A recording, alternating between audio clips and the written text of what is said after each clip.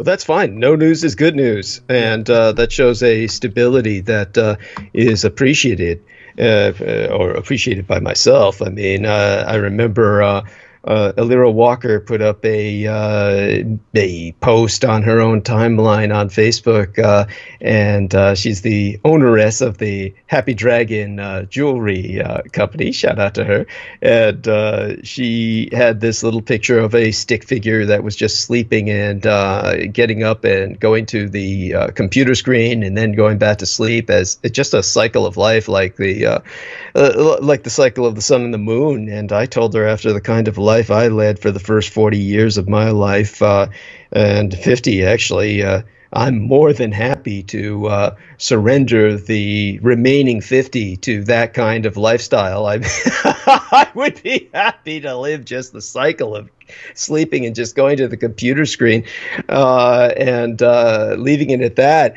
Uh, at any rate, um, I want to um, get started and I want to thank our dear grand brother in battle, uh, my executive producer and communication specialist, uh, Pavel Edward Provara, for uh, making all of this possible. He is the magician who uh, casts his spells. Uh, I want to give a shout out to our Grand Magator, uh, John Warrington, who has uh, placed up a number of new shares uh, on my personal friends page. make certain that you scroll down and find those and acknowledge them. Jonathan Warrington has been very busy with a number of projects that he's undertaken, and uh, one of them has been incorporating um, the overwhelming majority of graphics that I've either produced or published uh, on my Facebook timeline going back at this point uh, a little over half a decade, maybe around six years, half a dozen years at this point, and uh, incorporating them into my videos, these images uh, that, uh, for the sake of uh, posterity, and therefore he is truly taking the art of archiving to the level of an art. so God is bless the Grand Magator in England, Jonathan Warrington, and of course I owe he and um, so many people in England, uh, the uh, as well as uh, just the the Isles in Europe. To uh, the, I, I, owe them all the uh, uh, the subject of Brexit, and would dearly love to return to that uh, that's going to have to wait until next transmission. Cannot tend to that tonight because of the Mueller uh, report being turned in and Barr's uh, punking the Mueller report. So I'm going to have to cover that uh, excessively tonight in painful detail. We're going to be up through the night. This is going to be like a working day, uh, uh, almost nine to five, like spending eight hours at work. we're going to try and take out the lunch hour period so we should be here only seven hours, hopefully. But uh, it, it, it's going to be a long haul, and it's going to start ugly, and it's going to get worse. so uh, I have to contextualize and put into perspective exactly what happened, uh, because that's what everyone's wondering. What on earth happened? Uh, and uh, so before that, a few other people to acknowledge. Uh, the Grand Madam Ramona Halitha Henry has just published her Golden Star. Do look for it on my personal friends page. It is the closest thing that we have to a chat room. And uh, do, of course, I ask of my executive producer share that Golden Star, and um, that helps to uh, spread its accessibility. And people can follow that uh, because Grand Madam Ramona Halitha Henry, the closest thing we have to a chat room monitress, she make certain to enter links uh, to verify and vet uh, what I speak of, and uh, it, it, and and oftentimes she can often uh, put links in that uh, that that that add depth that. Um, might even be on a tangent subject, but they um, that they're educational nonetheless. Uh, all of it's enlightening, and they form a narrative all their own uh, as observed by Peter Moon. And a shout out to Peter Moon, who left a message in my uh, private message box on Facebook that I can't really understand exactly what he's talking about. He said he saw my June 11th lecture on Roswell and the Rising Sun. So he must be speaking of something a long time ago. Uh, I know I provided him some uh, some links to the actual transmission, the episode in which I discussed uh, the so-called surrender speech, uh, the emperor's speech, which of course was propagandized. uh, as a surrender speech by the Americans, somewhat somewhat analogous, though quite imperfectly so, to what got, went on with the Mueller report and what uh, Barr has done. Uh, Barr being the Attorney General, in terms of releasing his summary thereof to the public, his perversion thereof to the public, uh, as, as uh, vapid as the report itself might be. Now, um, in terms of uh, Peter Moon, don't know exactly what he's speaking about, but I'll speak to him later uh, vocally and hopefully clarify um, what he's bringing up now. And uh, shout out to Selena Khan, who's uh, tried to contact myself uh, on the uh, Facebook private messages. Hopefully, she's listening tonight, and uh, you know, bless her, and hopefully, we'll get a chance to speak in in the future. And as for George Knight, shout out to he. Um, haven't had a chance to go over uh, the paragraph that he wrote uh, in detail, but uh, he's always doing well and, uh, and, and certainly well by myself, uh, uh, by my account, and best to he and all his loved ones. And of course, we continue our mass prayer requests for Ronald Stroine and his family. He is, of course, the uh, lead bandsman for the uh, Deep Space Pilots, an acid rock band that's been around forever. Look them up. Make certain to look them up on YouTube and on Facebook. Uh, provide us them the likes uh, they deserve. And uh, a shout out to Daniel Orola, our dear grand brother in battle, the Kali Maestro of the Damaj Inc., or Daniel Orola Martial Arts Group in uh, Texas. He is a wonderful human being. Uh, he doesn't seem to be with us tonight, and uh, he's uh, definitely dealing with a loved one who's admitted to hospitalization last time I checked. And uh, so maintain he and his loved ones in your thoughts and prayers. Uh, mass prayer request for for for they as well.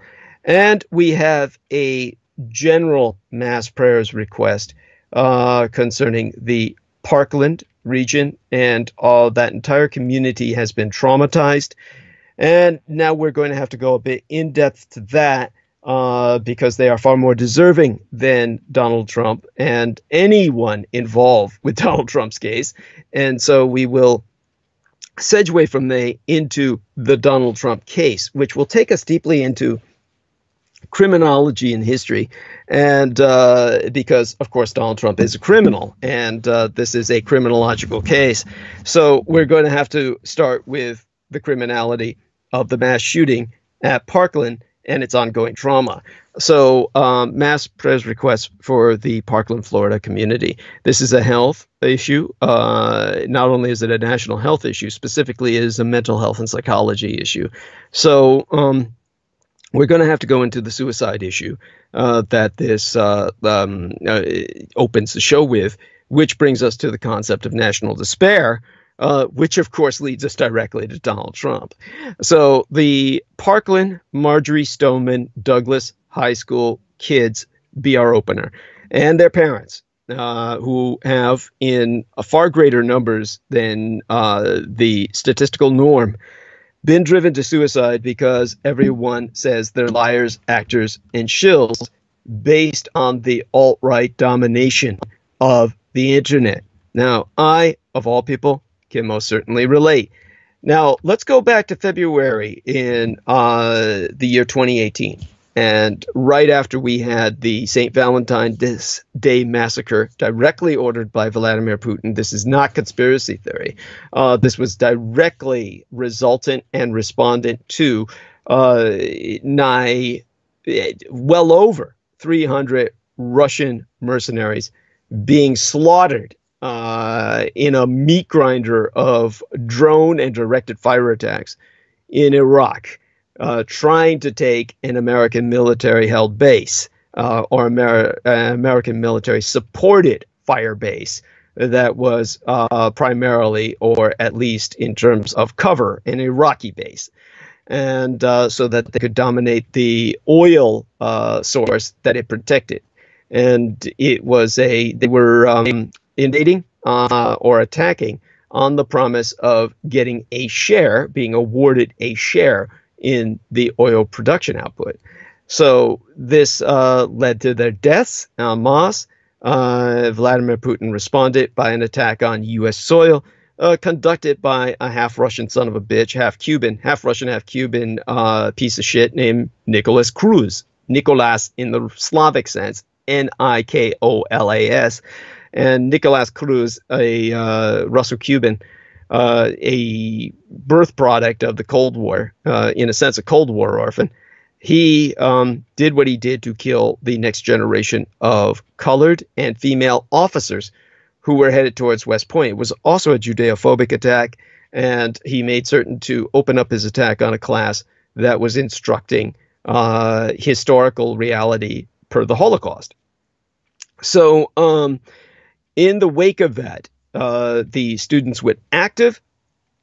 And when they went active, of course, they were attacked incessantly by the same people who attacked myself the pedopathocracy, the pedophile cult of white supremacists and incels, involuntary celibate men who are so repulsive and just so uh, just so sick, so pathological, so perverted that no woman will sleep with them voluntarily. So uh, they take, of course, to spending the rest of their lives attacking their betters, attacking people better than themselves, more worthy than themselves, uh, who don't waste the oxygen or pollute the oxygen on this planet with their exhalations. And uh, these people, of course, did such a number on the Parkland survivors that they've driven them to suicide uh, in far greater numbers than the statistical norm would ever represent over the last year or so. And so uh, there was a Parkland shooting survivor back on February 22nd of yesteryear who logged off Facebook after death threats, bomb threats, and rape threats uh, just drove him to do so. And uh, this is something, of course, that these kids are not used to. I was trained in psychological operations, and it's still not easy for me. And what I do is I have to segment my reality and my experience, and I'm able to ward off and deflect uh, what would drive other people to suicide. Uh, and uh, this is a siege and assault that is ongoing and every day. Uh, these children were never trained for that, and uh, and I call them children, but these are of course young adults, um, and that makes it all the more poignant. Now, these are people who would be contributing factors to our society as opposed to the incels like the gang stalkers who are following us tonight um, or the in bellgab.com uh, with nothing else going on in their lives than to try and assail others. These are the same species of subhuman uh, that lives on the internet and, uh, and, and just thrives off the pain uh, that they cause onto others. And uh, what they did to the Parkland community is they have it under siege, and the Parkland community is not counterattacking they're trying to deal with the symptoms of suicide. That's not going to stop the assault, and it's not going to cure the illness. Um, the illness will have to be conducted at a social level, as they're doing in New Zealand. And um, uh, what's going on in New Zealand will be addressed in my next transmission on Sunday. Uh, the Ramona Halitha Henry, the Grand Madam Ramona Halitha Henry, reminded myself that this is Women's History Month. Uh, I would be remiss if we left this month without addressing the Prime Ministress of New Zealand, who is one of the preeminent power players on the world stage today, in that she is a candle in the darkness, a beacon that shines a light in a sewer of shit that is overwhelmed by the white trash subhumans that have overtaken Israel, America, the House of Saud, motherfucking Russia, and of course, Hungary, uh, Poland, any number of areas where you have a white trash piece of shit running the country. That country is sinking into the sewer. Or they're already in the sewer. They're sinking into the septic tank that is embodied and manifest in terms of what's happening in Parkland, Florida. The way the New Zealanders are responding to it is with massive changes in firearm safety reform and the internet. In New Zealand and Australia, massive shifts are happening in the political landscape. New Zealand shut down Rupert Murdoch's station from transmitting its hate propaganda for a period of several days. Yes, censorship. All for the best. This is why we've got to repeal the First Amendment in the United States. The First Amendment has led to these parasites on the internet leading to people dying. They will kill us all if we keep allowing them to talk. They cannot be allowed to continue to speak. It's that simple. They have nothing good to say. Like the Parkland young adults who are killing themselves and depriving us of their contributions to the future.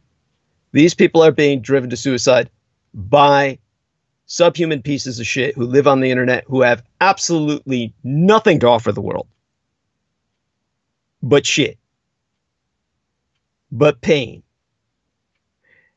These people, of course, realistically, are not people. They are degenerates. They are literally downbred.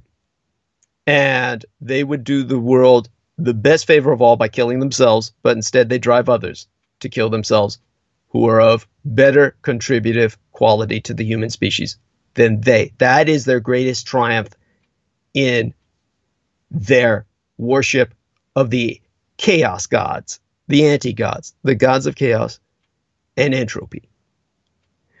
Also in New Zealand, they have made it a federal crime to publish the manifesto of the little Australian ballless wonder who killed half a hundred people and injured half a hundred more. They have made it not only a crime, but a serious offense to the point where if you publish it on the internet, you will go to jail for 10 years. That is what we couldn't dream of having enforced in the United States. These people have to be suppressed. The manifesto, and I'm going to honor the wishes of the Prime Minister of New Zealand, Madame Ardern, and I'm not going to say his name. That little son of a bitch and what he wrote is a egregore grimoire. All it does is it takes your mind into the diabolic cesspit of confusion and madness in which you are radicalized and motivated to kill others for no sane reason. There is no logical or defensible reason to allow that loose on any information ve- venue on the basis of some obscene concept of freedom of speech. Freedom of speech taken to its logical conclusion means we be free to publish child porn. That's what the people on BellGab want. That's why they assault those like myself who would prevent it. We would normalize paiderast pornography. We would normalize the obscene, which is exactly what Trump does. The result is people kill themselves. The research is in. So let's start with the experience of that young man following the shooting on Valentine's Day that killed 17 of the classmates and teachers of the teenage students of Marjory Stoneman Douglas High School in Parkland, Florida. That's when so many of those of the student body stepped up with impressive force and eloquence into new roles as firearm safety reform activists. At this point, you already most certainly know who they are if you have any exposure to mass media.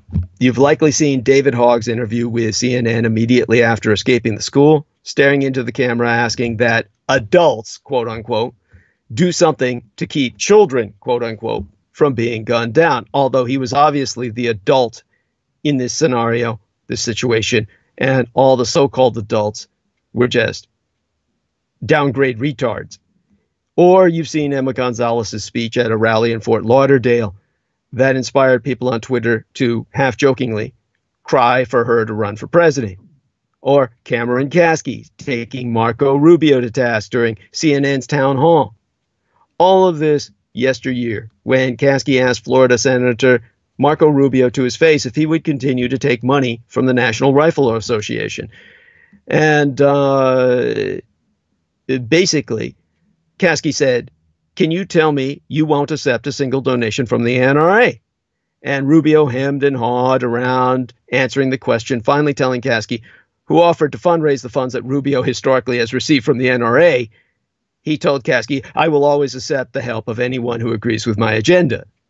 Now, earlier in that same day, Kasky tweeted that he was taking some time away from Facebook after receiving very graphic, very personal death threats, including photographs of himself and all of his loved ones in the most intimate of situations, meaning that people were actually taking photographs through the window of his bathroom while he was taking a crap. And targets were painted on these or superimposed over them with paint shop via computer scan, etc. And uh, telling people how they would tear his family apart limb from limb, skin them alive after they conducted a home invasion and pulled a purge, as in the trilogy of films to that effect. Torture them to death. All of this coming from people who proudly presented themselves as members of the NRA. So he said the NRA cultists directly threatened the lives of himself and all his loved ones. And Kasky noted that unlike Twitter, Twitter, which caps tweets at 280 characters, on Facebook his aggressors could threaten him for as many sentences as they'd like. So these were extraordinarily graphic essays of how they were going to torture him to death and his loved ones in front of his eyes before they burned them all alive within their own home. So Cameron Kasky wrote on Twitter, where he was still active at the time, temporarily got off Facebook because there's no character count. So the death threats from the at NRA cultists who were writing from NRA websites are a bit more graphic than those on Twitter. We'll be back when I have the time for it. Busy getting my feelings hurt by fellow teenagers at Breitbart. That was his words. Now, he was handling this with as much humor as he could. There is nothing humorous in it. Kasky and his classmates have been very vocal on Twitter since the shooting, something that has given immediate power to their movement. Being able to hear their voices, angry, hurt, scared, and unvarnished by parents or public relations representation, is one of the perks of the social media era that these kids grew up in. Of course, this also opens them up to direct attack something that's not just happening to experiencers like Kasky. An old news video from CBS 2 Los Angeles about David Hogg and a friend getting into a spat with a lifeguard on Redondo Beach was the number one trending video on YouTube directly after the massacre, before it was finally taken down by YouTube for violating that platform's harassment rules which of course I'm going to have uh, my executive producer uh, Pavel Edward uh, check more into or review more about. I didn't even know YouTube had harassment rules. I guess this is something special for when it gets so public, it becomes national news. But it bears investigating. Now, the video's caption claimed that David Hogg was an actor, a lie that's been thrown around ever since in an attempt to discredit Hogg and all his peers as paid crisis actors. This is what led to the end of the friendship between myself and Abdul Qadim Haq, a black trash piece of shit who pulled his kids out of school so he could save $600 a month on gas money. So he destroyed his own kid's future, gave up his faith in Allah, gave up his religion because the alternative right told him that his prophet Muhammad was a child molester it's incredible how the paedopathocracy projects itself on everyone they attack. this is how they perpetuate themselves. And this is part of the perversion of reality. Now, of course, people were claiming that these crisis actors were raised in anti gun cults, which don't exist. There's no such thing as an anti gun cult, but there very much are active pro gun cults, like the National Rifle Association, which lobby hundreds of millions of dollars in the political process. Now, Stoneman Douglas students have dragged Donald Trump and the right wing pundit Tomi Lahren, which makes for a lot of Twitter faves and retweets, but also particularly nasty Twitter assaults. And despite this, Kasky and his peers seemed undeterred throughout last year. Kasky's habit of calling out his trolls via quote tweet make us this very clear. These teens have already survived a shooting. They know the very real damage bullets are capable of doing. They've seen it with their own eyes. They aren't going to be phased by cyber bullies. But it wears them down.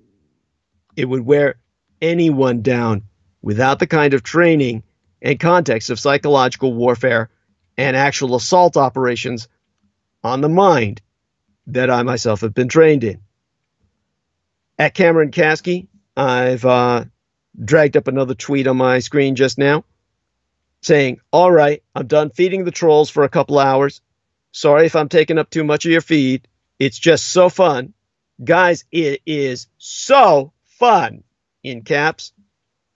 Then he says, My amazing team, be hard at work today. We're here to protect you and your children, whether you're with us or against us. Hashtag never again. All in caps. Now, this is where he's putting up a brave face. And that brave face is not enough. It rips you apart inside. What these people say on a daily basis, endlessly. When you wake up and you go on to your news feed, your check for just what's going on in the world, you check your private messages, when you check your phone messages, and the overwhelming majority of all you receive are just a sewer of assaults like I get from Richard K. Cole on a daily basis on my answering service, which is so taken up, even on my cell phone at this point, because no matter what new medium of communication I get, Michael Aquino gives them the numbers instantly because, of course, Michael Aquino worked with the NSA. My numbers are known. My life is a Truman Show. There's nothing I do that's secret. And of course, every day, all I receive, just spinning forward, looking for any messages of relevance, is assault messages about what they're going to do to kill myself, my surrogate son. Fortunately, all of my nuclear family is already dead. So the threats are constantly against myself and my surrogate son.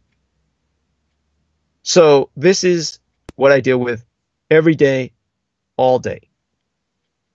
And the average person would never be able to withstand that assault. And this is why the father of a Sandy Hook school shooting victim has died in suicide. And the Parkland community is grappling with even more trauma. It's mourning two student suicides a year after the school shooting. Two students killed themselves within a week this week. Uh, the Parkland school principal is under investigation. And these two Parkland suicides highlight the lasting impact of trauma. So I'm going to try and briefly go over how the parents and teachers can help teens who be struggling, not just in Parkland, but anywhere but it's the pair of recent suicide deaths of two students in Parkland, Florida, that serve us as a stark reminder of the lingering effects of the trauma carried by survivors and family members of last year's mass shooting, and underscore the importance of providing long term support to those who be living with its consequences. The town is back in the national spotlight for how it's been coping, or struggling to cope, with its grief after a Marjory Stoneman Douglas High School student and graduate killed themselves within days of each other. Just days after 19 year old Sydney Aiello, uh, surname spelled A I E L L O, who survived the mass shooting at Parkland's Marjory Stoneman Douglas High School last year, died by suicide. Police confirmed that an unnamed student uh, who was currently in attendance at the high school also died by suicide. The police have not released details the last time I checked about the second Parkland student's death or say whether they were enrolled at the school during the rampage, as the other one we know was.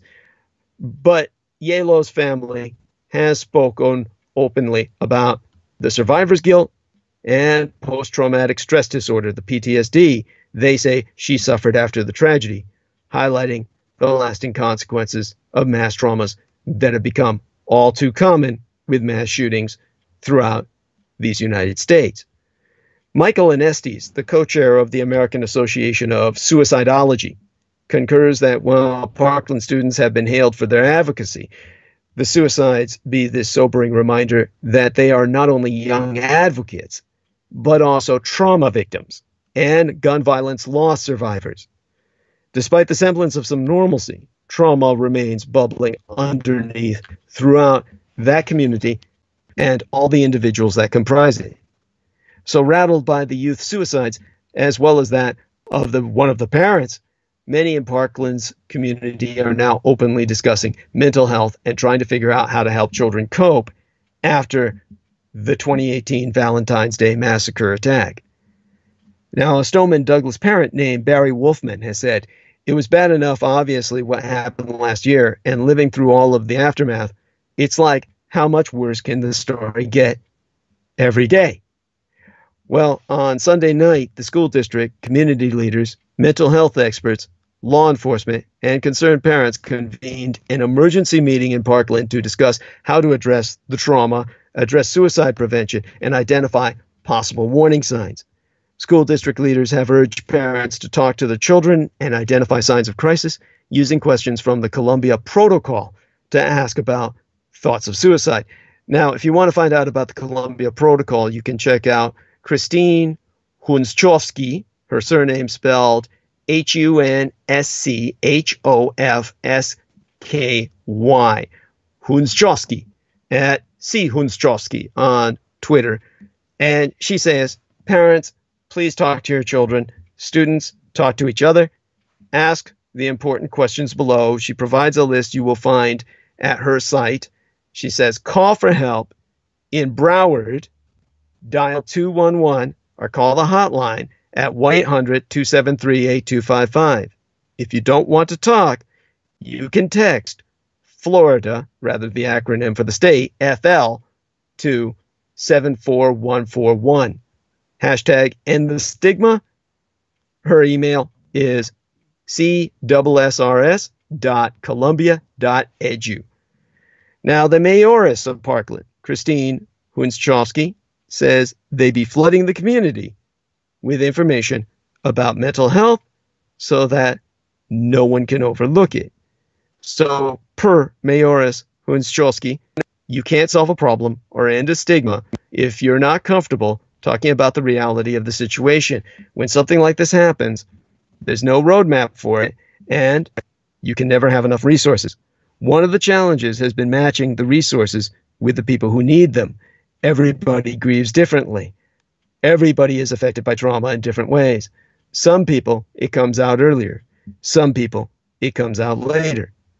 Now, Joel Dvoskin, surname spelled D V O S K I N, he'd be a psychologist at the University of Arizona College of Medicine, says it can also be helpful for parents to be upfront about their own fears if they be concerned about their teenager's behavior. Voskin emphasizes that it's fine to say, I'm scared for you, I'm worried for you. Kids, even those who be reluctant to label themselves as depressed, anxious, or suicidal, may find it easier to respond to that kind of language. It's also helpful not to pathologize negative emotions and instead focus on having open conversations with teenagers. So, parents are looking for ways to help. Many in the community be grappling with the youth suicides and wondering how to help Many are asking their children tough questions like whether they felt their lives were getting too hard to handle. David Glasgow's son, DJ, was a student in the freshman building during the shooting last year. DJ was in the classroom next to the one that the gunman attacked. While police led the students out of the class, DJ had to walk over two bodies. After the massacre, Glasgow said his son stopped playing baseball after 10 years in the sport. He just lost passion for the game, he told his dad. Of his son, Glasgow admitted this summer really hit him, just sort of closed down. DJ didn't go out to play baseball or basketball with his friends. He didn't hang out with anyone, stayed in his room and played Xbox. But Glasgow said he and his wife kept talking to him. His son eventually bounced back and picked up his grades back to A's and B's.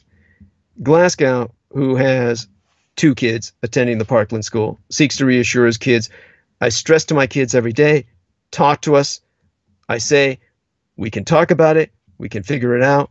I'll give up every penny I have to to make sure that you're okay. And so would your mother. Now, Stoneman Douglas educatress Diane Volk Rogers, who completed a two day suicide prevention training last summer, says she's been checking in with students by text while she's away during spring break this week, telling them they can call her cell phone anytime.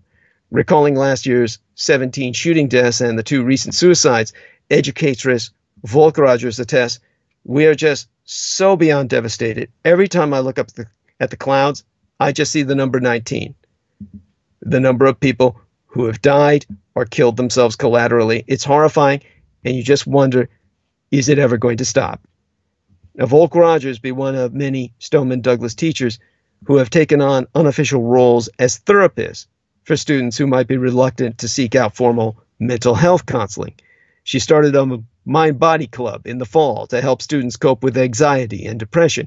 She's told students they can find her on Fridays at one of the resiliency centers in Broward County, where students or parents can meet with clinicians and participate in support groups throughout the week. Now, suicide rates in the United States have risen substantially over the past 20 years in general, but young people have seen particularly drastic increases in rates of depression, anxiety, psychological distress, and suicidal ideation and behavior, according to all recent research. Between 2010 and 2016, the CDC, the Centers for Disease Control and Prevention, recorded a 70% increase in deaths by suicide among girls ages 10 through 19 years.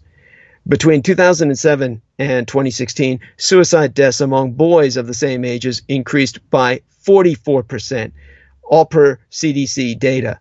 All told, 436 kids ages 10 through 14 died by suicide in 2016, as did well over 5,700 people ages 15 through 24, making it the second leading cause of death in both age groups.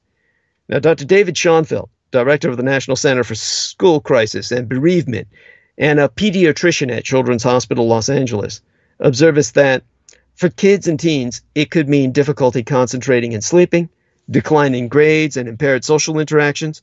Schonfeld relates that students say emotions be just as important as grades. Both grief and trauma can be long term, and sometimes the second year can be more difficult than the first.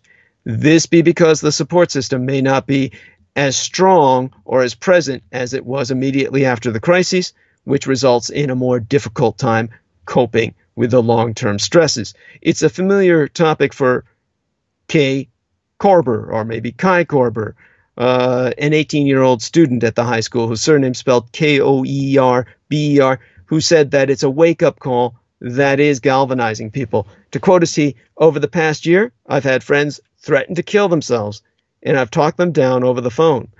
Of friends who've struggled, Koerber relates, they're afraid to go into classrooms. And even if they're not afraid to go into classrooms, it's the little things in their life that trigger the subconscious post traumatic stress disorder that they've experienced. It boils over, and for lack of a better term, makes people snap. They don't know how to deal with it, and they're not being taught how to deal with it. We've been suffering for a year, and we've been calling for mental health as well as gun reform, and we need support on both ends. Now, Maureen Brogan, statewide coordinator for New Jersey's Traumatic Loss Coalition for Youth, a youth suicide prevention program out of Rutgers University Behavioral Health Care, observed it be crucial that parents and educators start conversations like these to support teenagers long after traumatic events be over.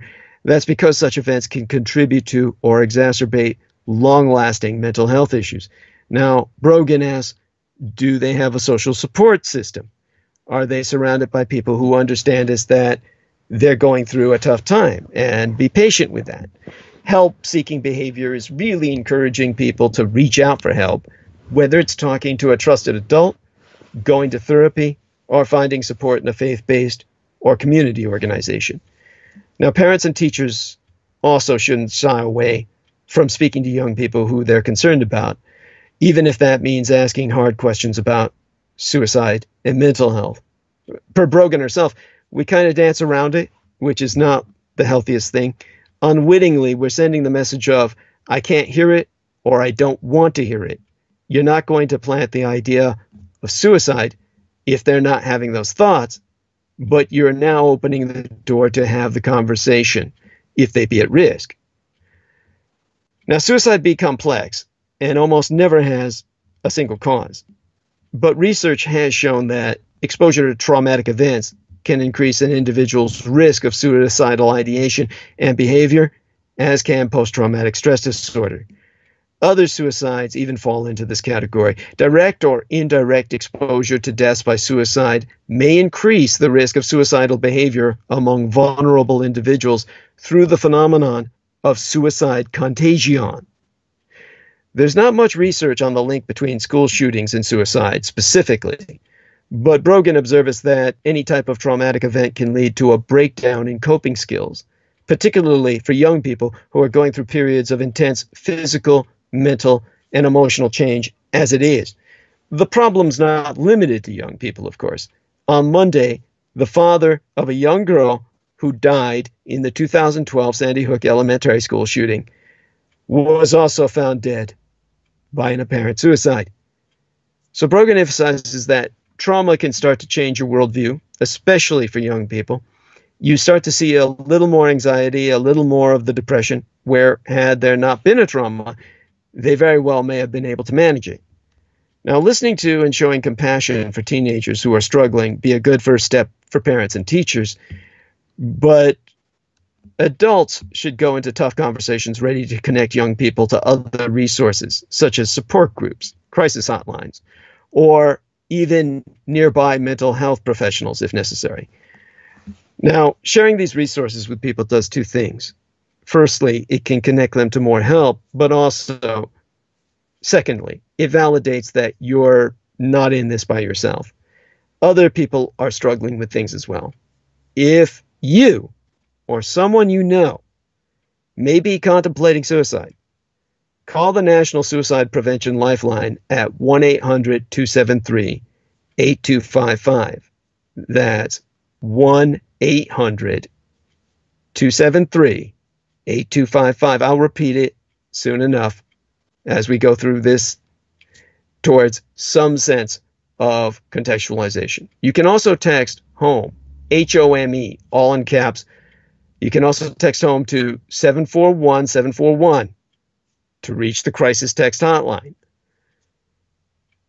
In emergencies, call 911, 911, or seek care from a local hospital or mental health provider. Now, on the gun violence itself, which engendered this endless waking nightmare or psyche eroding mass traumas, we be a failed state. The surest sign a political regime be failing be its inability to do anything about a problem universally perceived as urgent that has some obvious remedies.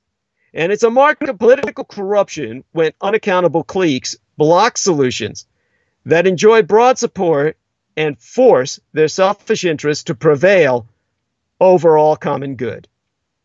On gun violence, the United States has become a corrupt, failed state.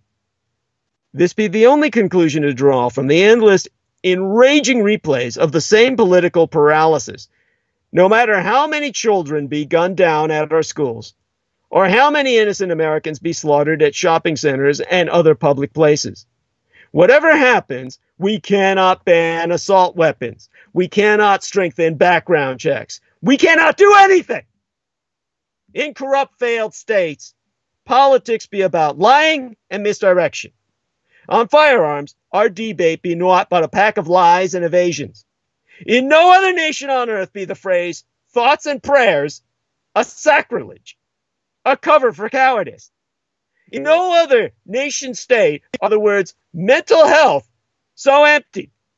They be muttered by politicians who have no history of caring in the least about programs to help those with psychological or psychiatric difficulties. But they need to say something to rationalize their allegiance to a firearms lobby that be evident as utterly indifferent to mass murder. Indeed, be the cause. President Donald John Trump's wrote address to the nation after the killing of 17 young adults at Marjory Stoneman Douglas High School in Parkland, Florida, had all the passion of a chief executive officer, a CEO, delivering a middling annual report. He told us, We are committed to working with state and local leaders to help secure our students and tackle the difficult issue of mental health. Trump's speech was one giant lie by omission.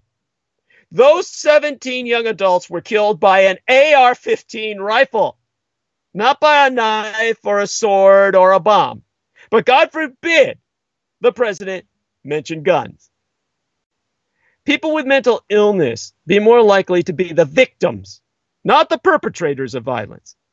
Yes, and if Trump cared so much about mental health, he wouldn't have proposed and enforced a 250 $50 billion cut over a decade in Medicaid, which pays for over 25% of the nation's mental health care.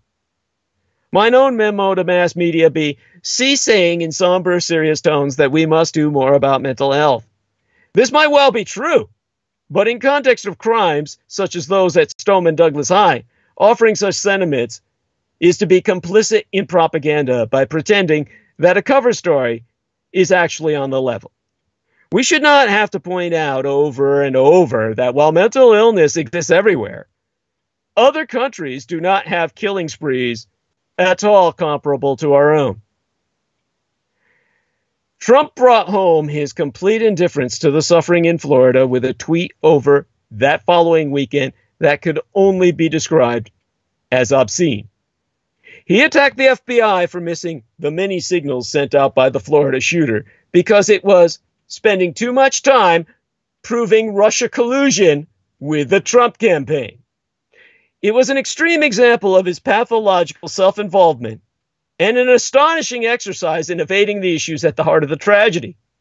At the heart of our political system's failure to address the epidemic of violence be the Republican Party's decision to become a paid agent of the firearms manufacturers' lobby. The party of law and order cares about neither, if doing so means causing the least disturbance to the National Rifle Association, itself a foreign terrorist network operating at the international level. This be where the corruption comes in.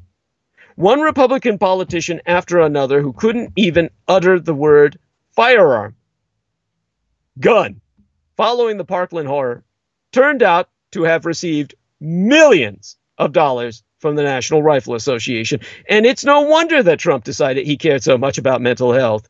That Russian sponsored international terrorist network spent 30 million United States dollars to defeat Hillary Rodham Clinton in 2016. Aggravating our difficulty in regulating weapons be the vast overrepresentation of rural states in this United States, which make some Democrats wary of taking on the NRA. This be but another classic problem of failed regimes. Their structures no longer be capable of responding to clear and present dangers, to current threats, even basic needs. No one wants our political system to fail more than the Russian President Vladimir Putin does. And our powerlessness on firearms hardly enhances our democracy's image to the world. It'd be worth revisiting reports published in the spring of the year before yesteryear in both Time magazine and the Washington Post about the relationships that Russians close to their government were cultivating with the United States gun lobby as part of the outreach by pro Putin forces of the far right. And Peter Stone and Greg Gordon of McClatchy reported in January of yesteryear that the FBI be investigating whether a top Russian banker with ties to the Kremlin illegally funneled money to the National Rifle Association to help Donald Trump win the presidency. Wherever this Russia story goes, we already know that the NRA and its political servants be immobilizing our government on one of the gravest problems confronting us. What would we say about any other nation that watched its children gunned down again and again and did absolutely nothing?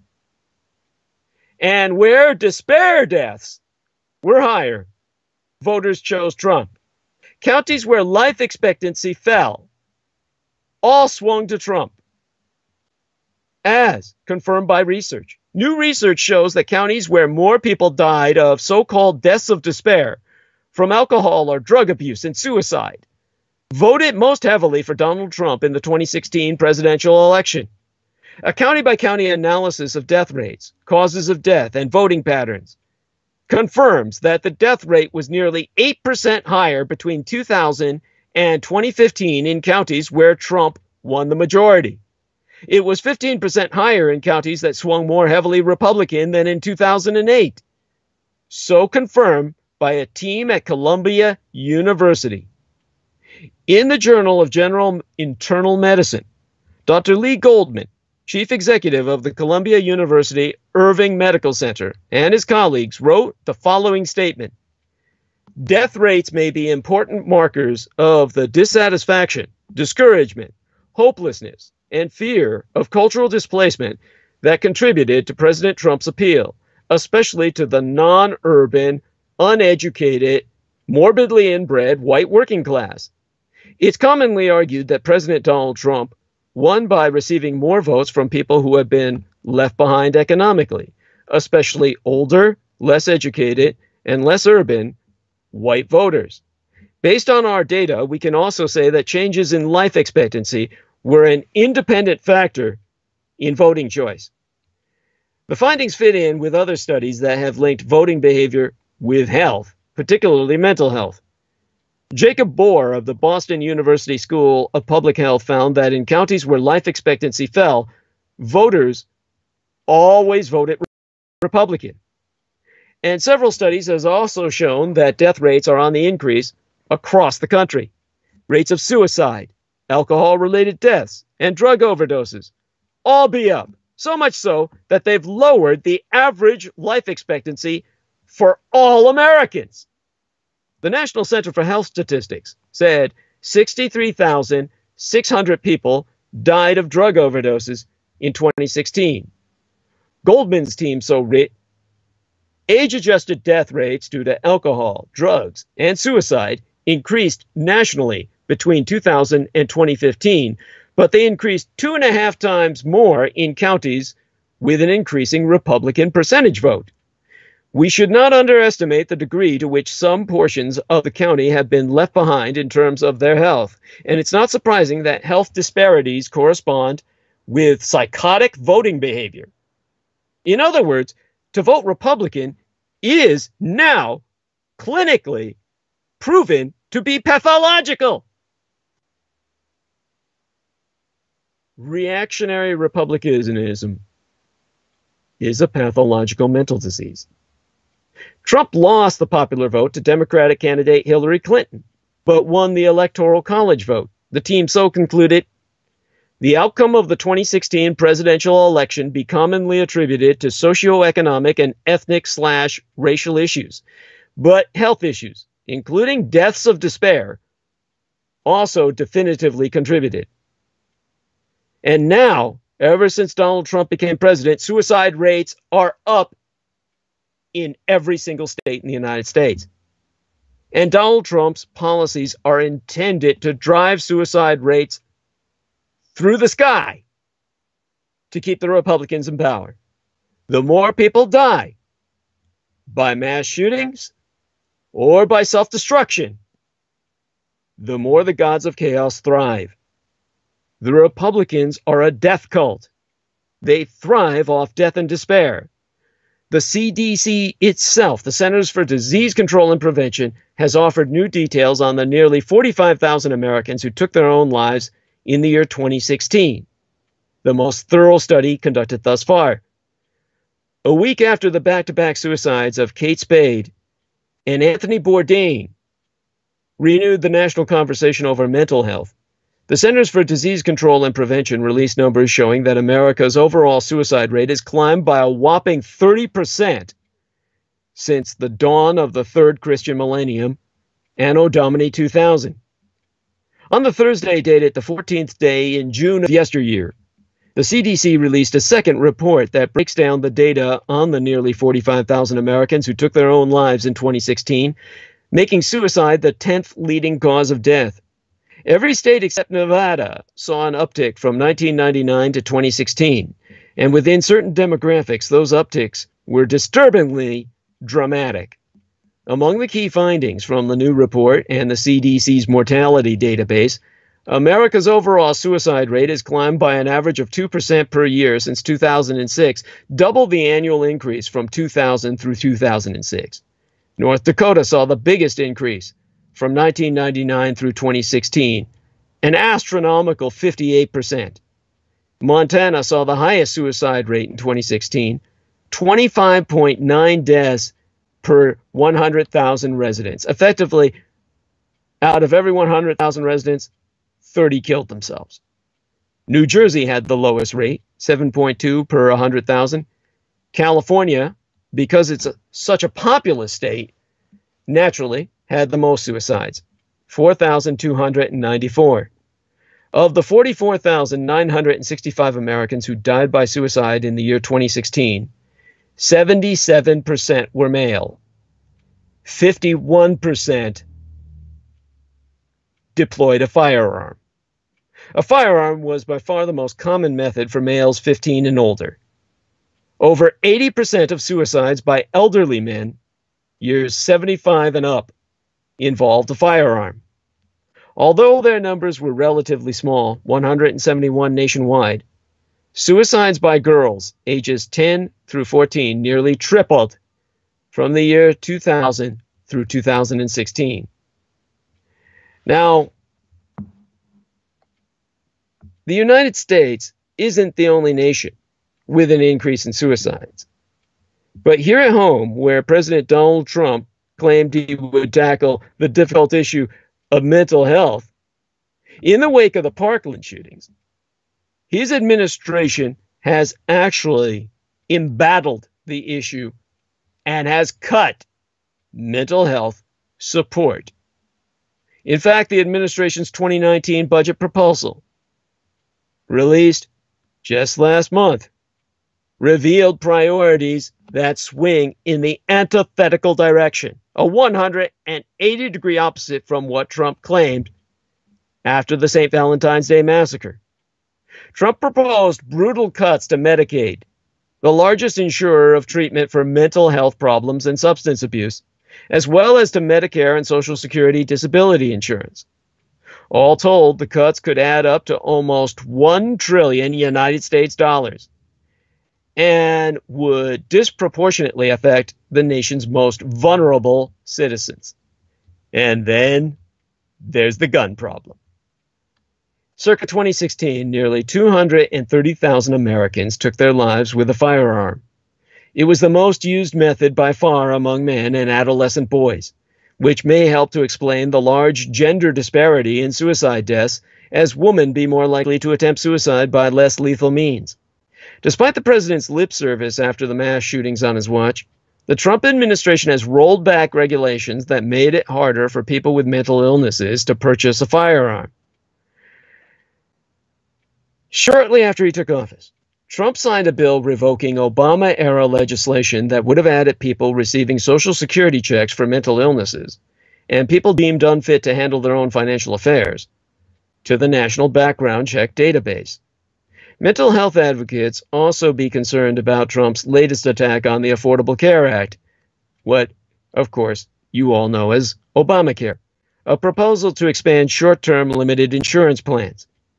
Unlike other types of health insurance, these plans need not cover pre existing conditions, including mental illness, or cover mental health and substance abuse care.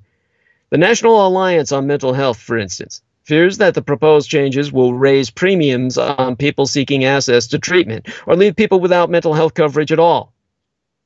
A 2017 report from Mental Health America, a national nonprofit, found that more than 43 million citizens suffer from a mental health condition yet fewer than half have received treatment in the previous year. The report also highlights a major shortage of providers. In Alabama, for instance, there be only one mental health professional for every 1,260 residents. Dr. Holly Hedegaard, surname spelled H E D E G A A R D, the lead author of the latest CDC report, answered my email and inform myself that while the data cannot predict future trends, it highlights how suicide rates be climbing faster now than they were before 2007. She says we need to be aware and we need to try to prevent these things from happening. Mark Olfson, a professor of psychiatry at Columbia University Medical Center, said limiting access to firearms and other lethal means would undoubtedly help as could extending awareness of suicide resources such as hotlines and improving detection of suicidal behavior in schools and healthcare settings. He also noted that greater attention needs to be given to people arriving in emergency departments following suicidal behavior and to patients discharged from psychiatric hospitals. Per Olfson, halting and eventually reversing this grim trend will require a sustained and concerted focus on societal, community, and clinical targets. It be a public health problem, sans simple solution. Again, if you yourself or someone you care about may be at risk of suicide, call the National Suicide Prevention Lifeline, a free 24 hours a day, seven days a week service that offers support, information, and local resources. That number is 1 800 273 TALK. T A L K. Going to repeat it numerically 1800 273 8255. 1 273 8255. That brings us to what will drive many people to suicide without context the world after Mueller. What the fuck just happened Sunday? Now we dive into this midweek's essential guide to the everyday shock and awe in Russian occupied national politics. I can understand it should ye opt to listen in moderation. This is going to start ugly. It's going to get worse from there. Use as a pretext kind of an entryway analogy Jussie Smollett. In a plot twist even Empire couldn't come up with. All 16 felony charges against actor Jussie Smollett who'd been accused of staging a hate crime against himself, were dropped by Chicago prosecutors in a shock move that angered the city's mayor and police chief. What's more, Smollett's criminal record was wiped clean, and records in the case were sealed, all in exchange for Smollett doing some community service and forfeiting his $10,000 bond. Chicago Mayor Rahm Emanuel and Police Superintendent Eddie Johnson were visibly livid. They blasted Smollett and the county attorney's office. Emanuel repeatedly called it a whitewash of justice. That's a that that's a funny pun. Black guy saying a black guy who had hoaxed a hate attack against himself. Uh, both these guys using the term whitewash of justice. I, it's just not a. It's not the correct term. Yeah, just I don't know it. Maybe it's me. Uh, it just uh, I, uh, anyhow, Smollett said he'd been vindicated and had been truthful and consistent from the start. I mean, this guy's a black Donald Trump. Emanuel and Johnson still say the whole hate crime claim was a hoax, which it was. Even a prosecutor said he still believed that Smollett lied, but the prosecutors otherwise said very little about why the case against the actor was tossed, leading to a host of questions. Now, if you've lost track of all the dizzying turns in this story, I'll at least set you straight on what went down with the president and his prosecutor, where we're lowering the bar. Trump's attorney general nominated, you know, this guy who was nominated by Donald Trump was, of course, William Barr. He'd be just another reboot nobody asked for. And I remember when he was a nominee, and that was at the death and funeral of George H.W. Bush and all its surrounding spectacle, which managed to combine two of the worst things about our current political zeitgeist spirit of the times. The tendency of every event to become a psychodrama revolving around Donald Trump's wildly inappropriate behavior patterns, and the equally formulaic counter-reaction phase of the news cycle. And in this pundit scripted set piece, the president's opponents attribute virtue and honor unto anyone who becometh the target of his ire, no matter their merits. In other words, the world held its breath when George H.W. Bush was put on bodily display, waiting to see if Donald John Trump would actually jump on the body like a rabid dog attacking a shake of meat and physically attack the senior Bush's corpse. And when he didn't do so, the world spent a lot of time tut tutting about how classy and bipartisan the dead president was.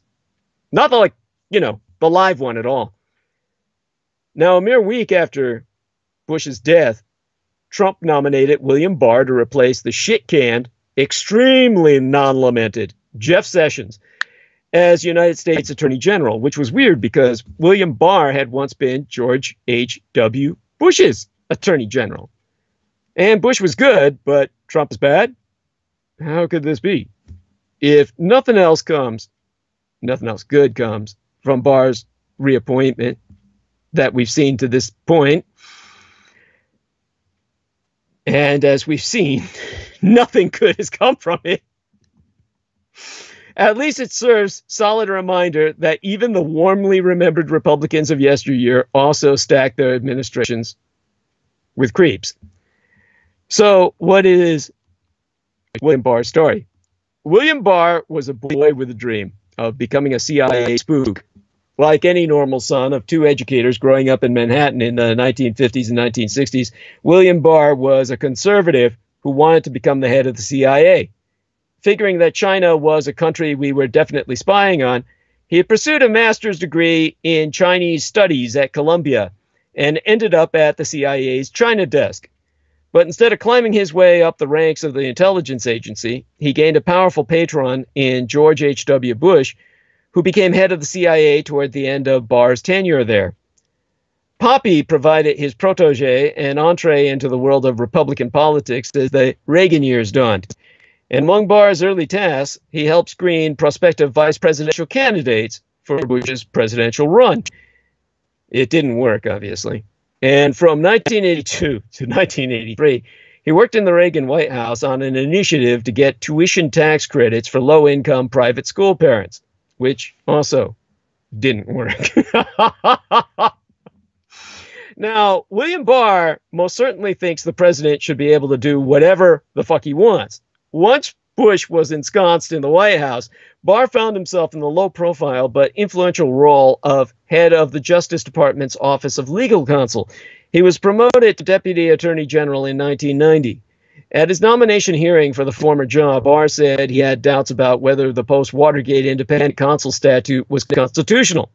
On the other hand, he provided legal reasoning to demonstrate that the invasion of Panama was supraconstitutional and that the Gulf War would have been too, even if Congress hadn't approved it. Oh, and the United States intervention in Somalia? You know it. Constitutional. Basically, the United States, as ordered by the president, has the right to arrest terrorists and ne'er do wells anywhere in the world, even when that violates international law. Because it's is international law even a thing to a provincial pervert like William Barr? But William Barr is extremely tough on crime. Uh, the 90s, of course, were the decade during which Hillary Rodham Clinton pledged to eliminate super predators.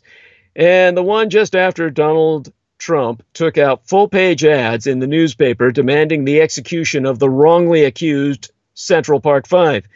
So it's probably no surprise that the nation's top law enforcement officer, working for the guy who signed off on the Willie Horton ad, was very into putting people behind bars. By early 1992, Barr had shifted Justice Department policy to a more aggressive stance and was helping states fight lawsuits over prison overcrowding because, as the New York Times put it, he believed that violent crime could be reduced only by expanding federal and state prisons to jail habitual violent offenders.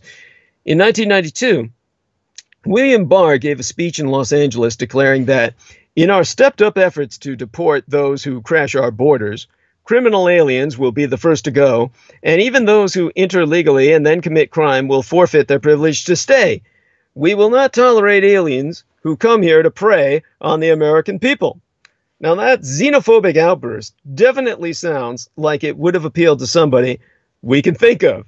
And speaking of immigrants, Barr also won an administration turf war against the HHS Secretary Louis Sullivan to maintain the ban on immigration by people infected with HIV. More than 12,000 HIV positive Haitian refugees ended up interned at Guantanamo Bay effectively for the rest of their lives because they died there as a result. By the way, it took them many, many years to die, and many people are convinced they were beaten and starved to death. Now, Barr's tireless efforts to lock people up and throw away the key didn't end when he left office. In the mid 90s, he helped Virginia's Republican Governor George Allen eliminate parole from the Virginia prison system. By the way, did you know that in Virginia there's still no such thing as parole for crimes committed on or after January 1st, 1995, when the new law went into effect? And it probably goes without saying that he signed his name to a letter opposing an earlier version of the recent successful push for prison reform at the federal level. But William Barr be remarkably soft on certain fairly specific types of crime. Although Barr definitely thinks drug dealers and bank robbers should go up the river for a long, long time, he weirdly seems less concerned about, say, crimes perpetrated by rich people and Republican administration officials. Like when it turned out that a United States branch of an Italian bank had been illegally lending large sums of money to Iraq, money that Saddam Hussein used to buy weapons to fight Iran, and later the United States. Barr was remarkably relaxed about the entire affair. Or when uh, lots of bigwigs, including the literal Secretary of Defense, got involved in a scheme to illegally sell weapons to Iran and then use that money to illegally fund the right wing Contra rebels in Nicaragua. You might remember Contragate, the Iran Contra scandal. Six of them were pardoned right after George H.W. Bush lost the 1992 election, and William Barr thought they shouldn't have been prosecuted in the first place. Barr's defense of the powerful didn't stop when he left office. He spent the latter part of the 90s in private practice, helping big telecom companies challenge laws they felt shouldn't really apply to them, mostly because those laws would prevent them from making tons of money. So, William Barr is not actually a surprise pick for Trump's attorney general at all. Sure, we've all were ready at that time for something truly comical, like Trump picking Jeanine Pirro or choosing Judge Judy because he think is she and Jeanine Pirro be the same person, or nominating Paulie's robot from Rocky Five because, or Rocky Four, I think it might have been, because he's got some fresh ideas. Believe me. Still, the idea that Donald Trump would choose someone associated with the hated Bush dynasty, someone who even donated $55,000 to Jeb's campaign, came as a shock to some people. But why wouldn't Trump pick William Barr, a tough on crime guy from the 90s who thinks the one person who can never be held responsible for perpetrating crimes be the president? Besides, Barr's been spending the past couple of years building a case for himself by writing op eds, opinion editorials about how firing Sally Yates was good and cool suggesting that Hillary's Uranium One business deserved investigating more than any so called collusion with Russia, And of course, sending unsolicited memos to the Justice Department about how Mueller better net, better not get too big for his britches, or something horrible would happen to Mueller's family. These were unsolicited memos, threats, actually sent to the Justice Department prior William Barr getting his job. Now, the special counsel, Robert Mueller's language, as quoted by this same Attorney General William Barr, be vague enough to bear numerous interpretations. The Mueller investigation itself was very narrow in scope. You might remember that over the past few years, I was divesting all hope in anything coming of it. Far too many people were putting far too much on what was self evident as an increasingly self circuited operation in meaninglessness. I once called Mueller a hero. By the end of this transmission, you will see why I reverse that entirely. I was hoping Robert Mueller would act a role. He couldn't even play.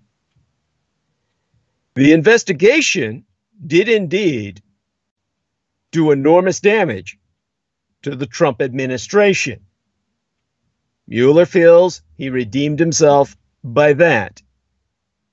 He feels he did something. And he did enough damage to Trump's administration that he provided that which be self evident in terms of the question at hand per Russian collusion. The investigation took down Trump's campaign chairman, Trump's White House national security advisor, Trump's longtime lawyer. It revealed the extent of Moscow's desire to swing the 2016 contest toward Trump, as well as Trump's pursuit of business deals in Russia deep into the campaign. And the Justice Department didn't explain why so many Trump associates lied throughout the investigation. But in the end, Mueller concluded that those lies were not an effort to obscure a criminal conspiracy by Donald John Trump and his advisors to work with Russia. Although the facts compiled after a two year investigation by Robert Mueller compelled the independent counsel to conclude that his final report does not exonerate Donald Trump from obstruction of justice charges. Aftermath of two day revisioning by Attorney General William Barr, they have become what the president has called total vindication. Now, Barr, who's been on the job for barely a fucking month, proved deserving of the president's confidence, spinning the Mueller report into a four page memo to Congress designed to confuse, not clarify. One glaring example be Barr's manipulation of Mueller's own words.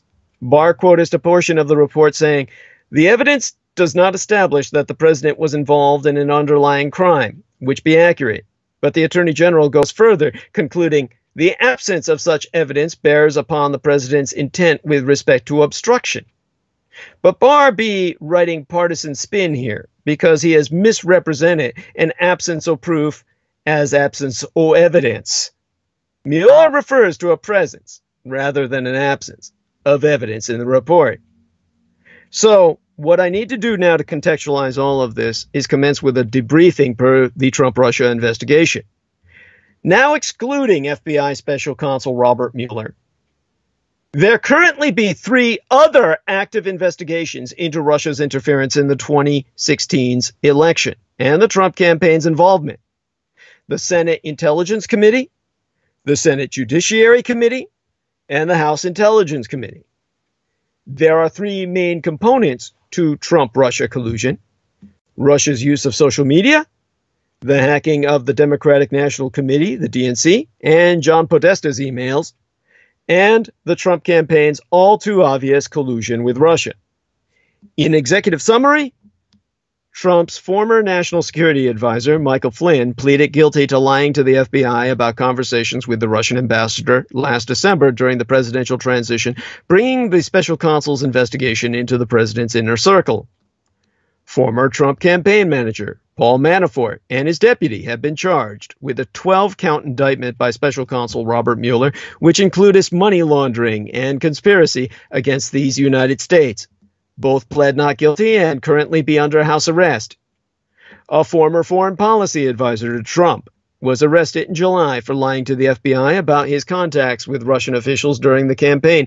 He has pled guilty, confirming his contacts with Russia in doing so, and has been proactively cooperating with special counsel investigations to this point. This hits closest to the heart of the collusion component. The Senate Judiciary Committee's investigation has gone its partisan ways and will be pursued separately by Republicans and Democrats on the committee. The committee's focus has been obstruction of justice in relation to possible collusion between Trump's campaign and Russia, as it has oversight of the FBI. Now, 126 million be the latest estimate of how many users were definitively reached by Russia's disinformation and social media war.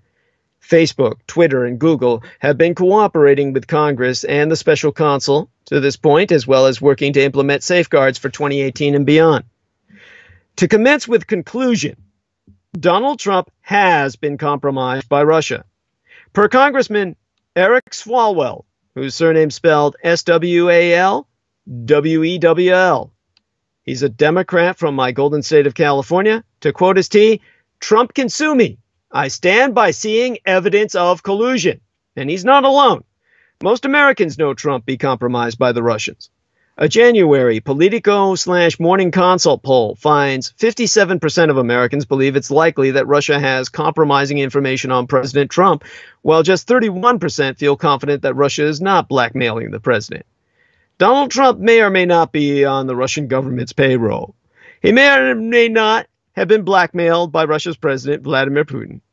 He may or may not have actively colluded with Russia during the 2016 campaign. But there be one thing we know for certain Donald Trump has been compromised by Russia. Every day that he remain as president will mean that he be putting America's interests behind those of his sponsor state, motherfucker Russia. Every day he be in office, Russia's interests be advanced and America's be foreshortened. The revelations that emerged this weekend, dated the 12th through the 13th, into the Ides of January this year, that weekend thereof, I mean. I always kind of go back and forth in time. I'm on a different timeline chronologically. I live by a cosmological time frame as opposed to a chronological time frame. So therefore, sometimes the calendars blur. But in January, the midst thereof, on the weekend dated the 12th through the 13th into the Ides of January, the midst of January, we had a number of breaking stories. First, via the New York Times, we found out that the FBI opened a counterintelligence investigation after Donald Trump fired FBI Director Jim Comey to determine if he was working on behalf of the Russian government. Then the next day, the Washington Post revealed that Donald John Trump has gone to extraordinary lengths to keep the substance of his talks with Vladimir Putin hidden from his own aides, including on at least one occasion taking possession of the notes of his own interpreter and instructing the linguist not to discuss what had transpired with other administration officials. Both stories, of course, be blockbusters, but they aren't at all surprising. After all, as former Assistant Secretary at the Department of Homeland Security and currently lecturer at Harvard's Kennedy School of Government, Juliet Kayyem answered myself in an email. Everything Trump has done to date be consistent with the notion that he be compromised by the Russians and the corollary to that be that he has done nothing to convince us otherwise. The evidence that Trump has acted as an agent of the Russians be overwhelming. We can start with the 2016 presidential campaign, in which Trump not only refused to criticize Russia or Putin directly, but also openly and publicly asked for their assistance in finding Hillary Clinton's missing emails. There also be the Trump Tower meeting with Donald Trump Jr., the dalliance with WikiLeaks, and the 101 contacts between Trump's campaign team and individuals linked to Russia. But perhaps even more telling be Trump's consistent refusal to acknowledge Russia's efforts to interfere in the 2016 election, which of course continues to this day. As president, there has been his repeated refusal to fully impose congressionally mandated sanctions on Russia, sanctions that his administration opposed. There's the repeated turning of a blind eye to Russia's actions towards its neighbors, as well as its human rights abuses. There be Trump's persistent attacks on NATO and criticisms of the European Union, the destabilization of both organizations being a key policy objective of Vladimir Putin's. And he's cozying up to Putin at their summer summit in Helsinki. In recent weeks, there's also been Trump's bizarre parroting of Soviet era rhetoric defending that country's decision to invade Afghanistan four decades agone. Above all, there be the persistent efforts to impede or obstruct the Mueller investigation into Russia's interference in the 2016 election, and his continued refusal to hold Moscow accountable for their actions during the campaign.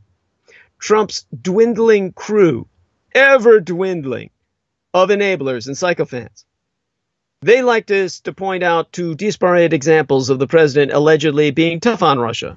His pulling out of the INF treaty or military strikes in Syria that killed Russian soldiers that led directly to the Parkland massacre. But, as was pointed out to me by Kayyem, not a single one of the policies that could arguably be called anti Russia were embraced, led, or even acknowledged by Trump. And in fact, he's done everything to thwart, undermine, or delay them. Indeed, it'd be impossible to come up with any innocent explanation for Trump's behavior to Russia. In fact, in light of Trump's actions and statements over the past two years, it would perhaps be more surprising if the FBI and the special counsel Robert Mueller were not looking into this question of Trump's ultimate loyalty. Now, we know Robert Mueller's report, as turned in, is something I'm going to have to contextualize through the rest of this transmission. And it's going to take a lot. Trump, in his own Nixonian I'm not a crook moment, said on Monday morning I never worked for Russia. But of course, the connection doesn't need to be that straightforward. And it seems perhaps even most unlikely of all that Trump would be working directly for the Russian government. Maybe he be financially reliant on the Russians. Maybe he did collude during the campaign and be fearful of Putin revealing that information. Maybe he knows Putin has compromising information on him. Maybe the mere acknowledgement of Russia's role in the 2016 campaign would, in Trump's mind, tarnish his electoral victory. I knowest none of you knowest the answer, and I'm not sure any of you care beyond the obvious curiosity to know the truth. Over the next several weeks, Mueller will likely fill in the blanks, but the larger picture will be unchanged. The President of these United States has, for the past two years, and in plain sight, been a de facto agent of the Russian government. No matter what Mueller ends up revealing, that fact will not change, and America will have to come to grips with how we allowed this to happen. The first thing to come to grips with be that Attorney General William Barr's letter is not Mueller's report. Sunday's letter from Attorney General William Barr to Congress summarizing the conclusions of Special Counsel Robert Mueller be an enormous win, legally and politically, for President Donald Trump. But many political and legal battles of enormous consequence still lie as ahead. Two critical points at the outset. First, Barr's letter is not Mueller's report, it's a four page distillation. There'd be no reason to believe Barr has overly distorted Mueller's report, but as anyone who ever skated through English class using Cliff's notes can attest, a summary can be a pale substitute for the real thing.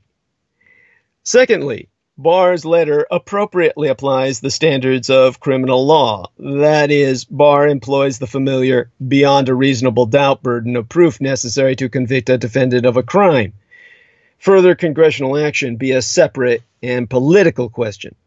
As such, Barr delivers a decisive exoneration of Trump and the administration on the question of criminal conspiracy, or coordination with Russia. Again, remember, Barr reports that Mueller found insufficient evidence to charge a federal crime, but not necessarily that Mueller found no evidence whatsoever. Quite the opposite. The coordination inquiry took place in between two undisputed factual pillars. Firstly, the Russian state hacked various email accounts associated with Hillary Clinton in an effort to help Trump win the 2016 election. And secondly, Trump and his campaign welcomed and encouraged the Russian hacking effort.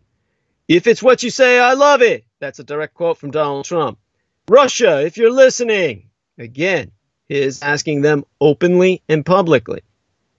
We also know the Trump campaign had dozens of contacts with the Russians, and that several campaign officials and advisors, Michael Flynn, Michael Cohen, George Papadopoulos, admitted to lying to the FBI or Congress about those very contacts. The question then was whether there was enough connective tissue between Russia's efforts to interfere in the election and the Trump campaign's desire to benefit from those efforts to support criminal charge.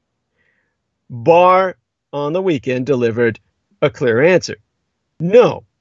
The obstruction part of Barr's letter be more complicated. Barr notes that Mueller did not draw a conclusion, one way or the other, as to whether the examined conduct constituted obstruction. Barr also quotes this key line from Mueller's report. While this report does not conclude that the president committed a crime, it also does not exonerate him. Now, Mueller punted on the obstruction question. While I had the highest possible regard for Mueller as a prosecutor, had being the operative term here, this was a most, a most unusual move. Prosecutors make difficult, oft razor's edge close calls about criminal charges all the time. Mueller has been a paragon of decisiveness throughout his career. Well, I'll give you some exceptions later. But this hard pass be confounding for even fellow prosecutors to fathom. But I have taken it upon myself to make yourselves comprehend the incomprehensible. Most importantly, do not think of the investigation as wins and losses. Such be precisely what the Russians and their hostile Republican insurgency want you to do. We should not think about the Mueller investigation like a sports contest with wins and losses for the president. We should think about what is good for the nation it is good for the nation if an American president did not conspire with a hostile foreign power to rig an election. It is also good for the nation if the president did not obstruct the course of justice. However, obstruction remains an unsettled question that requires examination of the full report and further inquiry by Congress. Determining the evidence was insufficient to indict the president be hardly a glowing addition to the Trump resume. It's difficult to spin not a criminal into a positive attribute. Not that this will deter the Russian occupation party from doing precisely that. Now, this is what's going to take us into what is not a divergence at all, but a very apropos parallel.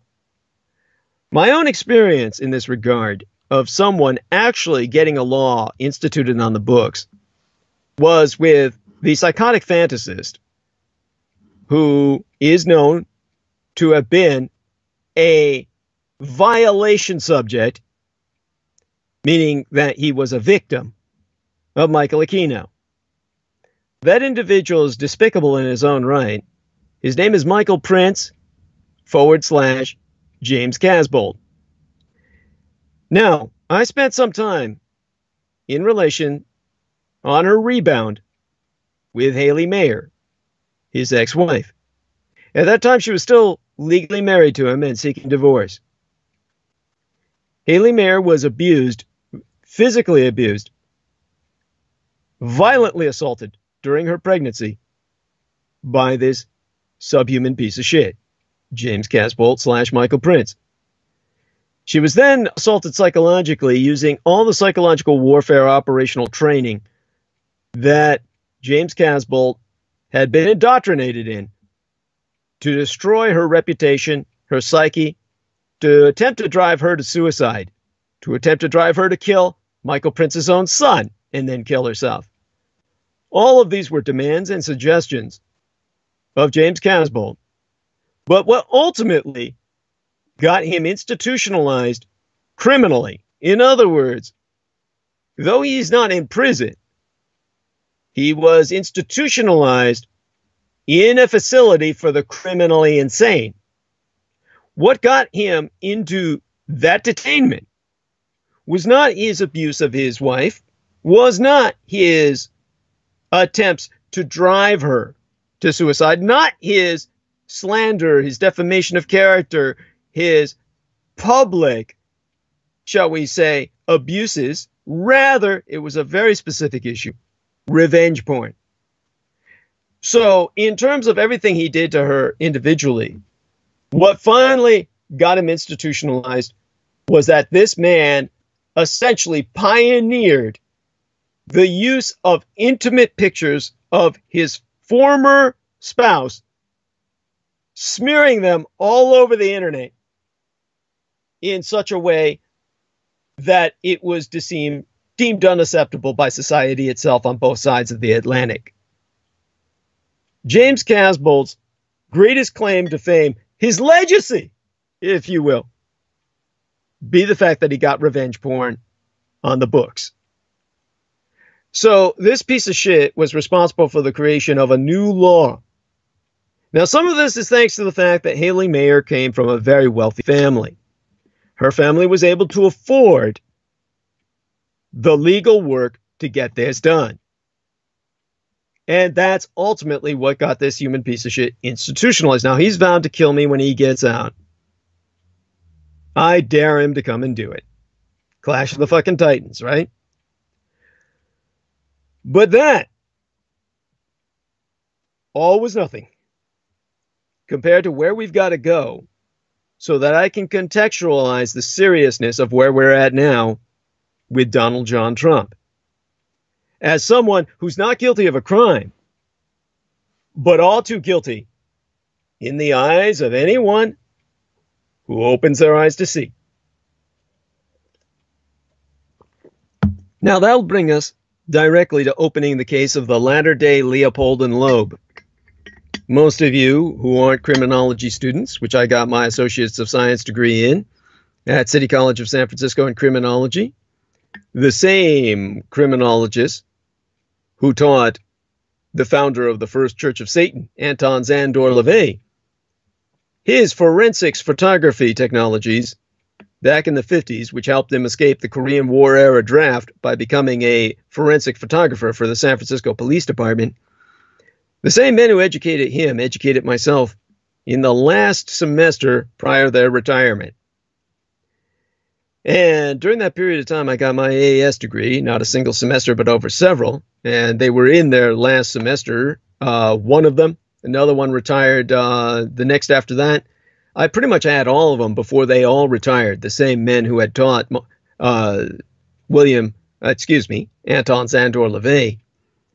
And uh, one of the most uh, important educational, shall I say, abilities or traits or what they educated myself in was the ability to investigate and kind of put a case file together on my own should I ever decide to become professionally a private investigator. And through that, I learned how to contact people.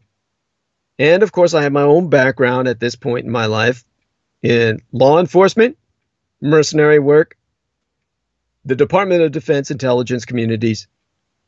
I have my connections. And through them, I was able to contact directly a number of people who were involved in the Strohmeyer case, in which the bad Samaritan, David Cash, led to a new law.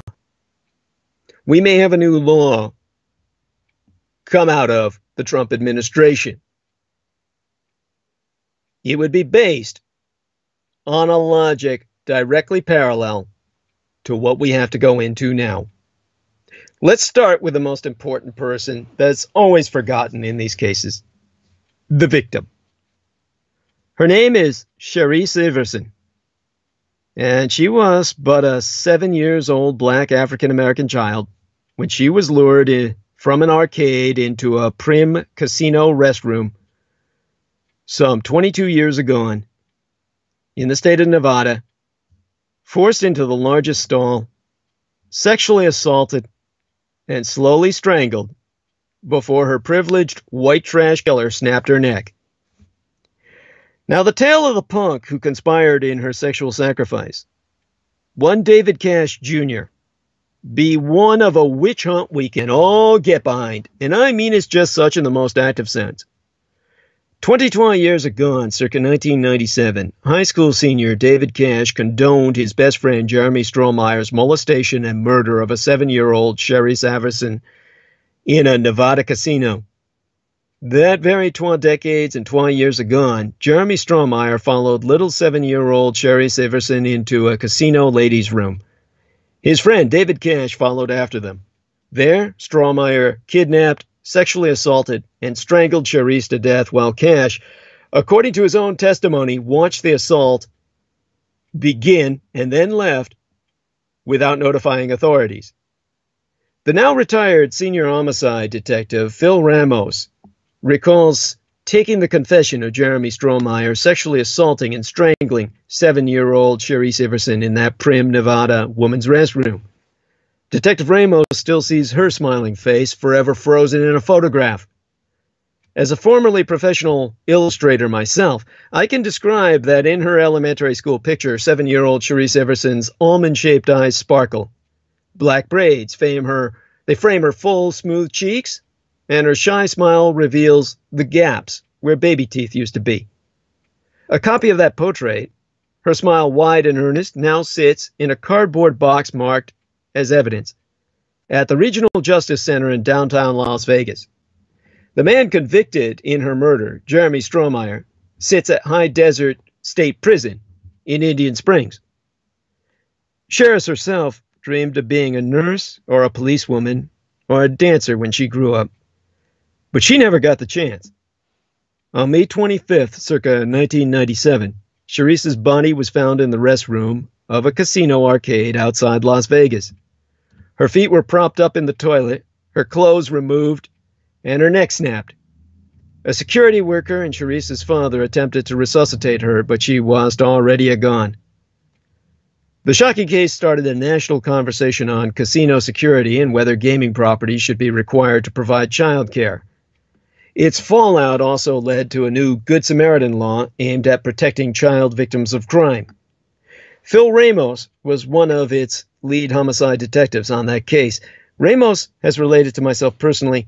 Sherrice was just as innocent a child as you could think of. This poor little thing did absolutely nothing. She was just being a kid, just playing in the arcade. Strohmeyer targeted her from the minute he got down there to that arcade. He was like a lion on the Serengeti, chasing down his prey. On a scratchy cassette tape, of Strohmeyer's confession, recorded four days after the killing. The honor roll student can be heard matter of factly describing the act. Ramos can be heard on that tape too, asking Strohmeyer if Sherrice's eyes were open or closed before he left the stall. The detective was actually, he shared with myself, searching for some glimmer of remorse. To quote his Strohmeyer verbatim, I don't. I don't think I really looked at her eyes. I don't recall really looking at her face at all. Justice was quick, but not necessarily thorough. Strohmeyer was sentenced to life in prison sans parole circa 1998. But David Cash was uncharged for any crime related to the murder. Months after the event, he attended UC Berkeley for college, right here in my greater San Francisco Bay Area Metroplex region. I myself attended Berkeley University when I was learning to speak some different languages for my own mercenary contract work overseas. I'm quite familiar with the campus and its history. It is, of course, itself a large part of American history. UC Berkeley was famous for its radicalization in the 1960s. All that history aside for now, Strohmeyer, the perpetrator we all know did it, originally pleaded guilty to all the crimes, facing a lifetime in prison as he is, he gets that. But there's a man who's in question in terms of his accountability, David Cash, who got to remain at UC Berkeley for a period of time to attain his bachelor's degree, his baccalaureate. The disparate legal treatment of these two young men who both appear so morally culpable, then at the time raised a lot of passions, causing even a noted criminal defense attorney, Jeremy Strohmeyer's own Representative Leslie Abramson to call angrily for some retribution against the junior David Cash. Strohmeyer, now 40 years of age himself, be serving this life sentence since possibility of parole for murder, kidnapping, and sexual assault. At time of the slaying, he was a high school senior, adopted at birth by a well-off Long Beach, California family. He pleaded guilty to his charges circa 1998, and in exchange, prosecutors agreed not to seek the death penalty. In 2000, Strohmeyer appealed, arguing that his attorneys pressured him to make the deal. In 2006, a federal judge upheld the conviction. Strohmeyer continues to fight for possibility of parole. A hearing on the matter was scheduled 12 years ago, circa 2017. But David Cash Jr. be a free man. Cash, who was with Strohmeyer the night of Sherrice's murder, didn't stop his friend from assaulting Sherrice, and he didn't go for help. Instead, he walked away, only to meet up with Strohmeyer later and listen to his confession. As one of the case's lead homicide detectives, the retiree Phil Ramos has confirmed that investigators to this day be very disappointed they couldn't charge Cash. And, Ramos told myself, he flaunted it. Shortly after the slaying, Cash was banned from his senior prom. But photos later emerged of him on prom night striking a playful pose in a limousine near the dance venue. Then Davy Cash went on to become a sophomore studying nuclear engineering at the University of California at Berkeley. In the fall of 1997, Cash enrolled at the University of California, Berkeley, specifically, he said, to learn to build nuclear bombs to destroy everyone who wasn't white. Now, covering the story circa 1998, the Washington Post wrote David Cash attended Berkeley not by any legal right, but by privilege. And he does not deserve that privilege. He should be cast out into the bleak wilderness of his own soul. Obviously, people were outraged that David Cash could still walk free and attend Berkeley after not doing anything about what he saw Strohmeyer in the Nevada casino bathroom stall. However, as immoral as he be, the expulsion of the unprosecuted David Cash from UC Berkeley was deemed a gross violation of his personal rights. See, the little black girl who died doesn't have rights. But the white boy who masturbated while she died, he has inalienable rights. Because he's a white male, he's a human being, whereas the little black girl's just a piece of shit. Nevertheless, technically, Cash had not committed a crime. That's because Nevada, like California, did not then have a Good Samaritan law, meaning citizens are not required to stop a crime in progress or report it to the police. Prosecutors in the case say they believed there to be insufficient evidence to charge Cash as an accessory. So that means we have to go over the crime. In the early morning hours of May 25th, 1997, two men, then 18 years old Jeremy Strohmeyer, and technically 17 years old David Cash Jr., but it was his birthday, so he had just turned 18. Both of these men, technically legal age, were at the Primadonna Resort and Casino at Primm, Nevada, near the California border. The two young men had arrived at the gambling establishment accompanied by Cash's father from their homes in Long Beach, California, who cut them loose to celebrate the birthday of David Cash. At around 4 a.m. in the morning, Strohmeyer began repeatedly making apparently playful contact with seven year old Sherrice Iverson, who was roaming the casino alone. According to Cash's grand jury testimony, sometime late that night, Sherrice and then 18 year old Jeremy Strohmeyer began throwing wet paper towels at each other and running around the arcade. Cash followed the two into the ladies' restroom and looked over the stall door as Strohmeyer threatened the girl's life and covered her mouth to stifle her screams. Now, what's wrong with this picture already? Number one, the young girl's father was gambling and drinking up to 5 a.m. Her older brother, Harold, was supposed to be watching her but failed to do so, resulting in number two, Sherrice running around unmonitored. Eventually, Strohmeyer followed Sherrice into a woman's restroom, While in the restroom, the two began throwing wet paper wads at one another. Sherrice then reportedly tossed a yellow plastic wet floor sign at Strohmeyer, so his original assertion was that he killed her in self defense. And while little Sherrice Everson's death 22 years ago was heinous, and Jeremy Strohmeyer's confession was chilling, a third player in the high profile case proved controversial David Cash Jr., Strohmeyer's best friend. Which leads us to point number three of what's wrong with this picture. At around this time, David Cash entered the restroom and witnessed Strohmeyer forcibly take Everson into a stall. When Cash looked in from the adjacent stall, he saw Strohmeyer holding his left hand over Everson's mouth and fondling her with his right. Dubbed by Time magazine as the Bad Samaritan, Cash's role, or lack thereof, in the crime was revealed several days after the legally accountable 18 year old Strohmeyer sexually assaulted and killed seven year old Sherrice in that Primm casino bathroom. When Strohmeyer forced the girl into the stall, Cash, who himself was now legally 18 years of age, this being his birthday, was standing by the sinks in the restroom, watching. When Strohmeyer locked the stall door and began struggling with Sherrice over the toilet, Cash walked into the adjacent stall, hoisted himself up, and watched as Strohmeyer continued to muffle the girl's screams. Then he left. This was the original account. You're going to hear this narrative go into some detail that will sicken you. Now, Cash never intervened, never reported what he saw, and never was charged with a crime because inaction wasn't considered illegal at that time. After this, Cash left the restroom and was followed 20 minutes later by Strohmeyer, who immediately confessed to him that he had molested and killed the girl. The boys kept silent until news reports and security video from the casino surfaced almost four days later.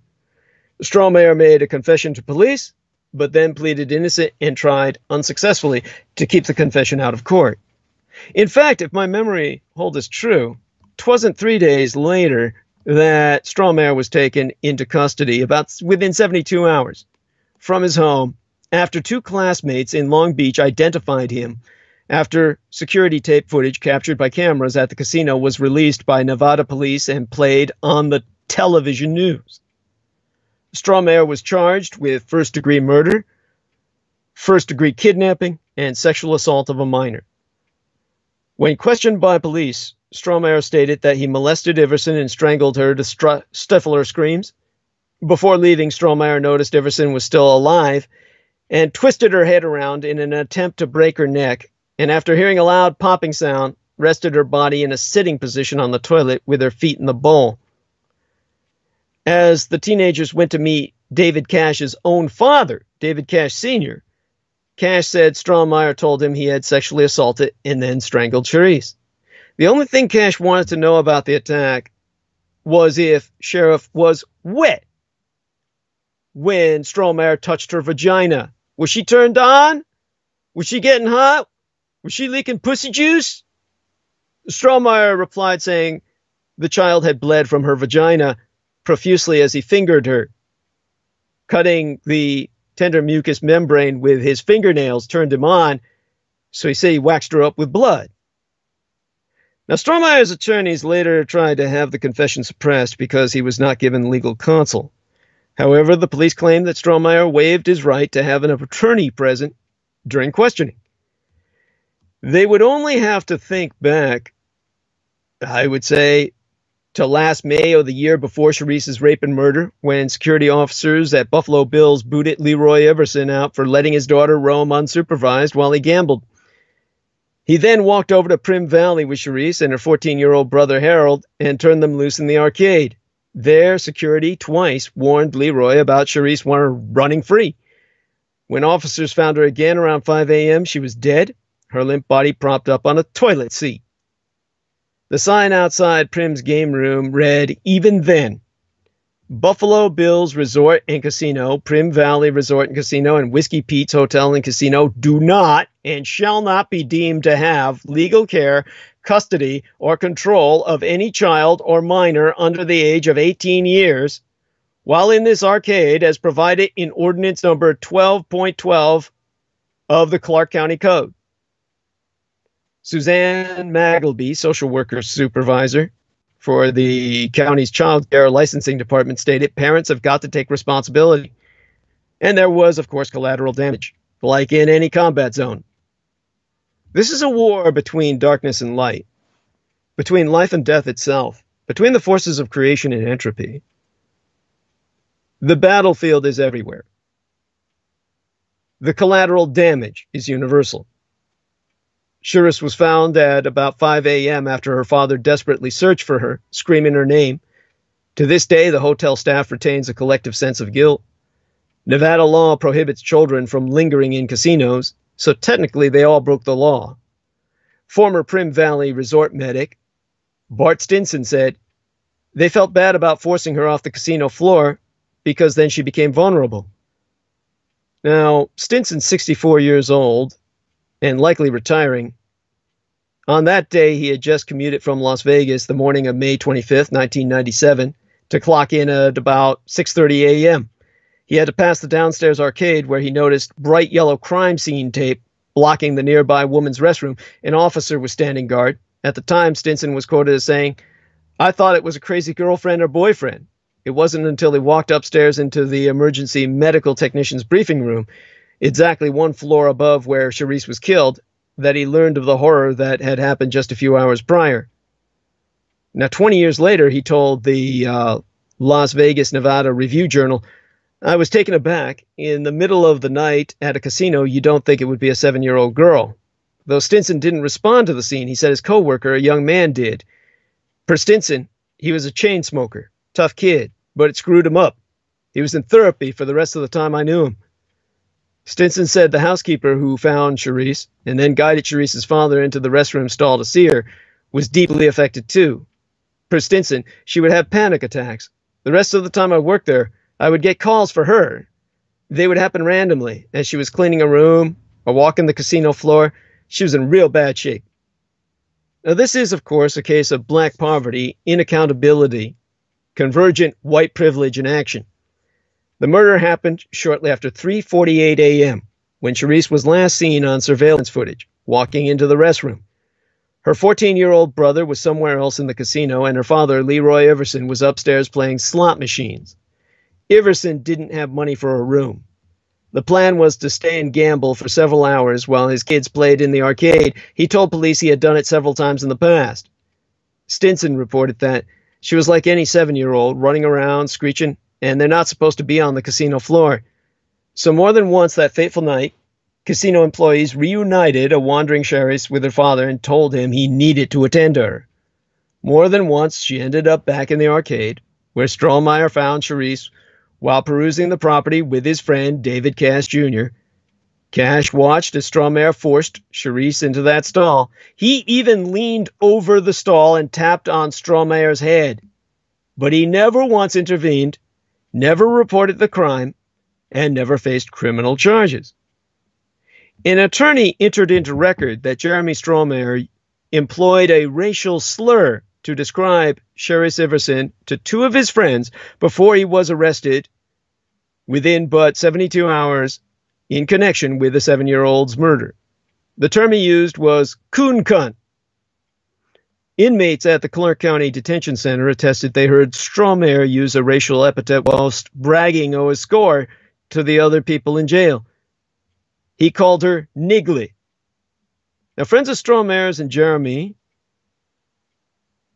well, David Cash Jr., all these friends said Jeremy and David used the epithet term Lil Nigger Bitch when speaking of the crime and describing the victim.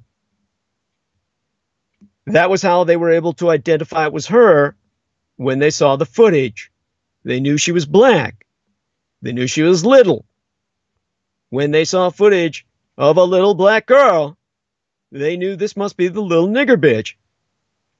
Now, friends of Strohmeyer and Cash also stated that prior to this incident, Jeremy and David were both known for their racist remarks towards blacks, and of course, we're part of a white supremacist movement, always connected with pedophilia. Surveillance videotape of the arcade where Sherrice and Strohmeyer met definitively provides us evidence that she was, in fact, targeted because she was black. On the day of his 1998 sentencing in court, Sherrice's mother, Yolanda Manuel, told Jerry Strohmeyer she was a smart Los Angeles second grader who loved learning and had dreams of becoming either a nurse, police officer, or dancer. And then, raising her voice before apologizing to the judge for her demeanor, she asked Strohmeyer, Are you a demon? Are you a devil? You be so evil. If I had a wish here, I would put you to death the same way you put my child to death. If it was my prison, I would blindfold you and shoot you in your feet and send you back to your cell. Now, on the junior David Cash, who watched all this from the gallery of witnesses, he laughed aloud. Sherrice Iverson's mother demanded that David Cash Jr. be charged as an accessory, but authorities stated there was not enough evidence connecting him to the actual crime, and Cash was never prosecuted for any offense related to murder. In the weeks following Strohmeyer's arrest, Cash told the Los Angeles Times that he did not dwell on the murder of Sherrice Iverson. To quote his T, I'm not going to get upset over somebody else's life. I just worry about myself first. I'm not going to lose sleep over somebody else's problems.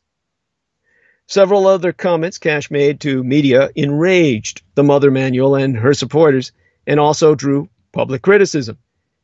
Cash was quoted in the Los Angeles Times as saying that the notoriety of the case made it easier for him to meet women. Indeed, he actually told that newspaper that the publicity surrounding the case had made it easier for him to score with women. Now, in the Long Beach Press Telegram, Cash was quoted as saying he wanted to sell his story to the media. He was also quoted in the Press Telegram as saying he planned to get money out of this. The all too aptly surnamed Cash boasted that one movie company had already offered him a $21,000 deal. And he clowned, said Long Beach Daily Publication, where I quote his T verbatim. And I spoke to the journalist who interviewed him. He said, I'm no idiot. I'll nigger fucking get my money out of this story. But the press telegram merely quoted he is saying, I'm no idiot, I'll, parentheses, expletive, parentheses, get my money out of this. The journalist said they were not allowed to print the word nigger fucking, which is understandable, and yet not to be commended. Cash would go on to face being labeled as the Bad Samaritan, and also the target of a campaign by students who attempted to get him kicked out of UC Berkeley for not stopping the crime. Two local Los Angeles radio hosts subsequently held a rally to have Cash expelled from the University of California at Berkeley. But university officials stated that they had no basis to remove him since he was not convicted of any crime.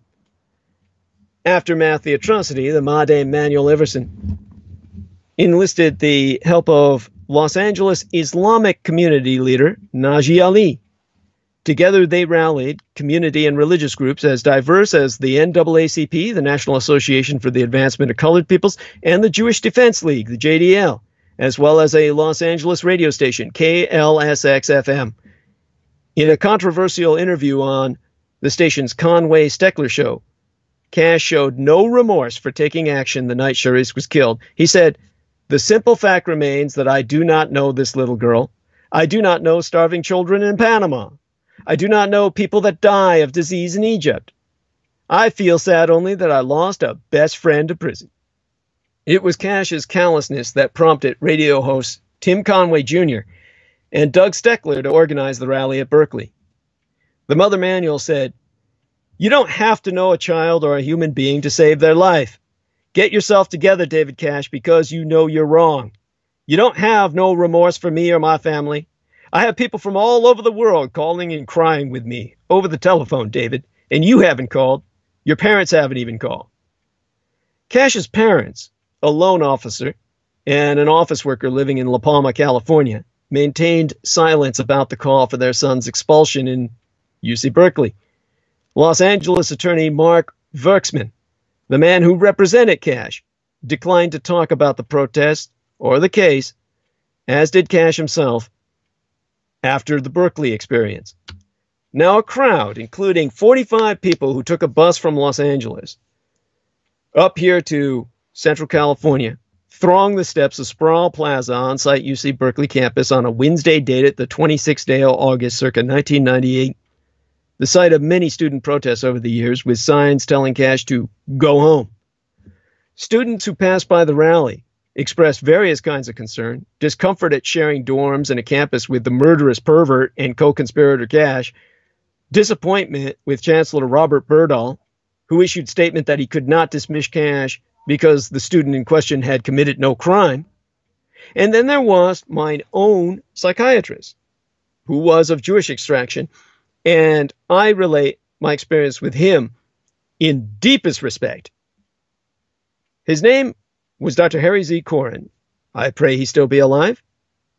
I know he's been in retirement for quite some time now. I was one of his last patients. Uh, there's running jokes I may have driven him to retirement. Now, Dr. Harry Z. Koren was one of the last few classical Freudians in practice.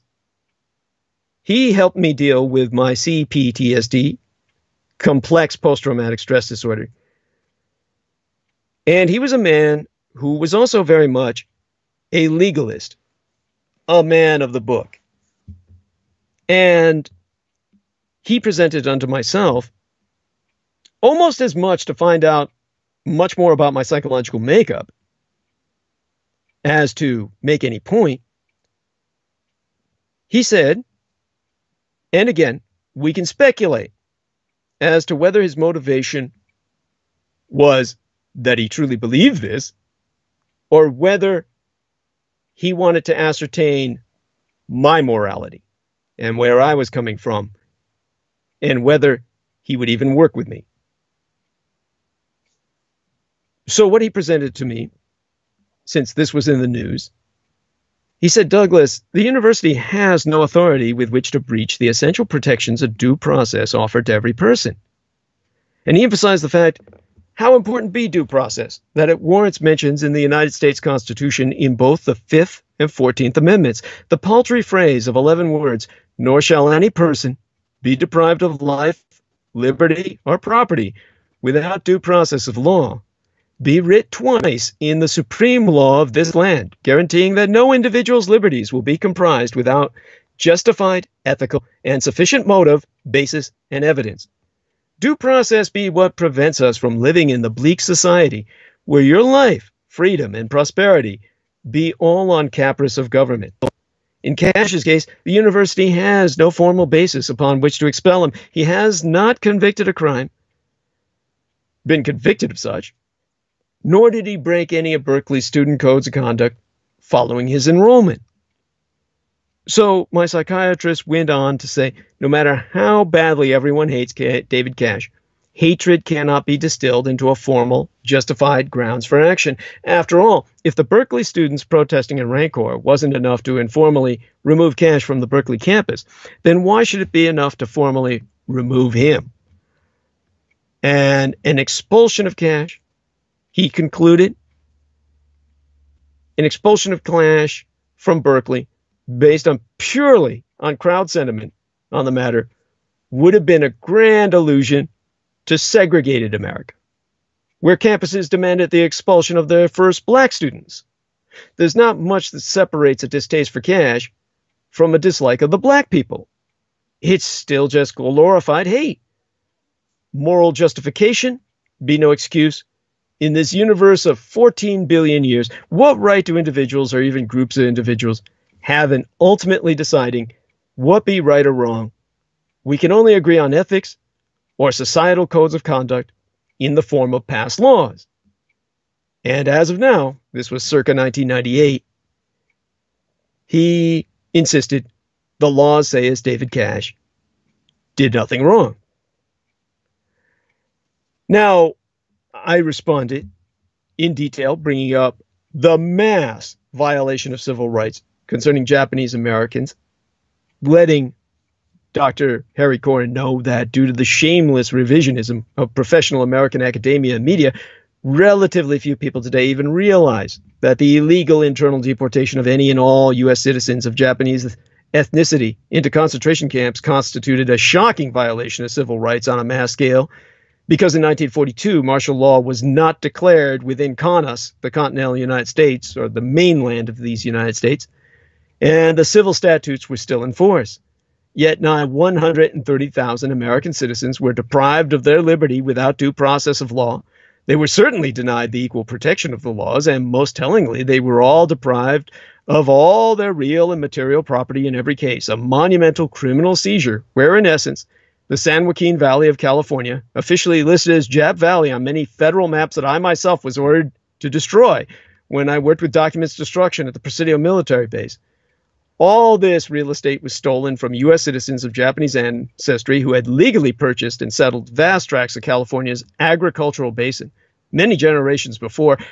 Virtually no unmolested member of the GI generation, the term greatest generation, of course, I emphasized a he, must never be misapplied in light of the repercussions of their actions, which we suffer from today.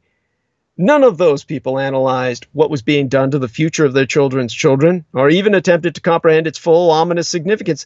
The few people of any ethnic background who objected did not protest loudly enough when they argued that the cause of the Japanese Americans was the cause of every U.S. citizen. It was still, till but yesteryear. That means until, like, literally just during the Trump administration that the constitutionality of the internal deportation and concentration was later, much later, we're talking about years before Trump. That's after the fact, though, for all those who have sent me ecom uniques attempting to rationalize the crime against humanity known as Japanese internment. It was decades later that it was upheld by the United States Supreme Court in one of the strangest and most ambiguous decisions ever handed down by that tribunal. And because of that extremely dangerous decision, no ethnically targeted population in this republic be safe today, or at least not until last year or the year before, when Trump became president, from federal search, seizure, and impoundment. Now, of course, the term minority group no longer is realistically applicable to anyone in light of current demographic changes. Caucasians will be of the minority status in many regions soon enough, just in time for what I had always calculated to be a full blowback from the GI generation's original act of intolerance above and beyond the law, had not the Supreme Court of these United States acted amid the Trump administration to reverse legal recognition, as it did preempt, precepts preemption per just such karmic legal enforcement. And the reason they did that was really not due to any foresight. It was due to the fact they didn't want Donald Trump to abuse it. They took that firearm out of his hands. Now, until just year before yesteryear, nobody was safe under certain conditions from unexpected detention and incarceration. So, legally, yes, the federal government could do anything it wants to any of us, en masse or individually. So, the federal government, which provides funding to all of these recognized universities like UC Berkeley could have insisted this boy be evicted off premises, be expelled. But beyond that, UC Berkeley could have used its own semi private status to say they want to do so in the sense that any business has any right not to serve anyone they want. But instead, we had two forms of justice. So, as I explained to my psychiatrist, why hasn't cash been charged? Many in the African American community knowest the entire case be about race. South Central activists were highly critical of the Nevada district attorney's willingness to accept a plea offer from Strohmeyer, wondering if the prosecution wouldn't have been more eager to seek the death penalty through a trial if the victim were white and wealthy. Maybe. As a former peace enforcement officer myself, it seems to me that the deal was typical when a defendant faces a real possibility of the death penalty. Know ye all that I myself, as I explained to my psychiatrist, never stood with Sherrice's father, Leroy Iverson, when he said, Killing that boy won't bring my baby back. That black trash piece of shit was all too obviously glad to be rid of Sherrice as a burden to himself. In exchange for not suing the hotel casino, Daddy Leroy Iverson asked for a hundred dollars, a room at the hotel, dinner for his surviving 14 year old son, his daughter's funeral paid for, and some beer. But when it comes to Junior Cash, I go as beyond even death as my recommended retribution. If there be no special place in hell for he, I myself would make this one. Now, bad as America be, this wasn't Mississippi in 1963, the year my own late sister was born. And while two fish belly white racists indulged their darkest fantasy, there was no great racist plot. Indeed, the public unease and outrage against Cash was a multiracial affair, with blacks and browns, whites and reds, yellows and mixed, all horrified by his actions and indifference. But be there a subtle, perhaps unconscious combination of racial and class privilege causing the authorities to balk at charging a young middle class white man with a bright future at an elite public university? Would they be so hesitant if he were darker hued, had no high school degree, and had the uncertain economic future that all too many young, poor black and brown men have? It was said that neither Nevada nor California could charge cash because neither state had a Good Samaritan law, yet they should have. I disagreed then with the pundits who opposed such laws with concerns that ranged from infrequency with which Vermont issues or uses its law that it issued to the suggestion that these laws turn us all into informants on each other. It matters not that the new law be rarely used, and we should all be watching each other anyway. And ideally, we should all hope that all criminal laws would rarely need to be used. In an ideal world, they never be applied, or never need to be. What matters be that we believe that the moral obligation to help under certain circumstances be important? If so, then we should have a law for whenever that be needed. And these laws have less to do with us becoming informants on each other and everything to do with what we should already be doing for each other, helping each other out in times of need, regardless of our differences, because we're all part of a community. But what about the laws we already had? This is when I actually got into the legal detail with my psychiatrist, Harry Koren. I brought up the fact that both states had laws on the books that make accessories to a crime guilty of a crime. An accessory is the crime of knowing a felony offense has been committed and helping the perpetrator avoid arrest or trial. Several Nevada attorneys had suggested that David Cash could be charged as an accessory for two reasons. If Cash saw the sexual assault and lied about it, that would be interference with the state's ability to prosecute.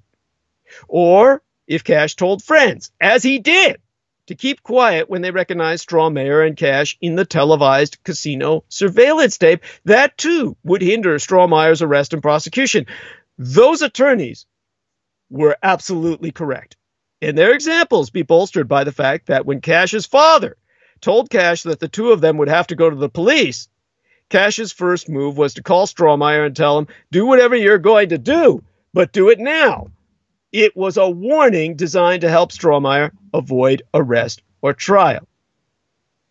Frankly, as new information has since been revealed, the case against Cash grows stronger, and there be no statute of limitations on murder.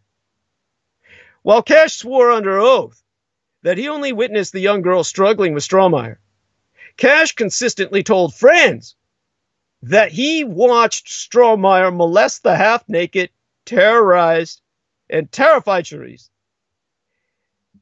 And it was then, according to Cash's former roommate, that David Cash asked Strohmeyer that stomach churning question Was she aroused? Not after Strohmeyer left the bathroom and said that he'd killed Sherrice as Cash claims now. Worse than that was that the former roommate, who was asked to be anonymous, told me personally that Cash said he masturbated since it took almost half an hour for Sherrice to die. He was able to bring himself to climax. He jacked off and orgasmed after tapping on his friend's head because he wanted to see if the guy had a boner with which to penetrate her. That way he got more to look at while he was jacking off standing on a toilet in the adjacent stall. So, if instead of ineffectually trying to stop his friend and leaving while fearing the worst, Cash in fact encouraged his friend's sick, deadly assault, and then himself gratified sexually over it. Cash be far more an aider and abetter, beyond an accessory, as guilty as the principal.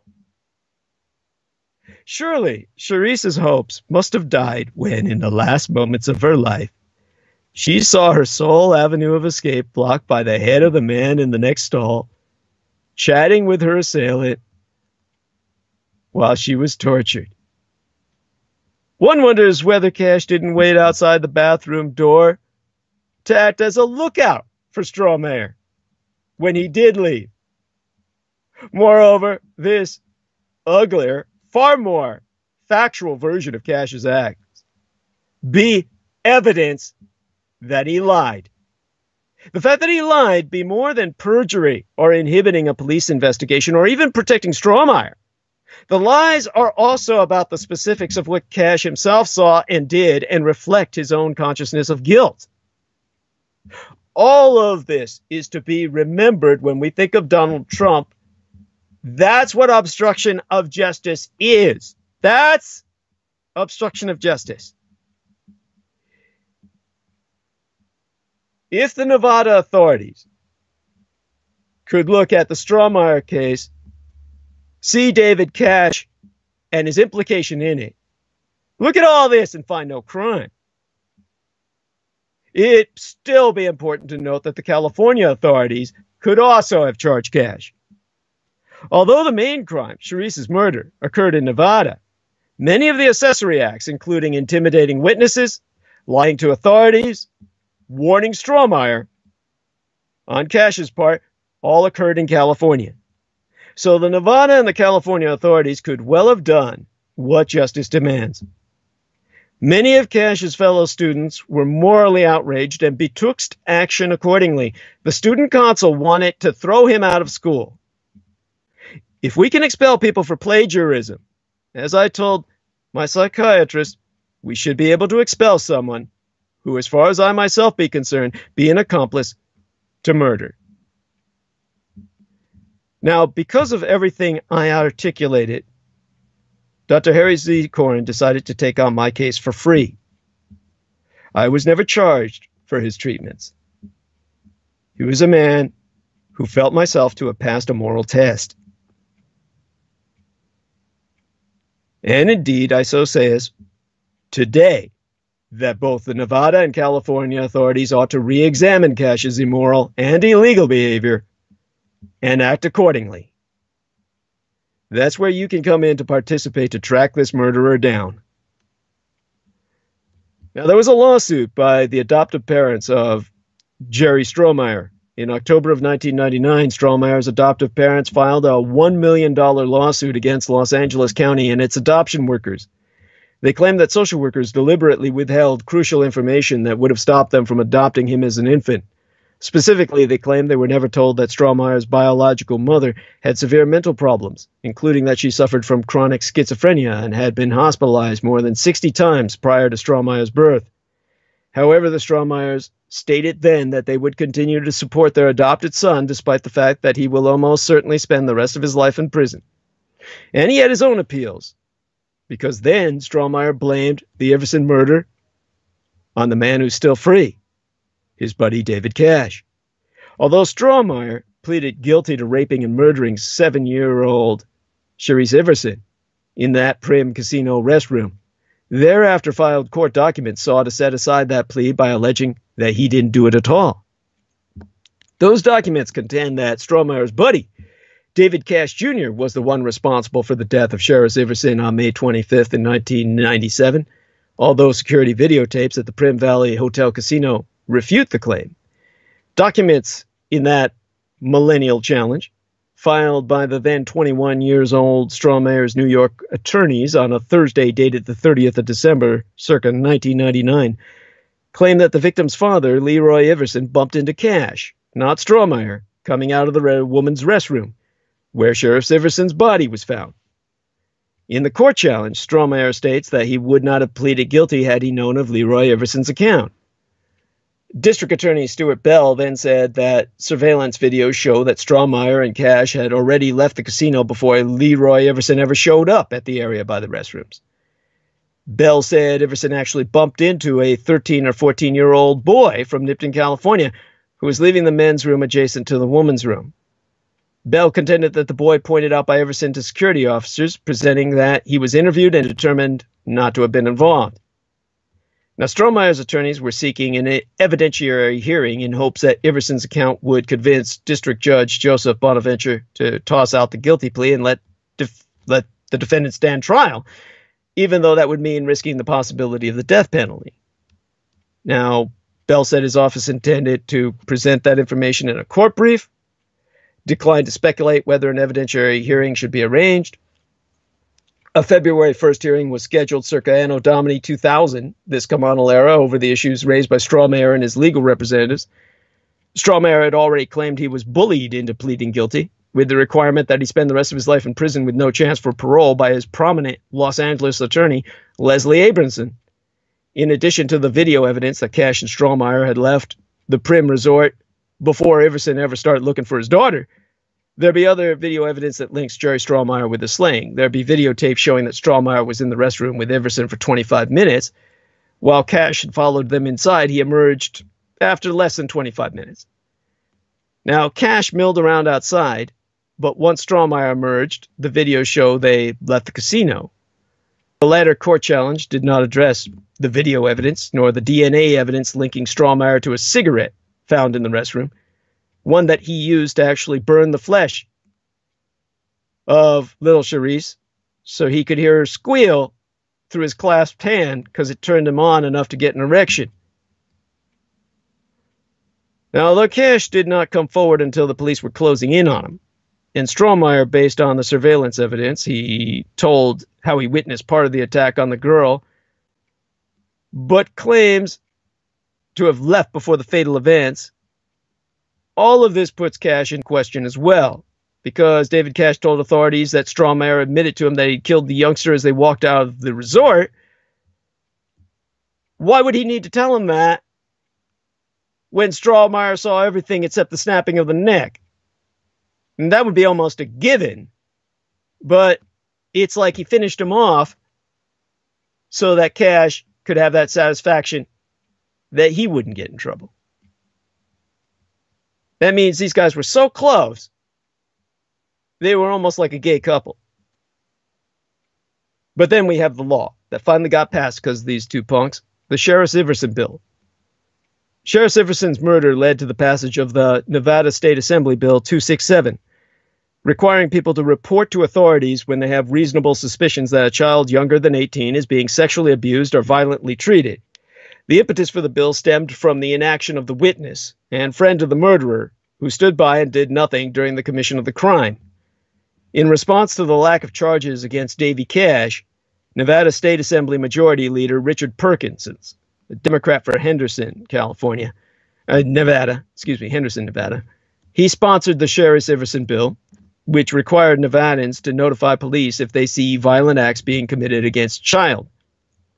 The sheriff's the Sherrice Iverson bill, introduced by Perkins, provides for a fine and possible jail time for anyone who fails to report a crime of the nature that led to the creation of the bill. It went into effect circa 1999. The next year, a similar measure was passed in my own golden state of California. Thusly, was our own bill enacted circa Anno Domini 2000 of the Comonal era. And when I spoke to former Nevada Assembly Speaker Richard Perkins, he stated, given the amount of reporting about child crimes against children, I would hope that the law contributed to those successes. Now, circa 2017, in the month of May, Dick Perkins confirmed that had David Cash Jr. interceded, Sherrice Iverson might be alive today. Well, in this year of 2019, Sherrice would be 29 years of age. Jeremy Strohmeyer subsequently appealed his conviction. Nigh 20 years ago, circa Anno Domini 2000, this communal era, he was unsuccessfully defended by Camille Abate. Strohmeyer recanted his confession, accused Abramson of lying to him and bullying him into pleading guilty in order to cover up her misunderstandings about Nevada law. Strohmeyer's new attorneys also suggested that Abramson wanted him to plead guilty because Strohmeyer's parents could not afford to pay her additional funds if the case went to trial. Abramson herself has denied all allegations. Ultimately, his appeal was rejected. Circa 2001, the Nevada Supreme Court rejected an appeal by Strohmeyer to cancel his guilty plea. In January 2006, Strohmeyer lost a federal court bid to review his case. That same year, the last month of that year, in December of 2001, the punk whom Jeremy Strohmeyer insisted actually committed the fatal rape and sacrifice, Davy Cash Jr., graduated with his bachelor's degree in nuclear engineering, saying he was going to use it to join the white supremacist movement and create bombs specifically to wipe out black populated nations of the world and all the colored peoples on its surface. But he didn't graduate without pushback from his peers. During his time at school, he had a 24 year old girl arrested and detained on a misdemeanor battery charge for spitting in his face, refusing his advances. He insisted that she should sleep with him because he was so famous. And the Berkeley student government tried and failed twice to get him kicked out. Now, Free Range and Davies imprisoned former best friend Jerry Strohmeyer himself be married now to a woman he met through letters some 16 years ago. They were wed in the visiting room of Lovelock Correctional Center in 2009. Three years ago, as approximated by my recollection, a day before their seventh anniversary, Jerry's wife, Desiree, wrote the following statement in a blog. The label prison wife may warrant some negative attention because a lot of people are ignorant to the fact that not all of us women who stand by our incarcerated men be desperate or delusional. We love, plain and simple. I'm a normal woman. I like wine. I have a cat. I drive a Toyota. I work and am a functioning part of society. Now, I compare these two white boys to Leopold and Loeb, who were both Jewish.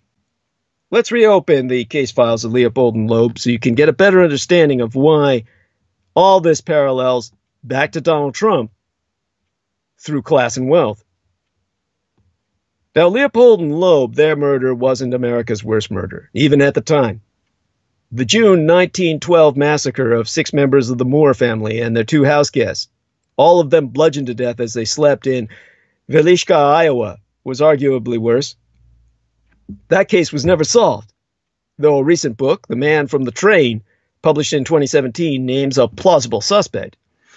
And worse than that, was in 19, excuse me, 1893, just before the dawn of the 20th century, when the physician and amateur hotelier Herman Holmes, known as H. H. Holmes, built a jury-rigged murder castle in Chicago.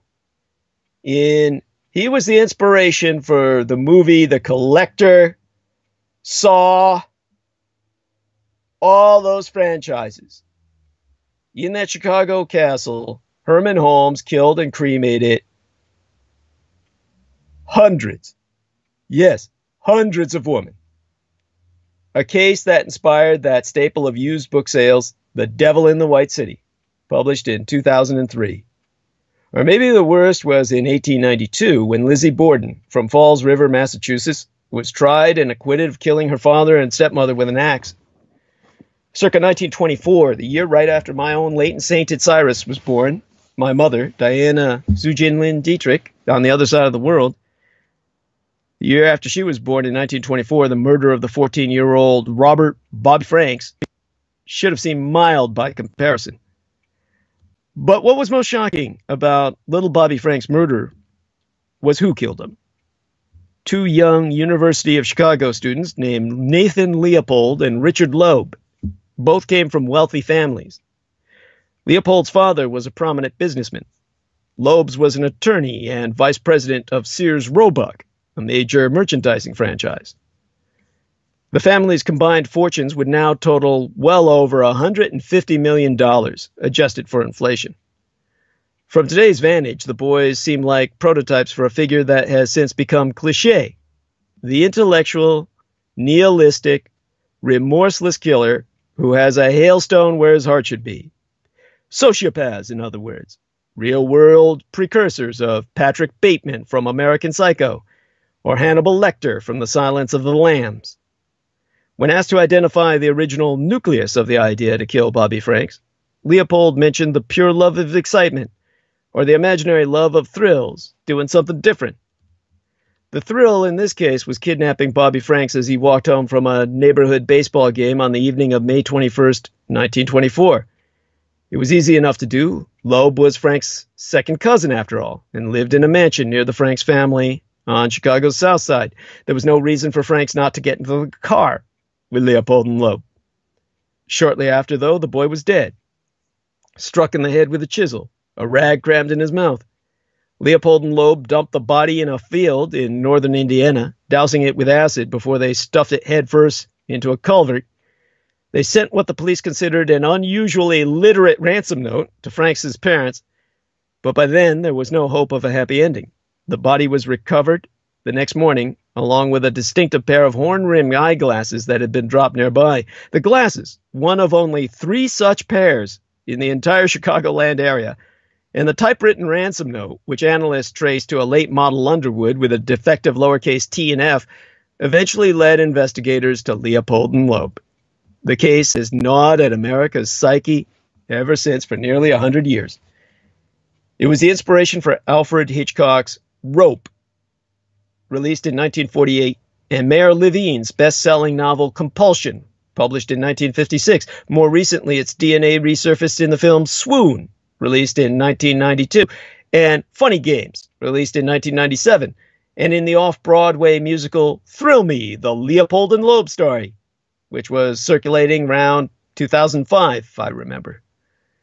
The killers have even been appropriated as exemplars of revisionist queer history, it's one thing to read the canned narrative of the crime and another to see it coalesce in real time via police records, psychiatric reports, and court transcripts. A new book, The Leopold and Loeb Files by Nina Barrett, returns to these original archival documents, which had languished in the basement of Northwestern University's law school until 1988 to resurrect the killer's voices. Barrett's book included scans of primary source materials along with clippings from contemporary newspapers that editorialize the story.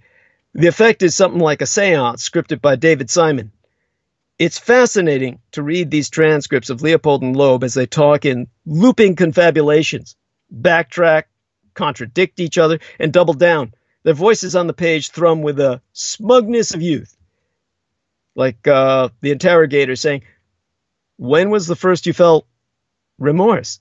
And Loeb saying, I felt sorry about the thing, about the killing of the boy. Oh, well, that very night. But then the excitement, the accounts in the paper, the fact that we had gotten away with it and that they didn't suspect us, that was that was given so much publicity and all that sort of thing, naturally went to the question of not feeling as much remorse as otherwise I think I would have.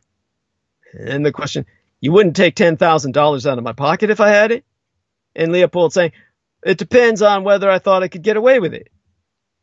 So are there any are there any revelations in these documents? Like any enduring crime, there be mystery at the heart of the Leopold and Loeb case. Why did two young, well educated boys from wealthy families kill for no apparent reason? They didn't need money. It wasn't a crime of passion or of vengeance.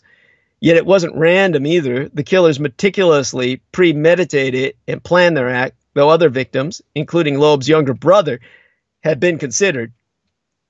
Newspaper reporters at the time attributed the murder to the jazz life, a generational rot that gave young men an appetite for gin, heavy petting, and regrettably, homicide. And as the Chicago Daily News noted at the time, elite schools and Tony neighborhoods weren't immune from boys whose conduct, like their thinking, be independent of conventions and taboos. They scorned the judgment of other students, glorying in their superior wealth, their sharper wits, and their greater capacity for forbidden pleasures. Aside from dementia jazzmania, as the Chicago Daily Journal called it at the time, other explanations were put forth. Perhaps the boys suffered from an erosion of Jewish values. Hundreds of thousands of rich Jews who don't know what to do with their money and who let their children grow up without any feeling of Jewish responsibilities were to blame, according to a Jewish spokesman quoted in the Chicago Daily Tribune. Then there were the phrenologists and psychologists who volunteered physiological readings of the boys. Leopold's beefy lips suggested gross desires. Loeb's narrow lips suggested he lacked willpower. Karl Bowman and Harold Hulbert the psychiatrist the defense hired to gauge Leopold and Loeb's sanity provided the tabloids with fodder when they determined that Leopold's childhood governess, an Alsatian woman nicknamed Sweetie, sexually abused Leopold and his brother. It was generally presumed that maybe she was to blame. Or maybe the boys' homoerotic experiments with each other reflected deeper perversions on that sexuality which was contemporarily considered a mental illness. The most risible explanation came from Clarence Darrow, the killer's own attorney.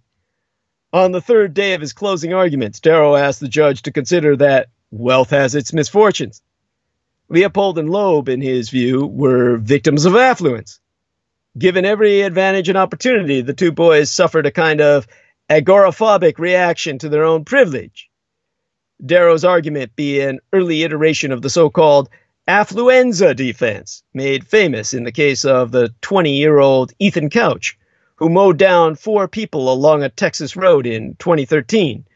As ludicrous as Darrow's defense was then, and still be today, it underscores the distinguishing feature in the Leopold and Loeb case that in many other criminal cases have since transfixed this country class.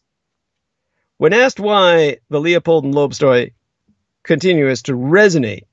The authoress of the work most recently published on them, Ms. Barrett, says, we have to remember that mass newspapers and the still the still new medium of radio were broadcasting the details of this story to millions of people who believed wholeheartedly in this version of the pursuit of happiness and we were frankly horrified to watch a story unfold in which clearly you could do you could have everything the American dream told you you wanted to attain, but it would turn out there could be a worm in that apple so toxic it could destroy three perfect families, which it did. And to this day, we don't really understand the nature of the worm.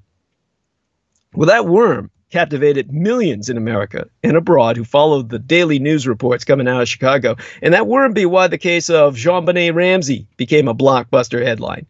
Ditto the case of O.J. Simpson, although celebrity and race played outsized roles there. The history of American crime be the history of class and race, which themselves in turn be inseparable. In the American imagination, either murder itself be abetted by economic conditions, or the reporting and prosecution of the murder expose the blind spots in our supposedly meritocratic capitalism. On a superficial level, the mystery of Leopold and Loeb be what drove them to kill Bobby Frank Saton, but the more fraught, subcutaneous question be why they rejected the luxuries of their pampered lives in exchange for a sordid thrill. Theirs be a riches to rags story. Most of us would kill to know the kind of wealth they took for granted. Leopold and Loeb killed to divest themselves of it, to feel something visceral and real, however briefly. Leopold allegedly told one of his arresting officers that the motive was adventure and that murder is not a crime. My crime was in getting caught. Now, I'm reminded myself of something the teenage spree killer Charles Starkweather wrote to his parents after he and his girlfriend killed 11 people during an interstate joyride between December of 1957 and January of 1958, in which he said, All we wanted to do, all we wanted to do was get out of town. I mean, who, as a teenager in America, hasn't shared that urge to run away or to blow something up or to take revenge on the bullies and the beautiful people who made you feel like an outsider? To same sentiment what recurred at Columbine and in the long generation of mass shootings that followed. It be, as we know by now, a predominantly white male sentiment, but it also be a predominantly white male boredom that doesn't appreciate its own privilege. Traitors to the class and to the very contract of the American dream, these men and boys pursue an ego trip that exploits their own cultural dominance. A former neighbor told the New York Times about the Las Vegas shooter, Stephen Paddock, that he was always normal. A milquetoast endorsement that has described everyone from Ted Bundy to Dylann Roof to decades earlier, Leopold and Loeb. It be significant now to take notice that then 19 year old Rajan Bhattacharya, surname spelled B H A T T A C H A R Y A, Rajan Bhattacharya was a contemporary sophomore who knew David Cash Jr. personally in junior high as a normal bratty kid, and he defended the Cash on his legal right to remain in Berkeley, saying, and I quote as he verbatim, I don't think this is the first time someone has left a crime victim at a scene or something like that. Now, Rajan Bhattacharya must be between 38 through 40 years of age as of 2019. If you know his whereabouts, then send him a copy of his own words. See if he'll recant his statement or deny it like a Davy Cash. In mass shootings, as that I just now alluded unto, be but the military entertainment industrial complexes, culture of violence turning deadly. And at the time that aforementioned mass shooting in Las Vegas left more than half a hundred people dead, and 10 times that many, half a thousand, critically injured. The perpetrator was, as obscure as they come, a 64 year old retiree with no apparent criminal history, no military training, and no obvious axe to grind, opens fire on a country music concert crowd from a hotel room in Las Vegas, Nevada, 32 floors up, using a semi automatic gun that may have been rigged to fire up to 700 rounds a minute, then kills himself we still be left with more questions than answers. None of them a flattering reflection of the nation's values, political priorities, or the matter in which the occult military entertainment industrial complex continues to do- dominate, dictate, and shape almost every aspect of our lives. For starters, why do these mass shootings keep happening? Mass shootings have taken place at churches, in nightclubs, on college campuses, on military bases, in elementary schools, in government offices, and at concerts that shooting still be the deadliest to date I myself can consciously recall.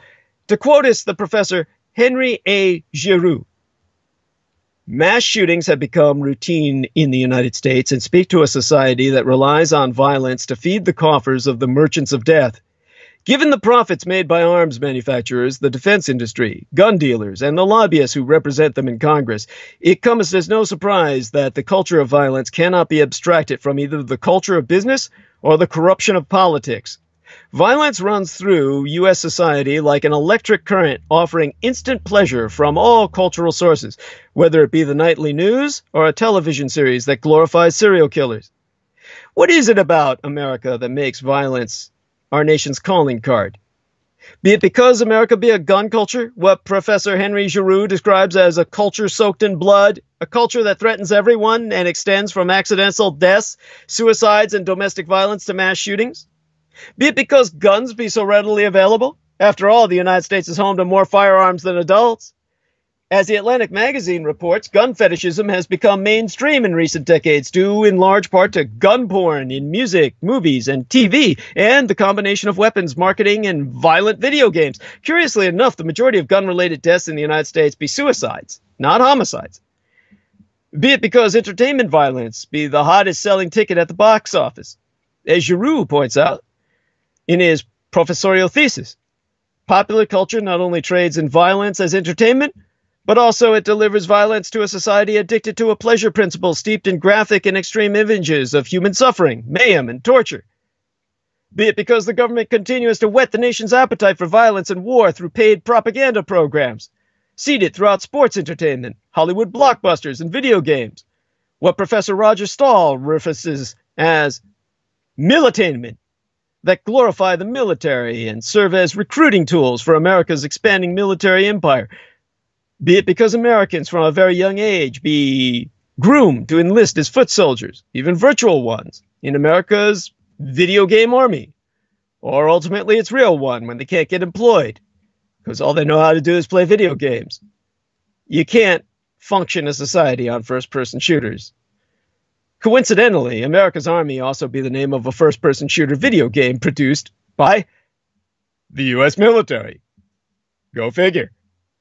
Explorer Scouts are one of the most popular recruiting tools for the military and its civilian counterparts, law enforcement, Border Patrol, and the FBI.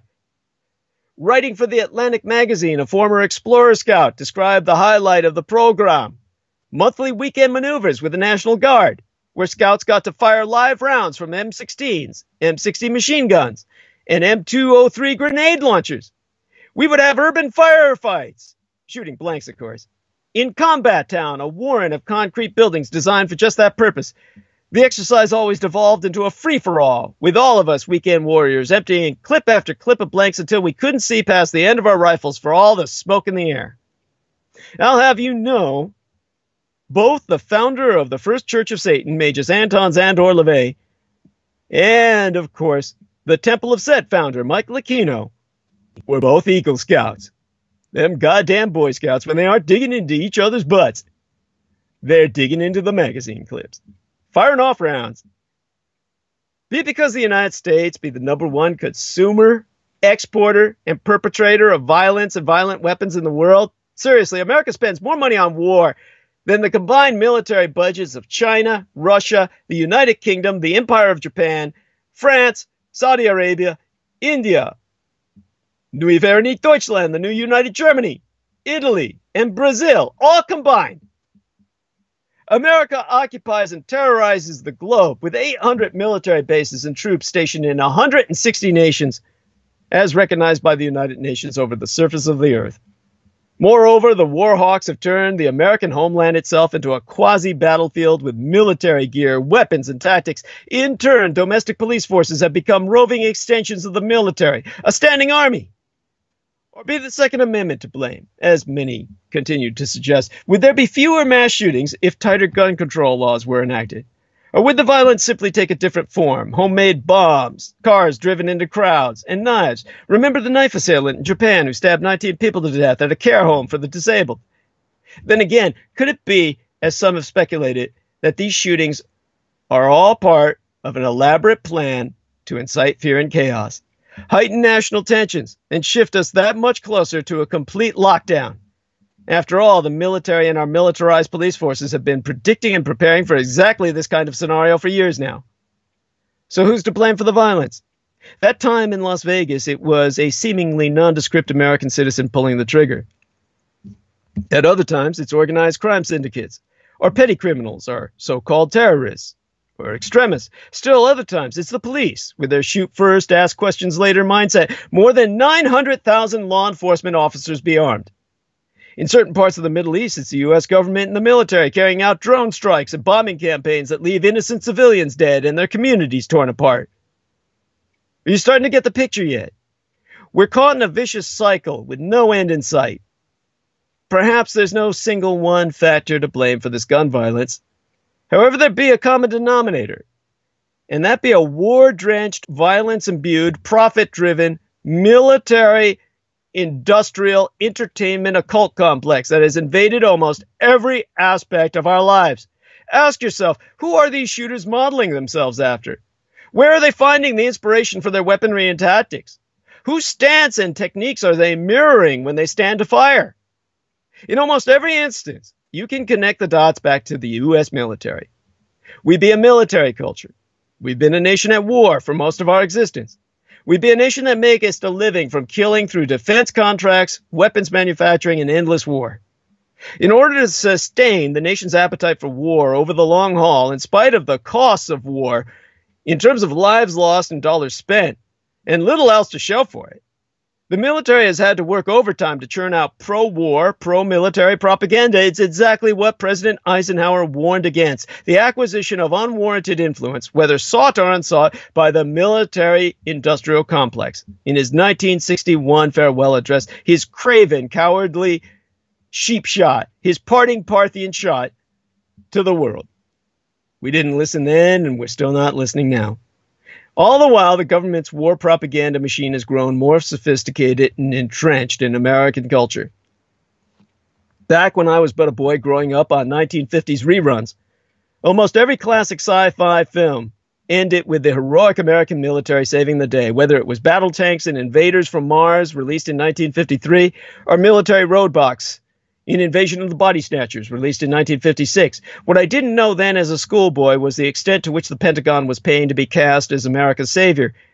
By the time children young enough to be mine own were growing up, It was Jerry Bruckheimer's blockbuster film Top Gun, created with Pentagon assistance and equipment that boosted civic pride in the military. Now it's children who could be my grandkids. It's their turn to be awed and overwhelmed by child focused military propaganda in the X Men movies. Same goest for the Avengers and Superman and the Transformers. Don't even get me started on the war propaganda churned out by toy makers. All of the military equipment featured in blockbuster movies be provided, at taxpayer expense, mind you, in exchange for carefully placed promotional spots aimed at indoctrinating the American populace into believing that your sense of national identity means throwing your support behind the military wholeheartedly and unquestioningly. Even reality TV shows have gotten into the gig, with the Pentagon's entertainment office influencing American Idol, The X Factor, MasterChef, Cupcake Wars, numerous Oprah Winfrey shows, Ice Road Truckers, Battlefield Priests, America's Got Talent, Hawaii Five-O, lots of BBC, History Channel, and National Geographic documentaries, War Dogs, Big Kitchens, that's just a sampling that comes to my mind consciously.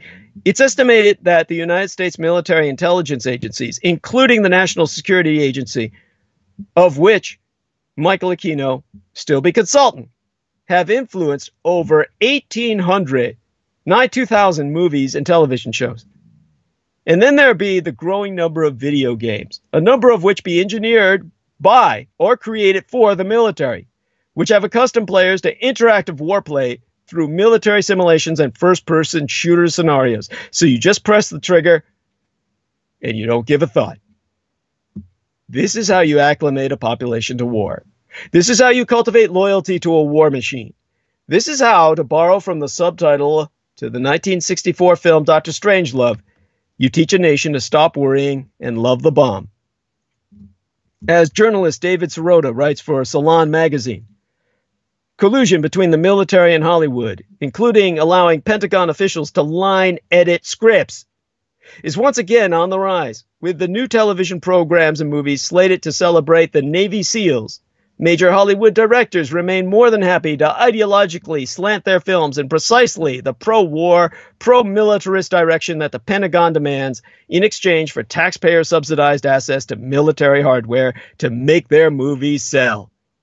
Why is the Pentagon and the CIA and the government at large so focused on using Hollywood as a propaganda machine? To those who profit from war, it is, as Sirota recognizes, a product to be sold via pop culture products that sanitize war and, in the process, boost recruitment numbers. At a time when more and more Americans are questioning the fundamental tenets of militarism, it is budget busting defense expenditures never ending wars, occupations, etc. The military officials be desperate to turn the public opinion, opinions and their tides of these public opinions back in a pro militarist direction, and they know pop culture be the most effective tool to achieve that goal. The media, eager to score higher ratings, has been equally complicit in making real war more palatable to the public by packaging it as TV friendly. This be what Dr. Stahl refers to as the representation of a clean war a war without victims, without bodies, and without suffering. Dehumanize destruction by extracting all human imagery from target areas. The language used to describe the clean war be as antiseptic as the pictures themselves. Bombings are airstrikes. A future bomb strike or bomb site be a target of opportunity. Unarmed areas be soft targets. Civilians be collateral damage. Destruction is always surgical. By and large, the clean war wiped the humanity of civilians from the screen, creating conditions by which war appears short, abstract, sanitized, and even aesthetically beautiful. Minimize any sense of death of soldiers or civilians. This be how you sell war to a populace that may have grown weary of endless war. Sanitize the war coverage of anything graphic or discomforting present a clean war, gloss over the actual numbers of soldiers and civilians killed.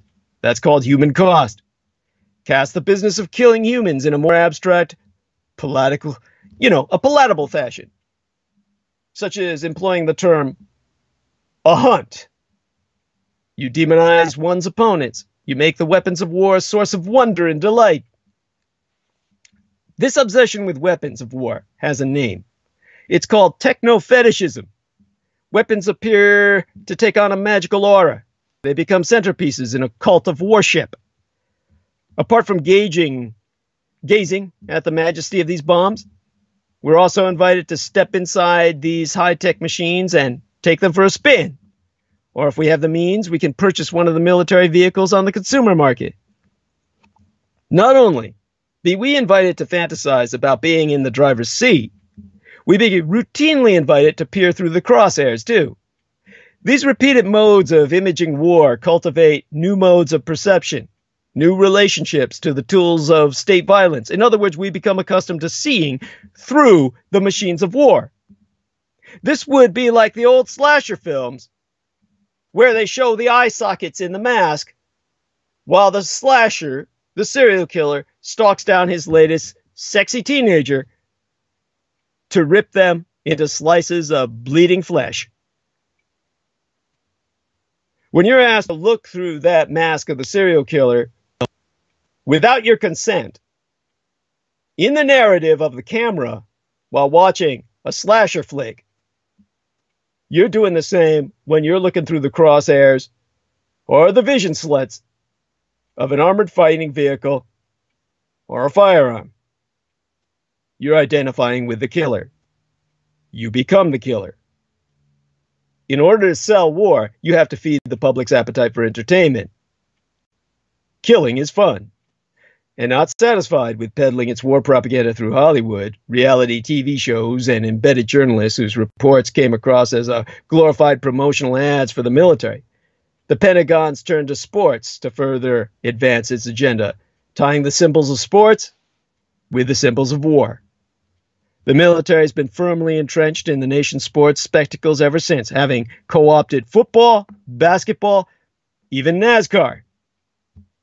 Remember, just before the Vegas shooting that I've aforementioned gave the media, the politicians, and the easily distracted something new to obsess over at that time it took place. The headlines at that time were dominated by President Trump's feud with the NFL over players kneeling during the national anthem. The purpose he served was to take your mind off Trump's explicit racism fucking with the people who provide you entertainment at the cost of their long term health. That, too, was yet another example of how much the military entertainment complex, which paid $53 million of taxpayer money between 2012 through 2015 to pro sports teams for military tributes, on field events recognizing military service members, including ceremonial first pitches, honor guards, and Jumbotron tributes has infiltrated American culture. This Trump NFL feud also be classic example of how to squash dissent, whether it's dissent over police brutality or America's killing fields abroad. Supporting the troops be made synonymous with supporting the war. Those who disagree with the decision to send soldiers to war be thus identified with the enemy. This be done through a variety of associations. Dissent becomes synonymous with criminal activity. When you talk about the Las Vegas mass shooting, you're not dealing with a single shooter scenario. Rather, you're dealing with a sophisticated, far reaching war machine that has woven itself into the very fabric of this nation. War has come to look very much like a video game. As viewers of the TV war, we're treated to endless flyovers. We'd be immersed in a general spirit of play. We're shown countless computer animations that contribute a sense of virtuality. We play alongside news anchors who watch on their monitors. We sit in front of the crosshairs directing missiles with a sense of interactivity. The destruction, if shown at all, seems unreal, distant. These repeated images foster habitual fantasies of crossing over. You want to stop the gun violence? Stop the warship of violence that permeates our culture. Stop glorifying the military industrial complex with flyovers and salutes during sports spectacles. Stop acting as if there be anything positive about military exercises and occupations that bomb hospitals and schools. Stop treating guns and war as entertainment fodder in movies, music, video games, toys, amusement parks, reality TV, and everywhere. Stop distribution of weapons of war to the local police and turning them into extensions of the military. Weapons that have no business being anywhere but on a battlefield. Most of all, stop falling for the occult military entertainment industrial complex's psychological war games. As most articulately pointed out in the book entitled Battlefield America The War on the American People, published by Select Books circa 2015 as writ by the constitutional attorney John W. Whitehead, himself the founder and president of the Rutherford Institute, itself a nonprofit organization established circa 1982 and based in Charlottesville, Virginia, where he was personally witnessed to that young girl, Heather Holman, being mowed down by a Satanist in service of sacrifice to the gods of chaos that the military worships. As the English poet David Herbert D.H. Lawrence who himself was born in Eastwood, not Nottinghamshire, England, I remember, if I remember correctly. He was born on September 11th in 1885. He discovered years later in his life, yet years are gone from us today, that violence be the natural American idiom, even in the age of Leopold and Loeb. At that time, he wrote, The American soul be hard, isolate, stoic, and a killer. And true crime be the country's quintessential genre. But boredom, too, be one of America's prevailing moods. The second industrial revolution and the rise of mass media after the turn of the century intensified a hunger for novelty and a desire to be entertained, and that eventually ran aground on narcissism. The results have been toxic.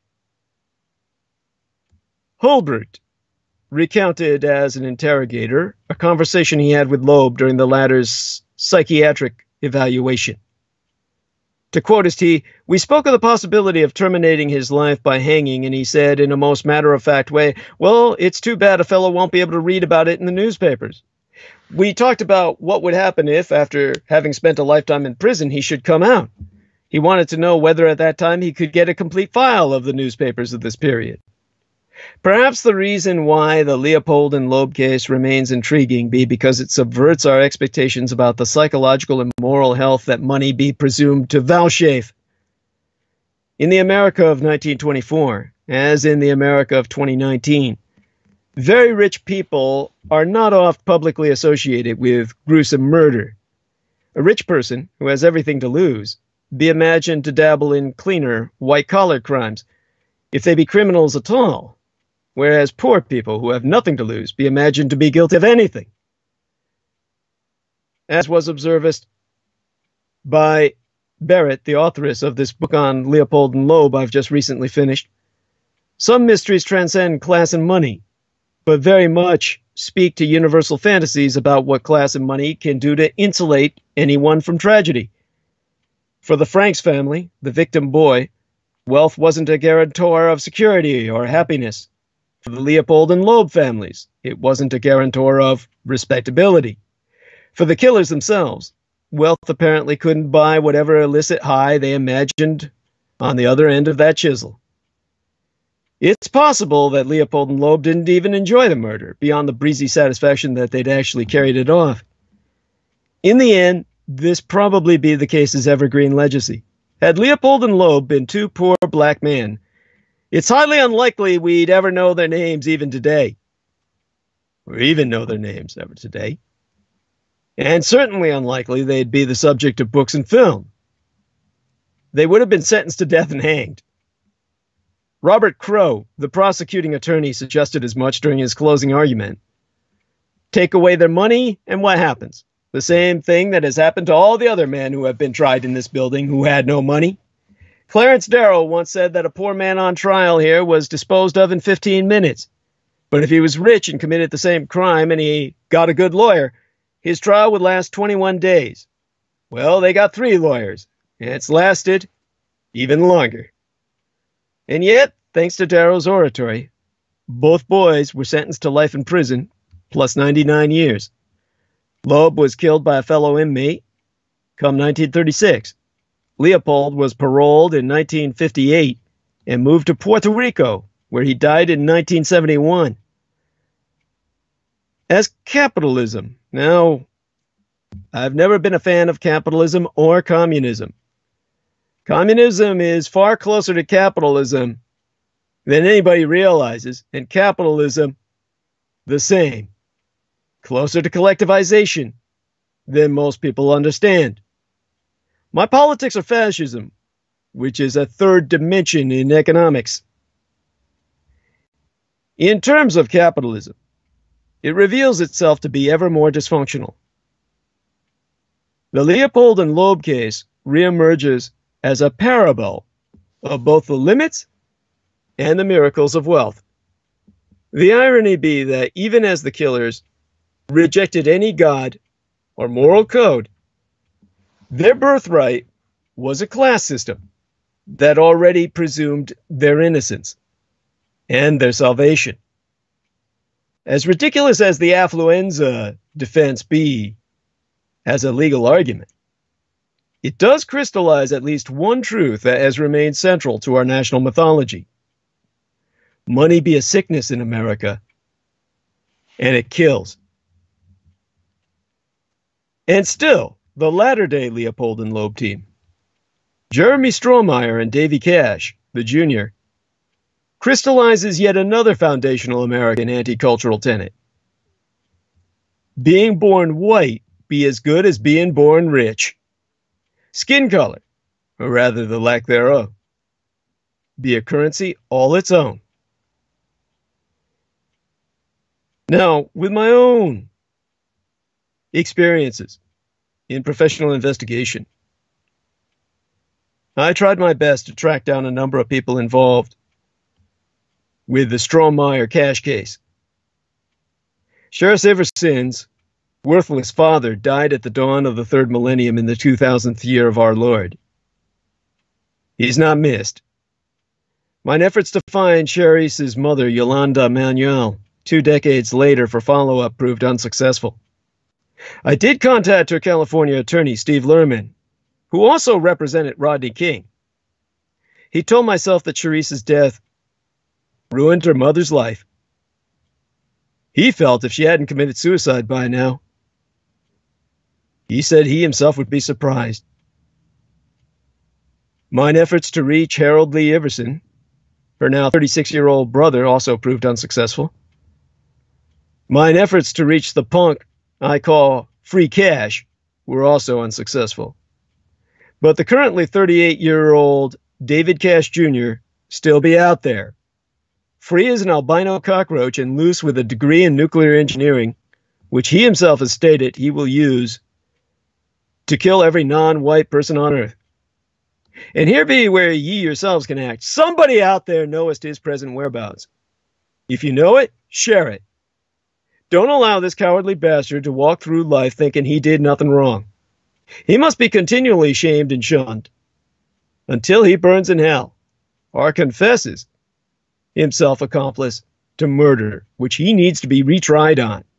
As a matter of fact, since he was never tried in the first, this wouldn't be retrial. This man needs to go and be arrested, charged, and tried. Now, all of this brings us back to another man who's as innocent, in quotation marks, as David Cash, Donald John Trump. See, Donald John Trump, like David Cash, did nothing illegal. And yet, we all know he's beyond guilty. Trump aided and abetted Russia's attack. That was treachery. Full stop. The scandal may not be a crime, it's a betrayal. Just as my ability to say why I despised a man like David Cash Jr., who in terms of morality, be an empty bucket unto my psychiatrist in a manner that so impressed him that he treated myself for free. I should also impress you here with how I dismantle the man who the alternative right is now celebrating as a so called innocent. This is just like all the white guys getting off on the fact that David Cash could jack off over a little black girl being killed in front of him. One of the comments he made to his roommates was that it was just like in the movies when Big Bad Jerry Strohmeyer snapped her neck like he saw the commandos do in martial arts flicks. David Cash says that's when he came and ejaculated all over the wall of that stall. Now, that DNA didn't come back to condemn him because, like they said, all he did was jack off watching a murder that he wasn't legally obligated to stop. That's Donald Trump watching all of you under Russian occupation. He's jacking off and coming just like it's a movie. This is a porn video to him. And now we're getting all the paedopathocracy covering his ass while you're still subject to rape and murder and the snapping of your neck by the Russian occupation. On Sunday afternoon, Attorney General William Barr sent a letter to Congress noting that Special Counsel Robert Mueller's investigation did not establish that members of the Trump campaign conspired or coordinated with the Russian government in its election interference activities. The message also noted that Mueller could not exonerate President Donald Trump of obstruction of justice, but that Barr himself had decided that the evidence Mueller developed was insufficient to establish that Trump had obstructed justice. Trump proclaimed it was the complete and total exoneration of his name. And Trump champions popped the cork and declared a case closed. Nothing to see. End of story. No need to further investigate. Trump did no wrong. Will all that be fake news. Barr's note be clear that Mueller did not uncover evidence that Trump and his gang were in direct collaboration with Russia's covert operation to cyberjack the United States election and boost Trump's odds. But the hyper focus on this sort of collusion, as if Trump instructed Russian hackers on how to penetrate the computer network of the Democratic National Committee, has always diverted attention from a basic and important element of the scandal that was proven long before Mueller drafted his final report. Trump and his lieutenants interacted with Russia while Putin was attacking the 2016 election and provided encouraging signals to the Kremlin as it sought to subvert American democracy.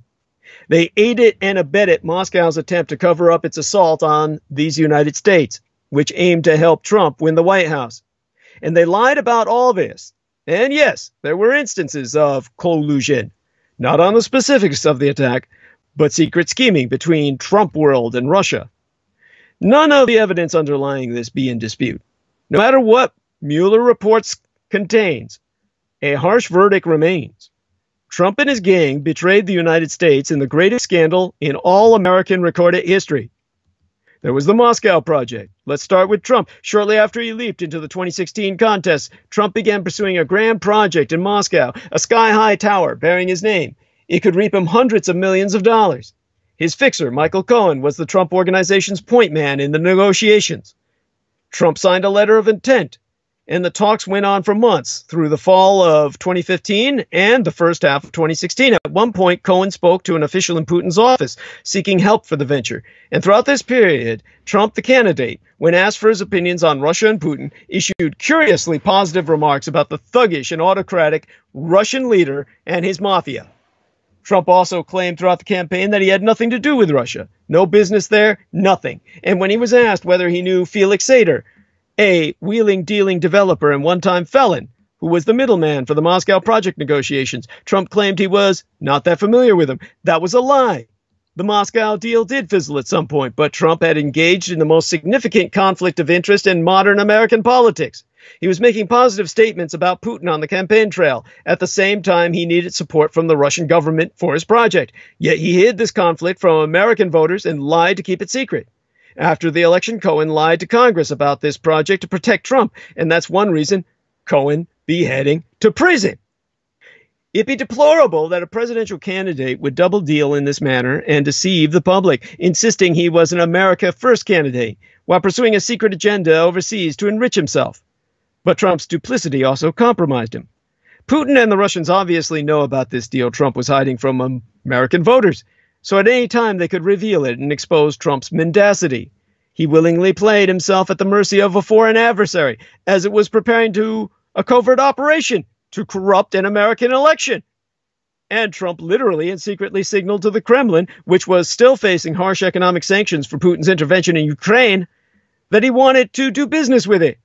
Trump was betraying the public trust before even being elected.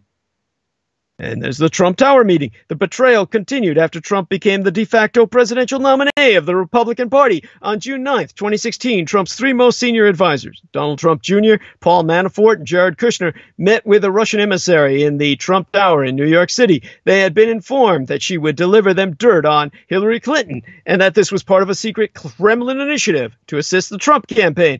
The meeting, the Trump team has claimed, was a bust. There was no useful derogatory information. But by this point, the Russians had already stolen tens of thousands of emails and documents from Democratic targets and were no doubt pondering what to do with the swipe material. This meeting was another signal conveyed to Moscow. The Trump crew didn't mind Russian meddling in the election and was even willing to covertly collaborate with Russia on dirty tricks. Thus, Trump's top men were encouraging a repressive regime to clandestinely intervene in American politics. And when this meeting was revealed, long after the election, Trump concocted a false cover story for Trump Jr. to issue. This get together had not been nothing more than a conversation about the issue of adoption in Russia. Why did they lie? It'd be all too obvious to cover up significant misconduct. The hacked emails, Trump's collusion with Putin's office regarding his secret Moscow deal, and the Trump advisors' attempt to collude with a secret Russian scheme to help their campaign were not directly related to the hack and dump operation mounted by Russia that targeted the Democratic Party and the Clinton campaign. Yet when that attack happened, the Trump camp did openly assist the Kremlin by denying this assault was underway after over 20,000 emails and documents stolen by Russian hackers were released by WikiLeaks at the start of the Democrats' presidential convention in July of 2016, the Clinton campaign pushed the point that its candidate and the American election was being assaulted by Moscow. In response, Trump Jr. and Manafort publicly proclaimed this was nonsense and a lie being promoted by the Clintonites for political gain. A month earlier, when the Democratic Party revealed it had been hacked by Russia, the Trump campaign accused them of cooking up a hoax. If anyone had reason to believe the Russians were behind an operation seeking to disrupt the Democratic convention, it was Trump Jr. and Manafort.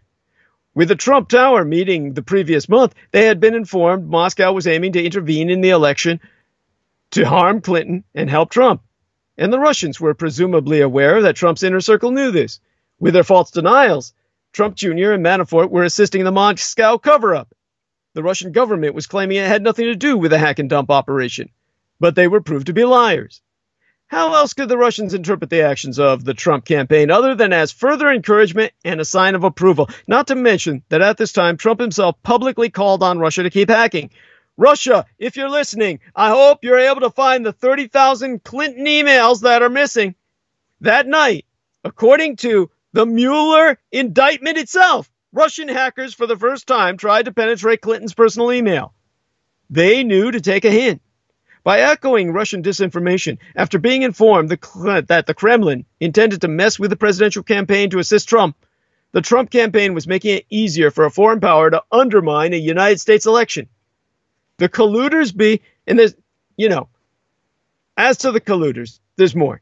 As this attack continued, proceeded, the Trump campaign kept trying to secretly engage with Russia and Russian interests.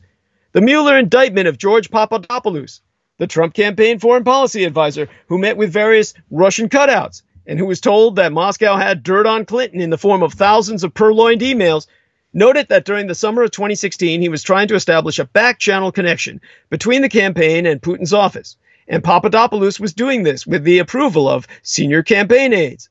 Here was another clear signal to the Kremlin. Trump and his team had no problem with the Russian attack on the election and still desired a secret hookup with Moscow. There was no need for Trump to conspire directly with Putin. He and his campaign were repeatedly flashing a green light at Moscow and aiding the Russian cover up. Manafort, though, was directly conspiring with Russians, including a Russian oligarch.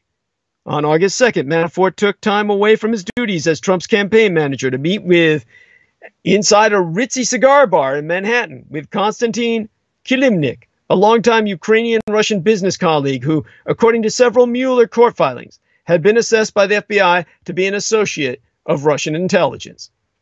Though much of the details about this meeting have been redacted in the relevant court filings, it seems that the rendezvous was arranged at the behest of Oleg Deripaska, a Putin friendly Russian oligarch. At this get together, Manafort supplied Kilimnik polling data from the campaign. Kilimnik, according to the New York Times, subsequently passed this information to two Ukrainian oligarchs, and it's unclear if he shared it with others. At this meeting, the two discussed a supposed peace plan for the Ukraine that would benefit Russia. And what's known about the meeting suggests that Manafort was signaling to the Russians that the Trump campaign was amenable to a policy that would lift the harsh economic sanctions imposed on Russia. This meeting was occurring at a time when cybersecurity experts and American intelligence officials were being cited in news reports saying Russia was behind the cyber warfare being waged against democratic targets. Any private sign from Manafort that Trump was indeed keen to remove the sanctions, a position that Trump had publicly demonstrated sympathy for, would provide more encouragement for the Russians. A week or so before this meeting, Manafort had declared he had no connections with Russians, which was a lie. Throughout the campaign, he used Kilimnik to communicate with Deripaska, with whom he had done business for a decade, hobnobbing with the enemy, lying about it, and bolstering Moscow's cover up. See, all of this is exactly what Davy Cash Jr. did to encourage Jeremy Strohmeyer to rape and kill a young girl so he could get off in more ways than one. He not only got off orgasmically, he got off legally. He got scot free by using Jeremy Strohmeyer the way you or I would employ a firearm. That was his weaponized dupe to kill and rape a black girl so he could go on to learn nuclear engineering and then, as he said it himself, nuke the black race out of existence and all other colored people on earth.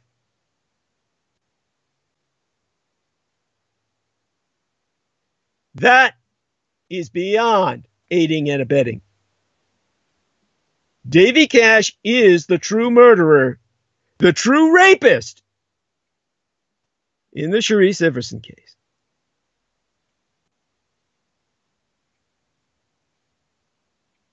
And from what I've heard in the rumor mill, not being able to find the son of a bitch myself, I asked my intelligence connections if he went black into the intelligence world. You guessed it. No surprise. From what's going around on the circuit, he works for Michael Aquino. Just like Donald Trump. And then Trump took it up a notch. In mid August, as the official Republican nominee, Trump received a classified intelligence briefing that included the intelligence community's assessment that Moscow was the perpetrator in the hack and dump operation. Yet, for the rest of the campaign, Trump repeatedly downplayed or denied Russian involvement. He did this in public statements and at the debates. This stance turned Putin's attack into a political dispute Top Republicans and Trump cheering pundits in the media generally followed his lead and declined to rally against the Russian assault. This prevented the coalescing of a focused national response to Putin's war on our elections. That helped the Russians, even emboldened them. On October 7th in 2016, the Obama administration released a statement declaring Moscow culpable for the cyber attacks on Democrats. An hour or so later, the Access Hollywood video of Trump boasting of sexually assaulting women appeared. And shortly after that, WikiLeaks began releasing the personal emails of Clinton campaign chair John Podesta that were stolen by Russian operatives. For weeks, WikiLeaks dumped a new tranche of Podesta emails on practically a daily basis and hobbled the Clinton campaign in the final stretch of the race. Despite this attack and the official Obama announcement, Trump stuck to his false line. The Russians should not be held accountable. An overseas foe was striving mightily to undermine a United States election. Trump had been told this privately by U.S. intelligence, and the U.S. government had issued a public declaration. Yet Trump echoed and amplified Moscow's denials. He was siding with the enemy then. He is an active traitor. A candidate seeking the job of defending the United States was facilitating an attack on this very nation. And after winning the White House, Trump would keep on protecting Putin by dismissing Russian involvement and the significance of the attack. If neither Trump nor a Trump emissary communicated explicitly with the Russians about the specifics of the operation, that is not the end of this scandal.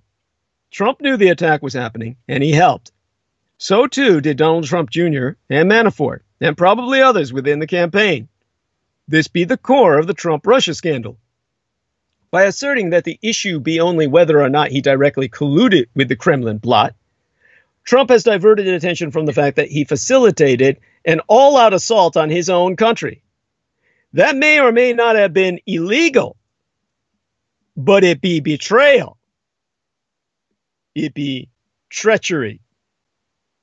You are in the position that Sherrice Iverson was in when she was on the floor with a white man scraping her vagina out, ripping her vaginal walls to shreds with his fingernails so that she would bleed enough to lubricate his penile entry. Trump be the man on the bathroom stall behind the stall wall, standing up on the toilet, jacking off over you while you're dying. And he ejaculates when your neck snaps. Mueller's job was to seek out possible crimes to prosecute. It was not to evaluate actions that did not rise to the level of criminality, nor was it his charge to tell the public the whole truth. Yet so much of the truth already be out there. And the bottom line was established before Mueller submitted his report. Trump committed what is most certainly the most significant political misdeed in all American written history. The public did not need the Mueller report to confirm this. The foundation of this scandal, Trump's villainy, has for long resided within plain sight, like the albino cockroach Davy Cash. So, most especially factoring in that special counsel Robert Mueller and his team subpoenaed the Trump organization early yesteryear in 2018 for business related documents pertaining to Russia.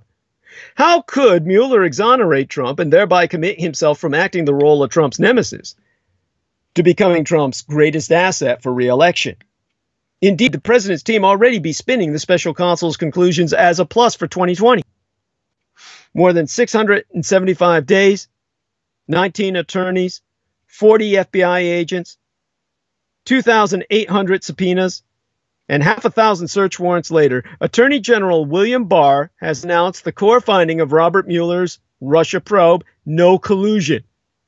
The verdict was quickly celebrated by a White House legal team whose strategy was to treat the investigation more as a public relations battle than as a strictly legal fight.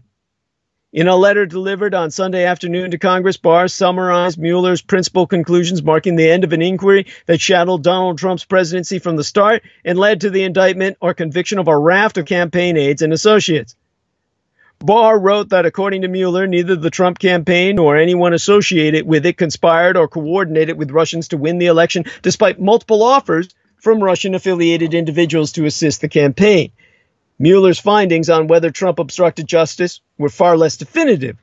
Unlike on collusion, Barr wrote Mueller was unable to make a judgment one way or the other. While this report does not conclude that the president committed a crime, it also does not exonerate him. This is like saying David Cash Jr., while not guilty of murder, is not exonerated as an accomplice in crime. It was enough for the White House, however, to claim victory. If Trump's team had one overarching theory since the special counsel's probe began, it was that Mueller posed less of a legal threat than a political problem. Mueller's conclusions, as explained by Barr on Sunday, appeared to vindicate that approach. Now, in a supreme irony, Trump figures to invoke the Mueller report in his 2020 reelection bid making the case that an inquiry he labeled a witch hunt failed to prove any criminality. Said campaign and legal associates, of course, who requested anonymity to, in order to speak freely, were willing to share with both myself and other journalists or researchers, since I'm not really professionally a journalist. Now, the initial reaction from the White House was triumphant. Moments after Barr's letter was posted online, the White House's social media director, Dan Scavino, tweeted, As we already knew, no collusion. Nothing different from what President at real Donald Trump has been saying for the past two years. Shortly thereafter, Press Secretary Sarah Huckabee Sanders offered an official statement from the White House. She tweeted, The findings of the Department of Justice are a total and complete exoneration of the President of these United States. And soon the President himself broke his silence.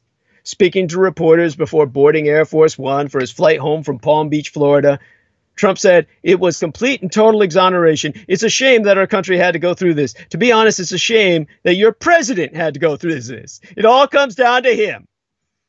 The coming days and months will show how widespread that interpretation of Mueller's report will be. Trump hardly be out of the woods legally, with congressional committees and other prosecutors at the federal and state levels examining his connections to Russia, his business dealings, and his private charity, among other matters.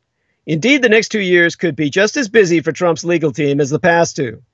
But their mission be likely to stay the same all along, they took the view that Trump had committed no crimes and couldn't be indicted under Justice Department policy. They largely saw their role as preserving Trump's electability, and that included inoculating him from a potentially damning final report from Mueller. Their methods, however, differed. At an early point, Trump's attorneys sought to accommodate Mueller in hopes of bringing the probe to a quick end. That's what Trump wanted. He detested the investigation and wanted it stopped. Trump's former lead outside lawyer, John Dowd told the Atlantic magazine it was impending and interfering with his ability to be president, which was an outrage. It's very upsetting when you're in the middle of really important negotiations, trade negotiations and other things, and Trump would get asked about it. One of Trump's complaints was that Mueller had a personal grudge. He's made reference to a 2011 dispute with Mueller over membership fees at Trump's golf course, his golf course in Northern Virginia. But his lawyers never made that an issue, believing that cooperation was the path to ending the probe. They made witnesses and documents available, avoiding legal showdowns over executive privilege. In hopes of speeding things along, Trump and his legal team considered giving an interview to Mueller, discussing a sit down at Camp David at the end of January 2018. But in the end, Trump's attorneys concluded that face to face testimony would be too risky. They knew that Trump would just expose himself. They instead gave answers to Mueller in writing. Dowd said, I didn't want to put Trump in that position. He does the best he can, but isn't always right on the money, meaning they couldn't trust him. Now, as time passed, Trump began to recognize that Mueller wasn't going away and changed tactics. He stepped up efforts to turn public opinion against special counsel, and clashes among him, Dowd, and Ty Cobb, a White House lawyer who favored a more cooperative approach, became more frequent. Dowd resigned in March of 2018, and Cobb stepped down two months later. Into the void stepped Rudy Giuliani, whose appetite for combat matched that of Trump. And I'll tell you why. I've gone into detail before about this subhuman piece of shit. The man who was brought in as the final judge on the child molestation at West Point. I was able to take down the Presidio military base of San Francisco, the most important military base outside of the Pentagon, because of what I exposed about the child molestation scandal, the industry of child trafficking among the staff at Presidio military base that was ongoing and impossible to impossible to relate ever what I saw with my own eyes. And in terms of what went on at West Point, it was just as bad. But I wasn't at West Point, so I couldn't stop Rudy Giuliani. And Rudy Giuliani was brought in. He said all these kids who were raped coming home with their anuses, their vaginas, even their mouths bleeding. Because these kids were so small that their mouths had to stretch to accommodate the invasive penises being shoved down their throats to the point where some of them suffered lockjaw. Some of them even had dislocated jaws because their rapists and assailants would intentionally break or dislocate their jaw so their penis could fit in their mouths and shove down their throat. And Rudy Giuliani said all these kids were doing it to themselves for the attention. I don't know if you've ever tried dislocating your own jaw. I wouldn't recommend it.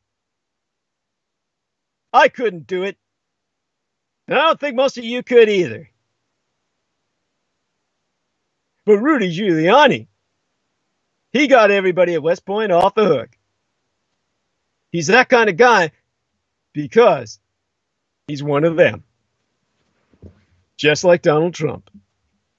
As I exposed when I spoke of his connection to Michael Jackson and R. Kelly, who both spend a lot of time at Trump Tower. So Giuliani being part of that in crowd of proclivities. He told the Atlantic magazine that he built his strategy around public polling that showed Mueller was far more popular than the president. To quote us the former New York mayor, I said we had to defend him legally, but we also have to defend him publicly. In his view, the prospect of a nasty report wasn't Trump's biggest concern, it was how popular or unpopular he would be at the time of its release. A mild report, coupled with an unpopular president, could have still opened the door to impeachment. But if Trump's approval ratings were on the rise, House Democrats may not take the risk. Giuliani likened what came next to a public relations campaign. I said, We've got to go public and we've got to point out what's wrong with Mueller and what's wrong with the investigation. Trump was all too happy to oblige. His tweets targeting Mueller picked up. Over and over, he described the probe as a witch hunt. In December, Trump tweeted, we will be doing a major counter report to the Mueller report. This should never again be allowed to happen to a future president of the United States. Polling showed that the attacks had some success. A CNN survey in December showed that 43% approved of Mueller's handling of the investigation, down five points since October. A Suffolk University slash USA Today poll this month showed that 50% agreed with Trump's characterization of the Mueller probe as a witch hunt compared with 47% who did not agree. Still, not everyone in Trump's orbit liked the assault. Recently, Cobb told The Atlantic, My views of Bob Mueller's professionalism and character are well known. I've never been comfortable with the term witch hunt. Giuliani said he knew that others in the West Wing weren't pleased with his more aggressive tactics either. The White House has been mad at me from the beginning because they wanted to cooperate, cooperate, cooperate. They didn't want to fight back. But Giuliani never cared much about anyone's opinion other than the president's. Trump has been very happy with it. I don't care about them. He's my client. Uh, now, you see, all of this goes back to why Leopold and Loeb killed that little Bobby Franks for the thrill of it. There was no need to do this in their lives, but they had to do it. There's no need for Rudy Giuliani to have come out of retirement get into a plane and go to Russia, which he has. You can research and vet this in, yourself. Rudy Giuliani has been to Russia multiple times. He himself is acting as a conduit. He's part of the fucking problem. He is a Satanist. He's a pedophile. And here you have this imbecile dealing with another pedophile, a man who almost certainly has raped his daughter multiple times, and her children are almost certainly not her children, but his. Rather, they're her children through him because they're most certainly not Jared Kushner's. I'm talking about Ivanka's children, mind you. All of this in crowd. And they're the people who project onto you that you're the guilty party for suspecting them. This is what pedo predators do to children. This is what I saw at the Presidio military base. The children brought it on themselves. Giuliani said that. And now he's doing this. They can't stop fucking you because it's the only thing that gets them off. So when you think about how the White House will respond to Mueller's conclusions and Democrats' reactions in the days to come, although all that still remains an open question. And then we've got to reflect back on the anticipation built last week for the release of something, anything. Trump's legal team privately wondered whether a simple announcement from Barr that he had received the report was preferable to releasing its findings immediately. Per Giuliani, I'd almost be willing to say, put out whatever you got because we can answer it. In an interview on Friday, Giuliani said that he had full and condensed versions of an 87 page counter report ready to deploy the moment Mueller's findings were made public. If Mueller were to accuse the president of wrongdoing, Giuliani predicted it would be likely be for obstruction of justice rather than collusion. Exactly what happened with the machinations on the interpersonal level of power with Davy Cash Jr. and Jerry Strohmeyer. Strohmeyer took the heat. Davy Cash Jr. was the manipulator who exploited Jerry Strohmeyer as his battering ram for sexual gratification. As a voyeuristic observer, and that's what's going on here. So, referencing Trump's dismissal of former FBI Director James Comey, as well as the conversation Comey and Trump reportedly had, in which the president asked him to let go of an FBI inquiry into former National Security Advisor Michael Flynn, Giuliani observed, I can't imagine they're going to do anything on collusion. I think if they're going to do anything nasty, they're going to do it on obstruction. Now, with Mueller having made no conclusion about obstruction in his report, the matter will fall to Congress and its investigations. Mueller's report looks to become a Trump campaign selling point. Not too long ago, that would have seemed unfathomable. Trump has spent much of his presidency demonizing Mueller. On Friday, Trump questioned whether the special counsel even had the standing to write the report. No one voted for Mueller, Trump said. Why should he get to pass judgment on a duly elected president? Now, though, an investigation that once seemed to imperil Trump's presidency will help him prolong it. As, of course, observed by close Trump associates, all speaking on conditions of anonymity, they said that even if Mueller couldn't find wrongdoing, surely none exists. Michael Caputo, senior advisor to Trump's 2016 campaign, says this be the most powerful investigatory team in the 21st century, tasked with finding out if a candidate for president conspired with a rival to take control of the government. And they succeeded in proving that he didn't. It's an incredibly successful talking point and an aggressive campaign message. Its ultimate success, that is, Trump's reelection, could depend on what congressional investigators and other prosecutors find out. But for now, Trump's legal team, be as excited as it was when it learned the investigation was over. On Saturday, Giuliani effused, It's a great day in Washington. The weather got nice as soon as the report was submitted. God loves Republicans. You know, the funny thing about all these pedo predators, they believe that God loves them because they get away with everything. They figure, surely that must be the case. God must want me to do this. God is on the side of the bigger predators. That's their motto. Now to bottom of the Mueller mystery. Does no indictments mean no collusion? Absolutely not. Donald Trump's collusion with the Russians be matter of public record. Doing something about it be our job. So Robert Mueller's report's been filed. Even as I spracketh on Sunday eventide in our latest transmission prior to this, we, as both a nation and a people, were regaled by Attorney General William Barr revisioning what he called its principal conclusions to leaders of the judiciary committees in Congress. Whether those turn out to be actually conclusive at all remains to be seen, but it's safe to say that what Barr conveyed to Capitol Hill did not provide the level of detail about the outstanding questions to which the public deserves to have answers. The Department of Justice has reported there be no new indictments forthcoming from the special counsel's office, which many people assume means that Mueller concluded that Trump and his inner circle did not collude with Russia during the 2016 election campaign. That being correct. We know that the Department of Justice has determined that sitting presidents cannot be indicted.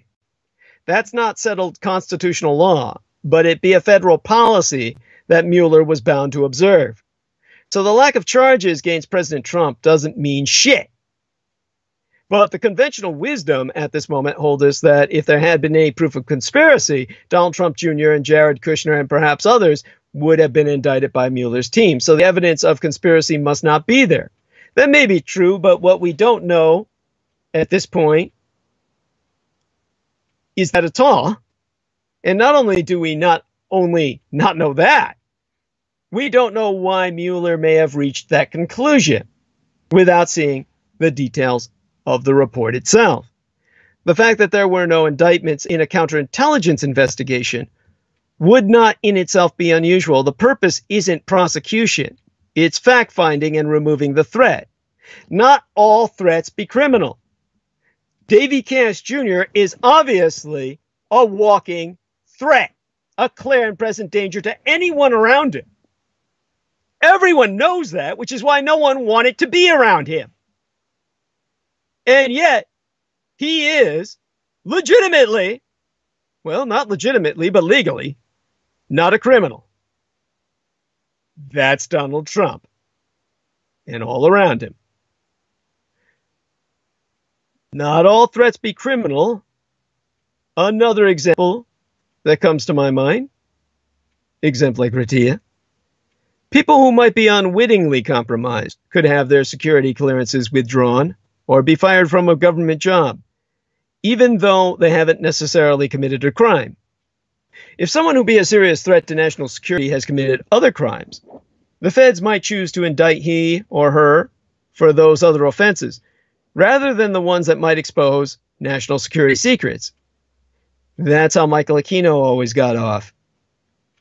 By prosecuting he, so many secrets would be exposed, primarily other criminals involved in the United States government, that the entire American military would be compromised. So Michael Aquino has total immunity. There are several people enmeshed in this Trump scandal for whom those same examples might serve. As Frank Figliuzzi, the former assistant director of the FBI for counterintelligence, explained on MSNBC on Saturday, counterintelligence is the chess game in the FBI. It's the most cerebral part of the FBI, and it's nuanced and subtle. It could be, and by the way, this be the case for the majority of FBI counterintelligence investigations, that you do not end up with a criminal prosecution, but rather an incredibly nuanced case that someone has been compromised, that someone attempted to get assistance from a foreign adversary, but there be winks and nods. So Mueller may have said, look, if it's not airtight, I'm not charging, but I'm going to explain it in a report. And I think that's what we should expect. Now, I myself cannot overemphasize the fact that, regardless of whether all of this be explained in Mueller's report to the Justice Department, by law he will have to report his findings to the intelligence committees. Just as former acting FBI Director Andrew McCabe was obligated to inform the Gang of Eight congressional leaguers that he was opening the counterintelligence investigation in the first place. We already knew there was next to no possibility that Trump would be indicted while he's in office. That has long been his get out of jail free card. But none of that means that the information gleaned from the counterintelligence investigation won't implicate Donald Trump and his cronies in a Russian plot to disrupt the election. It may be, for instance, that it wasn't a criminal conspiracy, just a monumental lack of basic ethics and a case of massive stupidity.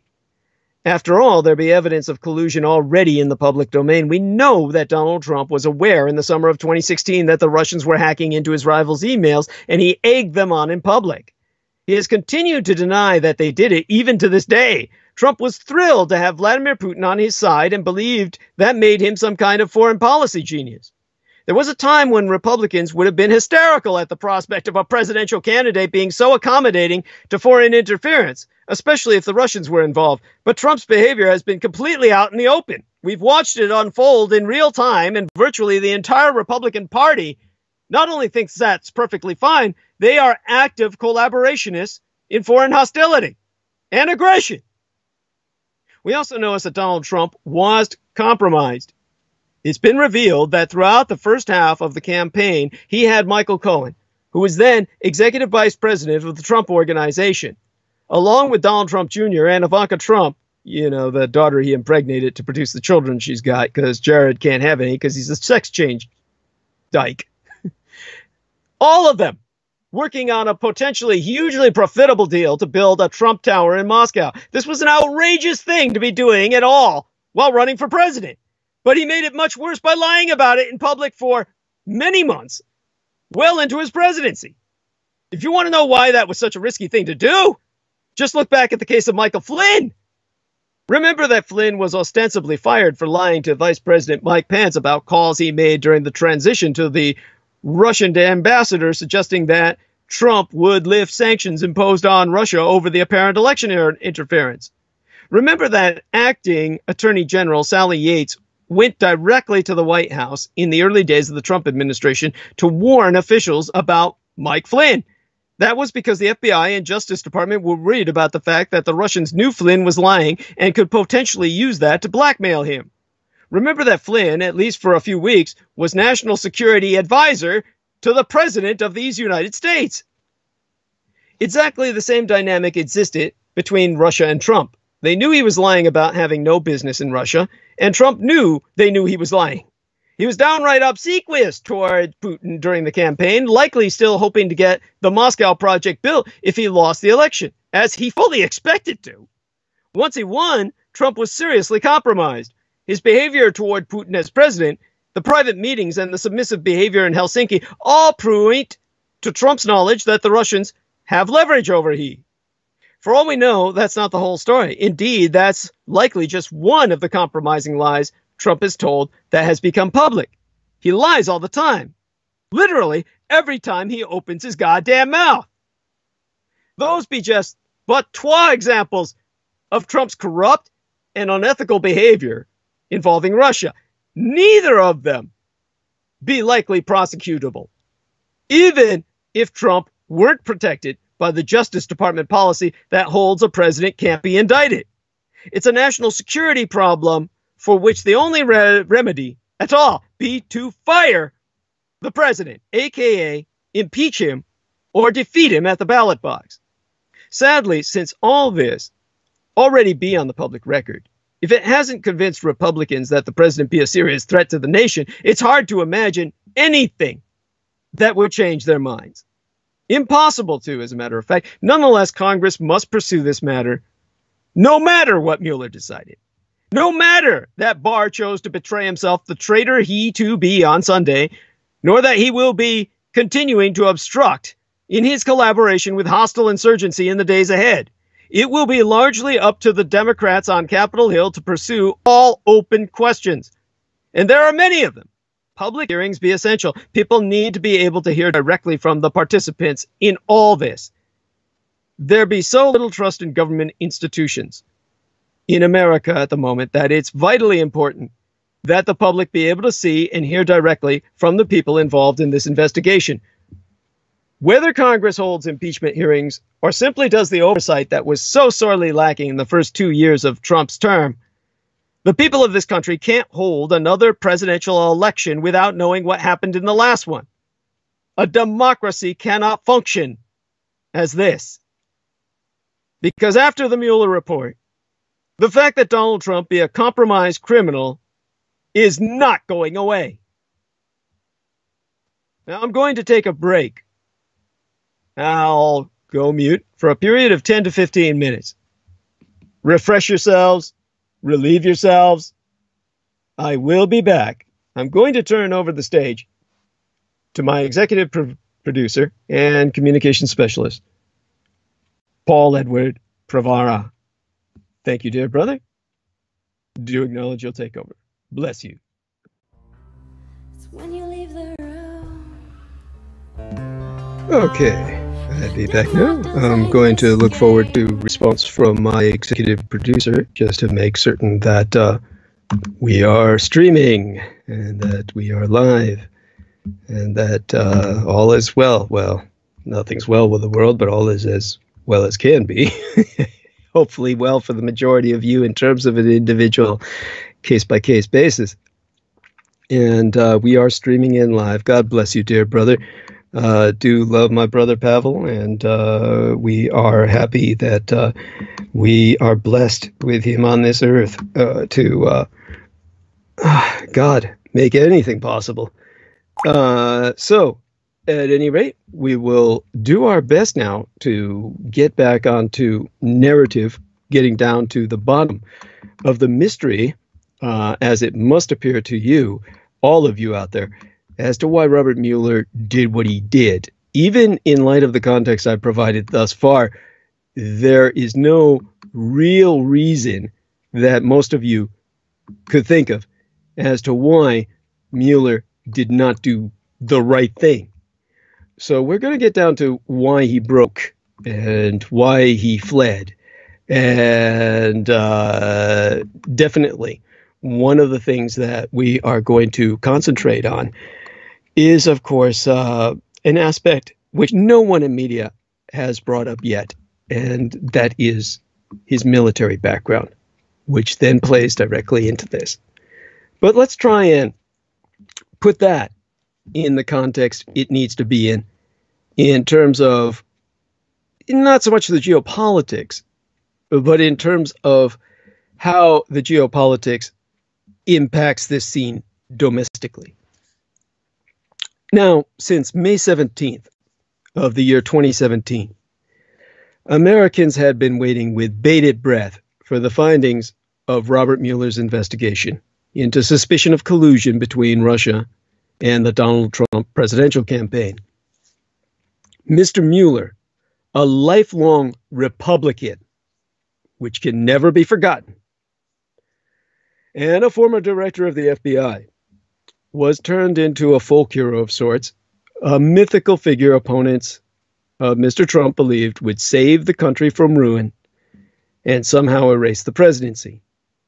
Now, though I said he acted the role of an American hero, as people can testify themselves who have listened to me regularly, and those who don't believe it can look through all of my transmissions going back over the past two years, especially within the past several months.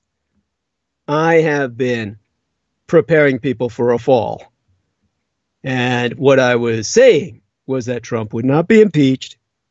They've already made that decision due to what I said is the fact that the Democratic Party's older generation needs to die so that the party can find some fucking life away from the fossilized mummies who are sucking up all the valuable oxygen in the room so that the Democratic Party can do what it needs to do, which would be to impeach Donald Trump for no other reason than to contain him and restrain him for the remaining two years of his worthless presidency.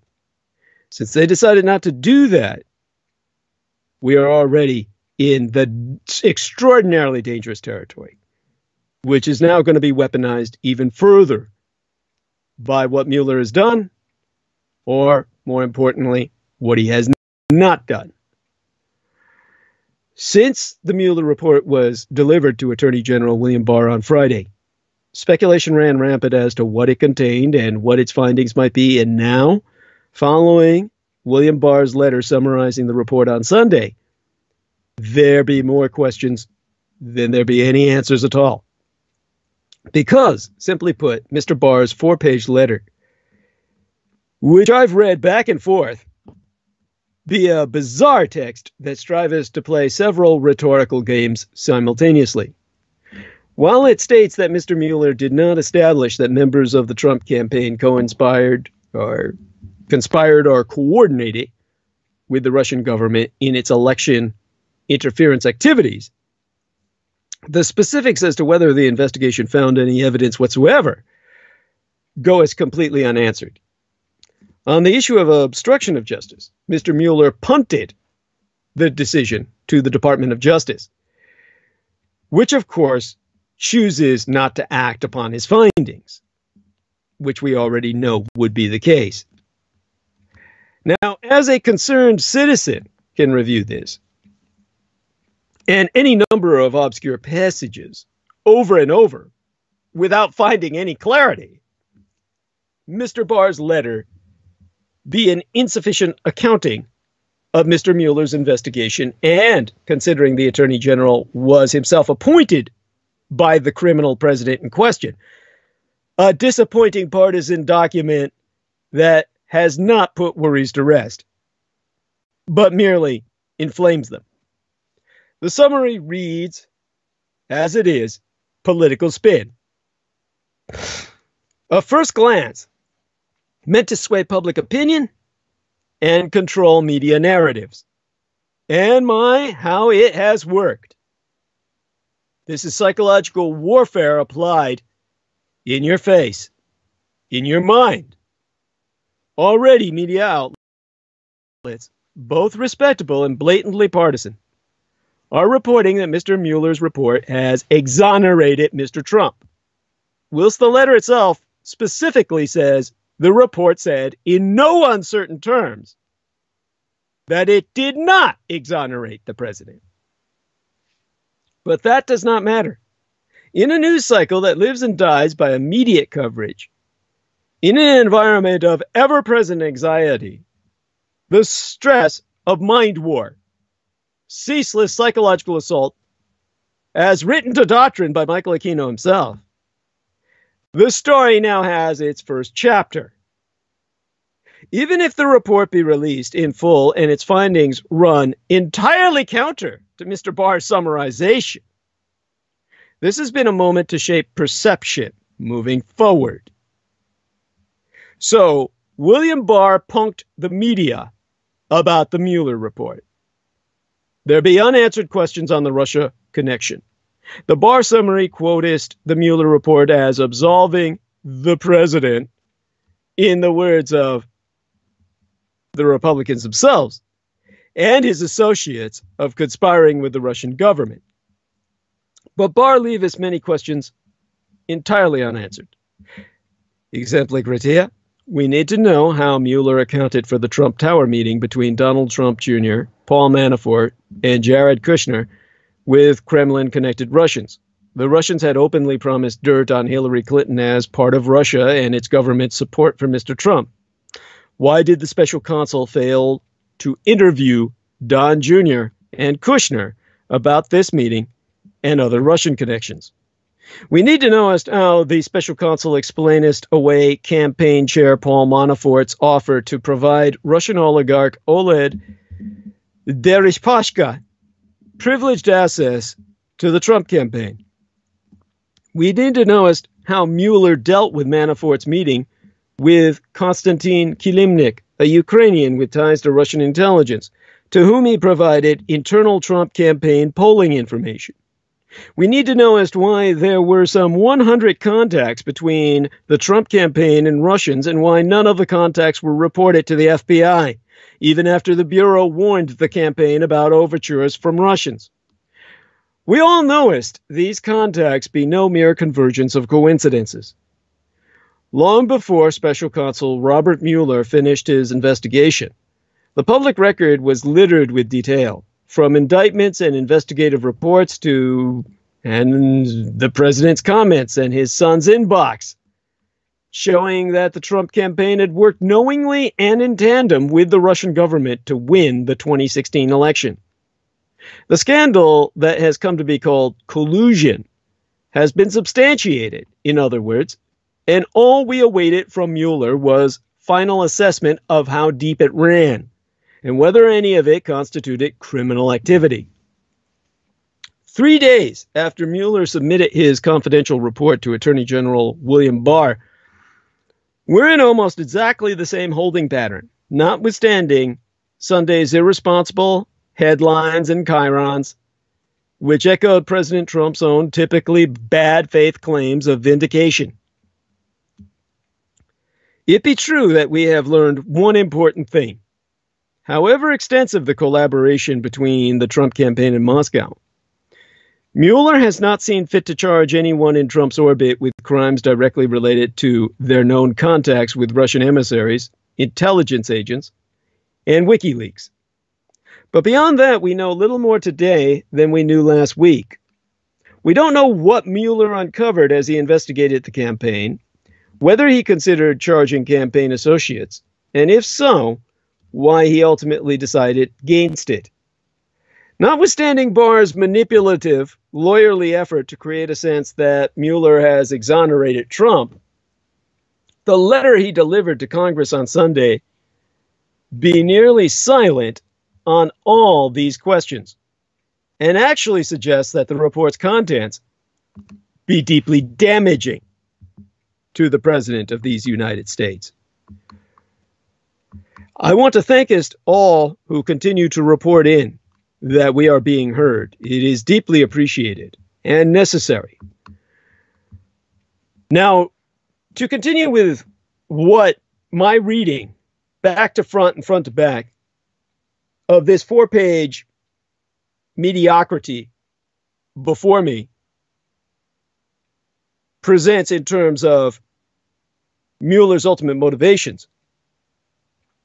We're going to have to go into the details of the letter itself again in modern day context of network espionage. On close reading, Barr's putative commentary his summary, I shudder to call it, of the Mueller report clears Trump of only the most narrowly drawn accusations, which nobody was making.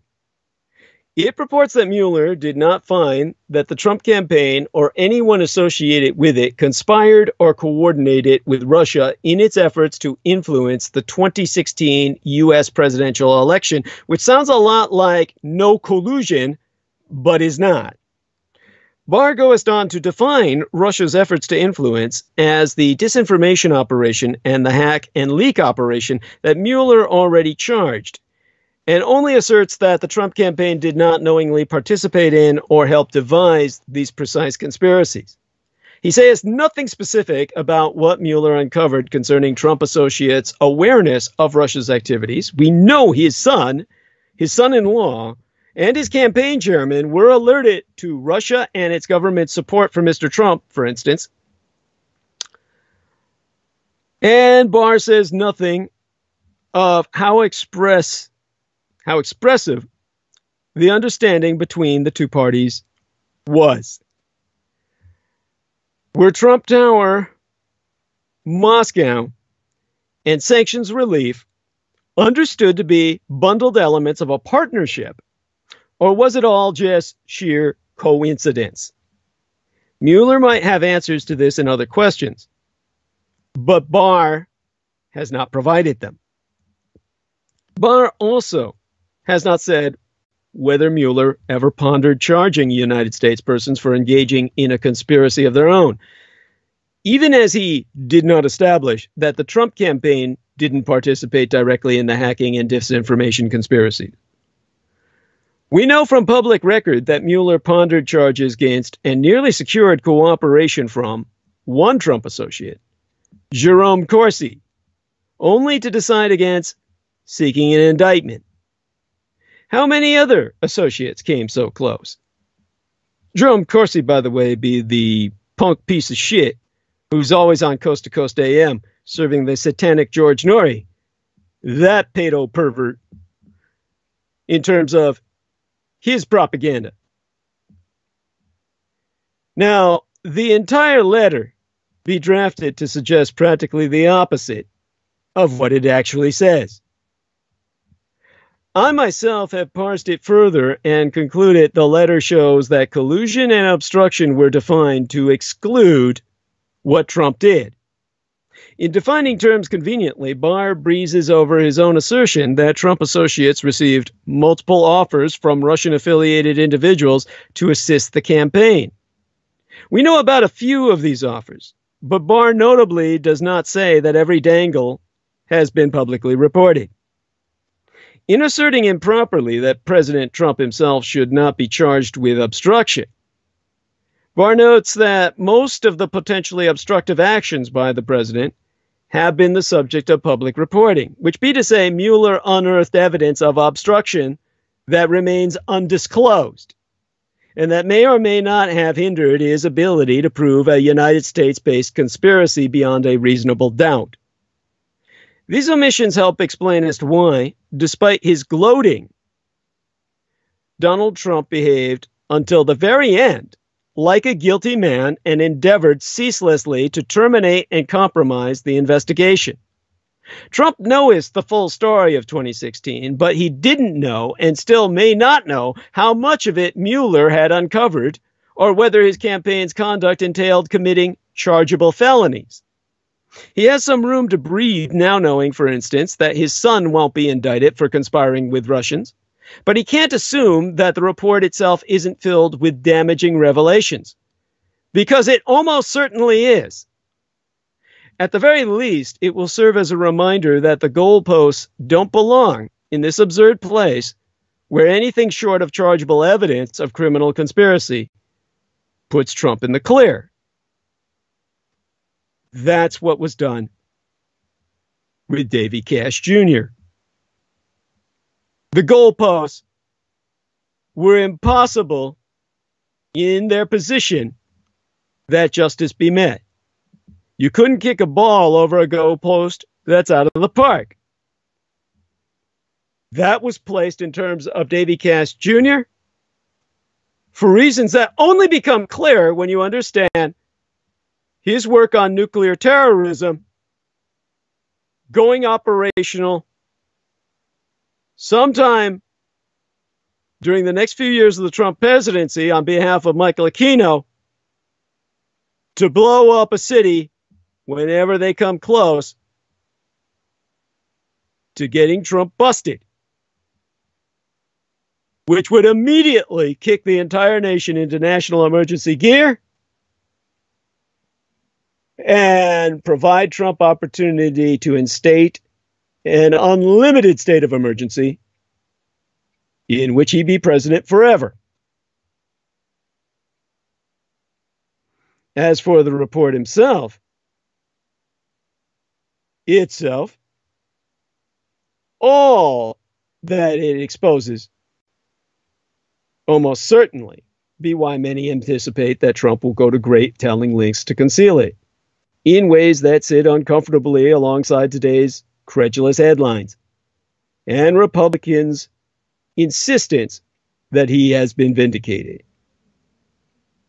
All such be exactly why we need to see it in full and quickly. Now, Trump has made a show of saying, oh, let it go to the public. The Republican Party itself has not. Because, you see, it implicates them all. They're an insurgency a hostile invasive force. They know this, and that's why they provoked Donald Trump into bullying the media into falsely exonerating him of Russia corruption. Robert Mueller's investigation found that none of Donald Trump's illicit campaign contacts with Russia amounted to a prosecutable crime. And while this be a highly significant finding, the immediate response has gone far beyond this legalistic conclusion. News stories have trumpeted the verdict that Trump's campaign did not collude with Russia, which be at best unproven and at worst simply false, and have been forced into a defensive crouch for having the temerity to devote two and a half years to uncovering the broad web of secret financial and political contacts between Donald Trump and motherfucking Russia.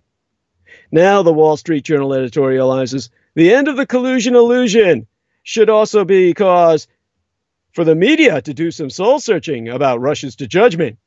With few exceptions, they went well beyond First Amendment oversight into anti Trump advocacy. The Federalist, Mollie Hemingway, giddily demands there needs to be a reckoning. And left wing skeptics of the Russia scandal, like Matt Taibbi and Glenn Greenwald, have indulged in paroxysms of Schadenfreude For his part, Trump reportedly plans to call for organizations to fire members of the media and former government officials whom he believes made false accusations against himself. Trump's football spikers all take as a starting point the premise that Barr's four page summary conclusively puts to rest any serious questions about Donald Trump's illicit relationship with Russia. That be an oddly credulous approach from people who have treated previous government investigations with withering skepticism. Taibbi dismissed the intelligence community's findings that the Russian government directed the hacking as head scratching and bold assessments based on little to no obvious evidence. Greenwald ridiculed reports that Russia hacked Democratic emails as a neo McCarthyist smear and cast doubt on the validity of Mueller's indictment of Russian hackers. Hemingway and the Journal editorial page have uncritically transmitted Devin Nunes' series of fever dreams that Mueller set atop a deep state conspiracy, all of which disintegrated immediately upon contact with the outside world. After treating nonpartisan intelligence and law enforcement officials as an untrustworthy cabal, Trump's defenders now assign complete credibility and good faith to William Barr. Not only is Barr far more partisan than the malefactors of the deep state, he auditioned for his job by writing a highly Trump friendly memo that was meant to remain secret. One could make the case to trust all these officials or to trust none of them. But the idea that Barr has more inherent credibility as an individual than the intelligence community combined, or the FBI as a counterintelligence network, stretches all bounds of plausibility. Taibbi compares the mainstream media's Russia reporting to the Iraq weapons of mass destruction fiasco. Now, I find it hard to understand why Taibbi's takeaway from that bitter experience be that the media should fall in line behind the current president's demand to rush to judgment on the basis of a vaguely worded, unsourced government document. One need not dismiss Barr's memo completely to recognize that its claims do not go nearly as far as they might appear on the surface. Dissecting the weasel words in the four page summary, its language appears to define collusion in the narrowest possible sense, ruling out the possibility of conspiracy through cutouts and intermediaries. Barr reports Mueller did not find that any U.S. person or Trump campaign official or associate conspired or knowingly coordinated with the IRA, that's the Russian troll farm, or coordinated with the Russian government. But Mueller did find that Trump's campaign manager passed detailed polling information to Konstantin Kilimnik, whom Mueller also believest has ties to Russian intelligence. Of course, it's not necessarily a crime to pass polling data to a Russian spy. Barr's memo appears to limit its findings to crimes that can be charged in court. It does not even allude to Trump's business dealings with Russia, nor the effect they might have had upon the policy positions Trump took thereafter. Taking pro Russian positions because you're hoping to cut a lucrative deal with Russia be, of course, also not a crime. The media be a big place, and obviously, plenty of cable news commentators and Twitter personalities have made bad predictions about the Russia scandal. But the predominant center analysis of the scandal has never taken for granted that Mueller would produce criminal charges against the president for collusion. The legal blog named Just Security made this point as early as 2017. Now, as a former security professional myself, I read Just Security often. So I know it was about the year before yesteryear that they had the headline Collusion doesn't have to be criminal to be an ongoing threat. See, Just Security, as a security professional, when I read other professionals speaking about security threats, that's the point to take home. Collusion doesn't have to be criminal to be an ongoing threat. That's why Davy Cash is the perfect parallel. His collusion, egging on, provoking, and emboldening Jerry Strohmeyer into torturing a little black girl to death is not illegal. He is technically not a criminal as we've understood from the evidence that was presented at that time, which must be re examined today. But what he did was such a direct threat. A young lady with a future was deprived of that future, and we were deprived of the grace of whatever contribution she may have provided society. As the website Lawfare, the legal version of warfare, points out now, Barr's summary be consistent with a report that finds lots of evidence of collusion that, for one reason or another, falls short of criminal conduct. Obviously, many people, inclusive myself, considered the possibility that Mueller would identify specific crimes in Trump's collusion with Russia, but that possibility of necessarily chargeable crimes was never the foundational assumption. The foundation was the broad swath of corruption, lies, and secret contacts. Some of the events took place on live television, Trump employing Russia to hack more Clinton emails. Other disclosures came through Mueller himself, the fact Russia responded to Trump's request that same day by attempting another hack. The Russiagate skeptics be presuming that Barr's letter has refuted three years of devastating reports that paint an unmistakably sordid picture. Their goal now be to bully the media into placing the entire topic, a political scandal of colossal proportions, historical record, out of bounds of discussion. After 12 years, everybody agreed collusion be not per se a crime. But Trump's defenders now illogically insist the absence of crime means the absence of collusion. We should accept the verdict that there be no crime and demand to see all the evidence of the corruption that already be beyond all dispute. Most tellingly, the Barr summary passes over a critical finding of the Mueller investigation. We know from Mueller's indictments that a critical finding of his investigation, looking forward, not backward, be that the Russian interferes massively in America's 2016 presidential election. Yet the Barr summary barely mentions this interference in but a single line saying, the report outlines the Russian effort to influence the election and documents crimes committed by persons associated with the Russian government in connection with these efforts. Regardless, it now behooves President Trump himself to explain as precisely what steps the American government will now take to protect the 2020 election from similar interference by the Russians or any other hostile foreign power. Congressman Eric Swalwell, the Democrat from California, has weighed in on Attorney General Bob Barr's summary of the Mueller report and doubled down on his previous statements regarding collusion with the Russians after the Trump team called him out said Congressman told MSNBC, I have seen the Trump campaign for myself and others. And to that, I would say the only person who has made false statements about Russia be Donald Trump. I stand by what I said about seeing evidence of collusion. If he has a problem with that, he can sue me. And I promise you, I would win in court. As to the counterintelligence mission that we have, we need to know as whether any United States person, whether it's on campaign a transition, or an administration has been compromised or did seek to work with or did work with the Russians, and that's separate from a criminal investigation. Congressman Swalwell has said it all regards that. Even without Mueller's report, Congress had all the facts it needed. Everything lawmakers needed to know about Trump and Russia was in the public record.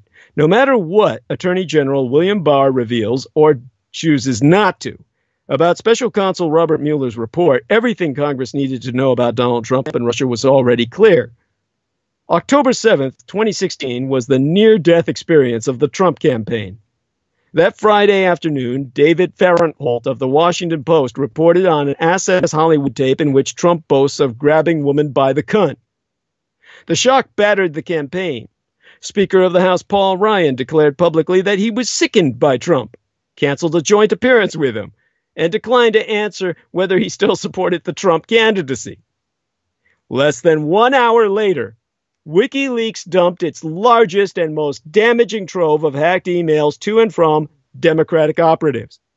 It included two emails sent years before to the future Hillary Clinton campaign chairman Da John Podesta.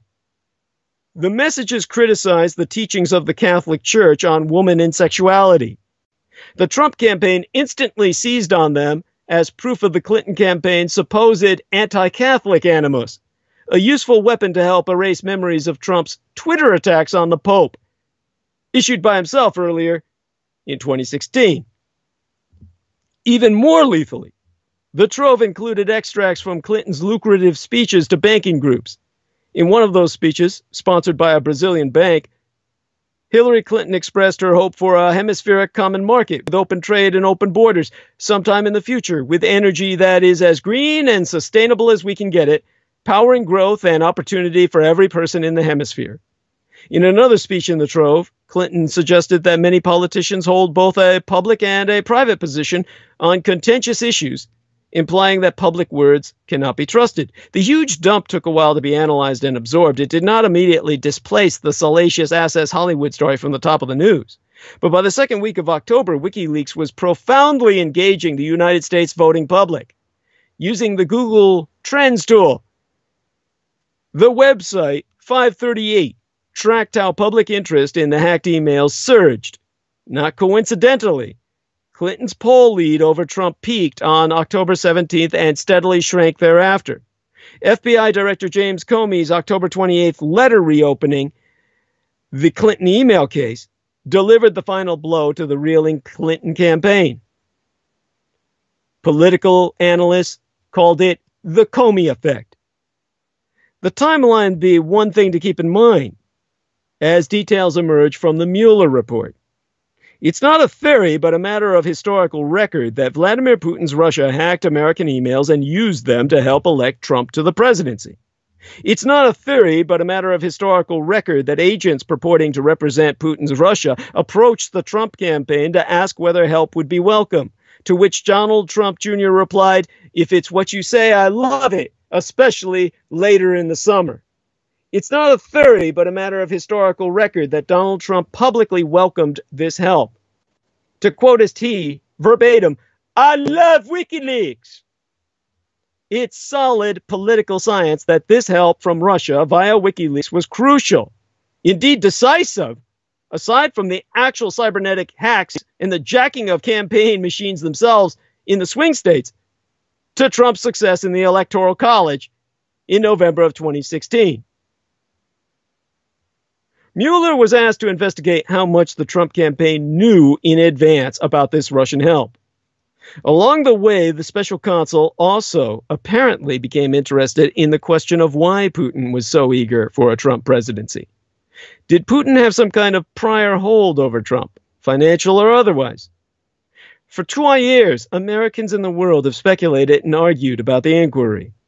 But along the way, we've oft lost sight of the core truth of the Trump presidency itself. For all its many secrets, there have never been any real mysteries about the Trump Russia story. The president of these United States was helped into his job by clandestine Russian attacks on the American political process. That core truth be surrounded by other disrupting probabilities, such as the likelihood that Putin even now be exerting leverage over Trump in some way. Along the way, we have also lost sight of something that I warned about in a number of my past transmissions. It be very possible that Donald Trump himself broke no criminal law in accepting campaign help from Vladimir Putin. This ultra legalistic nation expects wrongdoing to take the form of prosecutable crimes and justice to occur in a courtroom. Obviously, the courtroom provided no justice for little Sherrice Iverson. And now you're in her place in that toilet stall and Trump is your Davy Cash. Because many wrongs are not crimes. We all know Davy Cash did wrong. He didn't spend a day in court, other as a witness, laughing at Sherrice Iverson's mother, aloud and on record. Just like Giuliani is laughing at all the kids he's fucked that never lived to tell the world about what he did to them. Just because many wrongs are not criminal and many things that be crimes are not prosecutable for one reason or another, for instance, when a statute of limitations expires, doesn't mean you should let the people who committed those crimes into your home to play with your children the way Donald Trump allowed Michael Jackson to play with his in Trump Tower. You're not a piece of shit like Donald Trump. And if you are, there's no words. Mueller served his country by advancing the inquiry into Trump Russia at a time when Trump's enablers in Congress sought to cover up for the president. Since the midterm elections, Congress has regained its independence and can recover its integrity. Mueller's full report will surely inform and enlighten Americans about many details of what exactly happened in 2016. But the lack of further indictments by Mueller underscores that the job of protecting the country against the Russia compromised Trump presidency belongs to Congress. It always did.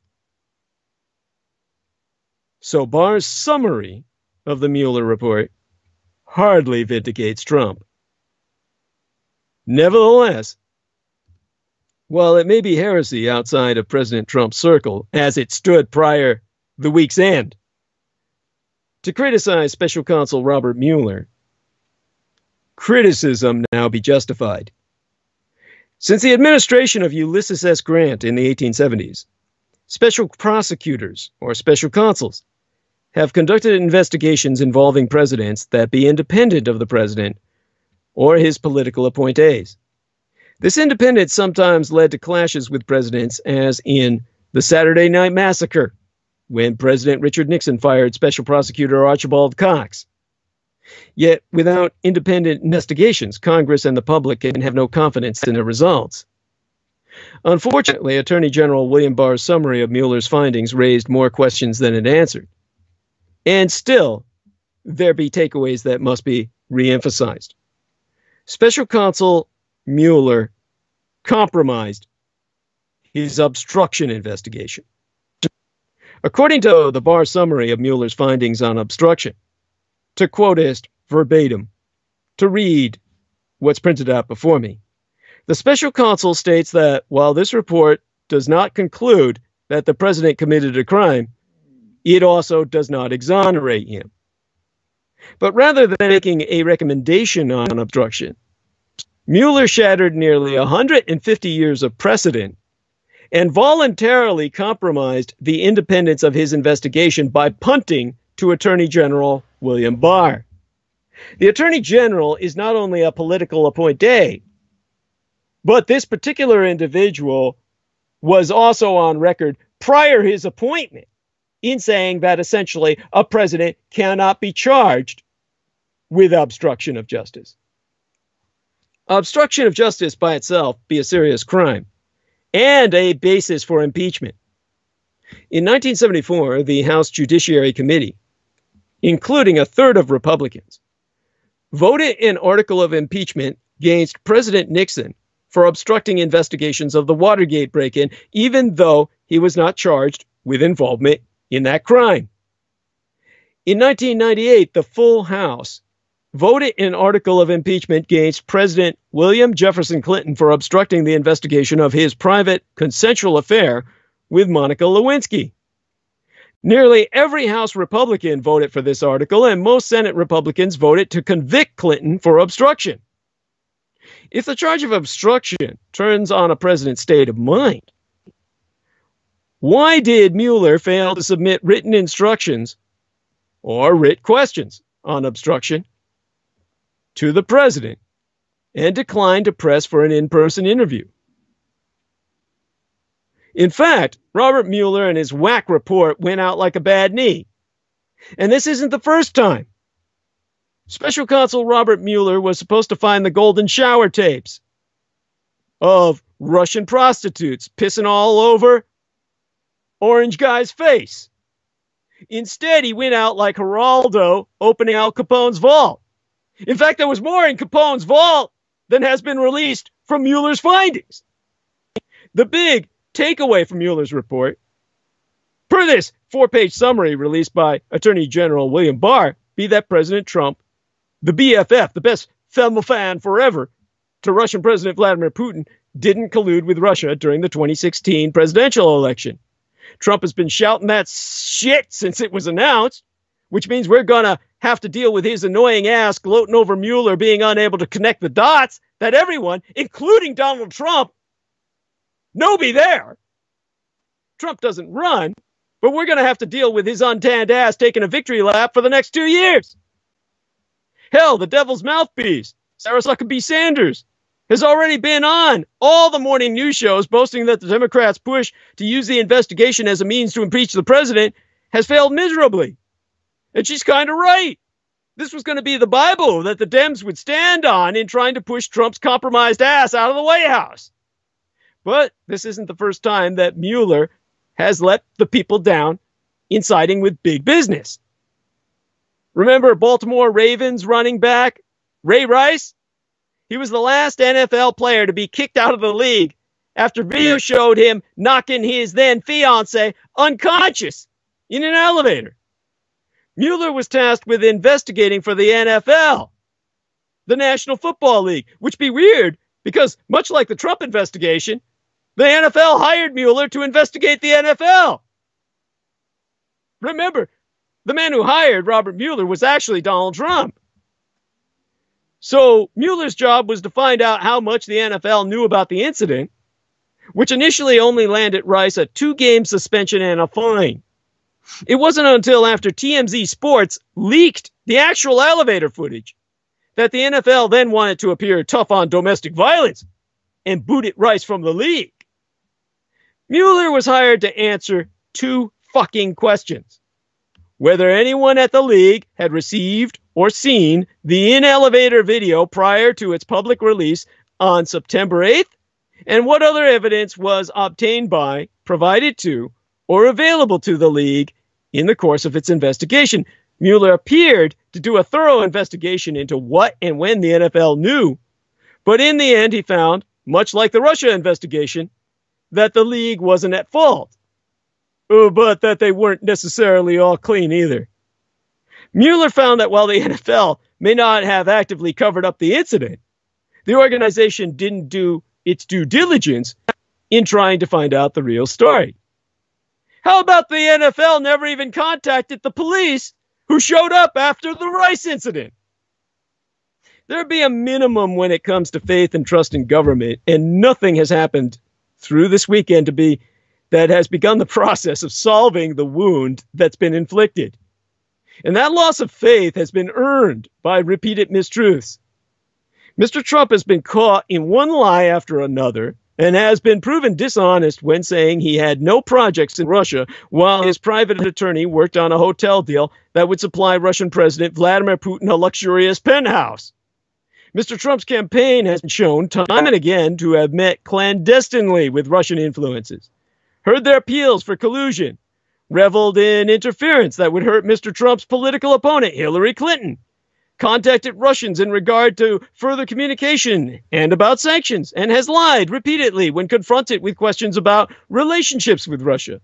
Not to mention, Mr. Trump himself has brazenly colluded with Russia in public, including that moment in July 2016 when he, faux jokingly, appealed to Russian hackers who had already hacked the Democratic National Committee to aid his campaign, on live television to hack Miss Clinton again. Or when he told NBC's Lester Holt that he fired FBI Director James Comey while thinking, you know, this Russia thing with Trump and Russia is a made up story. And if that weren't bad enough, Mr. Trump has repeatedly sided with Vladimir Putin in nearly every matter including taking his word over the unanimous findings of the United States intelligence community that Russia had hacked the 2016 election.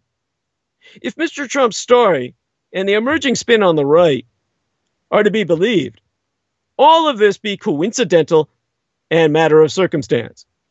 Well, maybe it is. Maybe Mr. Trump hired Paul Manafort in the summer of 2016 after Mr. Manafort spent years working with Russian assets in the Ukraine and just spontaneously began parroting Russian propaganda and working toward Russian interests as Russian hackers bolstered his efforts. Maybe multiple members of his campaign communicated independently with Russians and independently lied about it all of their own accord. Maybe Mr. Trump's efforts to curb the investigation into collusion have been out of anxiety rather than guilt. But Sunday's developments didn't put those worries to rest. It only presented more questions and more suspicion. And the United States simply cannot move forward as a nation until answers be given. So now we wait to see if Democrats will be able to pry the findings from Barr's hands.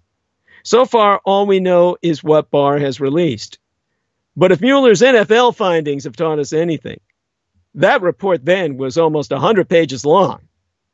We know that Mueller isn't light on paperwork. We know a lot about the what of the Mueller probe's findings. The crucial question now, all questions need to focus on the why.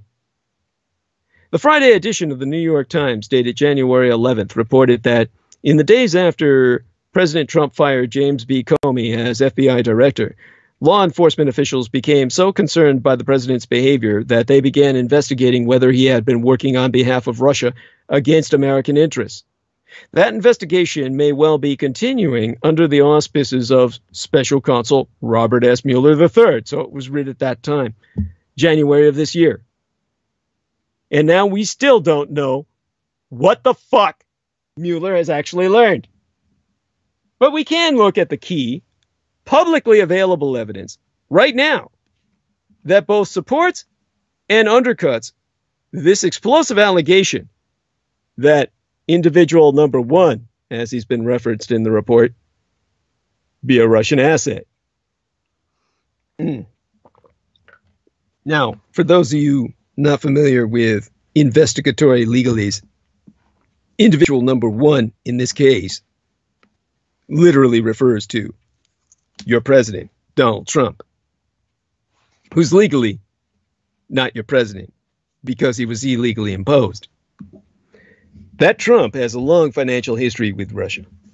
As summarized by Jonathan Chait in an invaluable New York Magazine article from 2003 to 2017, people from the former USSR made 86 all cash purchases, a red flag for money laundering, of Trump's properties. Altogether, that real estate totaling $109 million in assets. Circa 2010, the private wealth division of Deutsche Bank also loaned him hundreds of millions of dollars. During the same period, it was laundering billions of dollars in Russian money. Russians make up a pretty disproportionate cross section of a lot of our assets. So said Donald Trump Jr., circa 2008. He also said, We don't rely on American banks. We have all the funding we need out of Russia. That was boasted by his brother, Eric Trump, actually, now that I recall it, circa 2014. Now, according to Trump attorney Michael Cohen's guilty plea of lying to Congress, Trump was even pursuing his dream of building a Trump Tower during the 2016 campaign with the help of Vladimir Putin himself via VN aid. These be the kind of financial entanglements that intelligence services, such as the FSB, the Federal Security Bureau, typically use to ensnare foreigners. And they could have left Trump vulnerable to blackmail, and still do. The Russians interfered in the 2016 United States election to help elect Trump president. Trump encouraged the Russians to hack Hillary Clinton's emails on July 27, 2016 the direct quote be Russia, if you're listening. On the very day that Russian intelligence hackers tried to attack Clinton's personal and campaign servers, there were, according to the Moscow Project, 101 contacts between Trump's team and Russia linked operatives, and the Trump team tried to cover up every single one of them. The most infamous of these contacts was the June 9th, 2016 meeting at Trump Tower itself between the Trump campaign high command and a Kremlin emissary promising dirt on Clinton. Donald John, Donald Trump Jr.'s reaction to the offer of a Russian assistance was, if it's what you say, I love it, especially later in the summer. The Trump campaign was full of individuals, such as Carter Page, George Papadopoulos, Paul Manafort, Rick Gates, and Michael Flynn, with suspiciously close links to Moscow.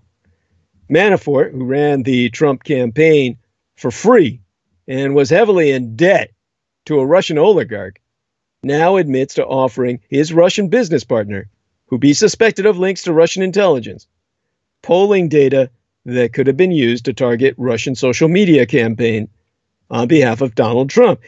Trump associate Roger Stone, who was in contact with Russian conduit WikiLeaks, reportedly knew in advance that the Russians had hacked the Clinton campaign chairman John Podesta's emails.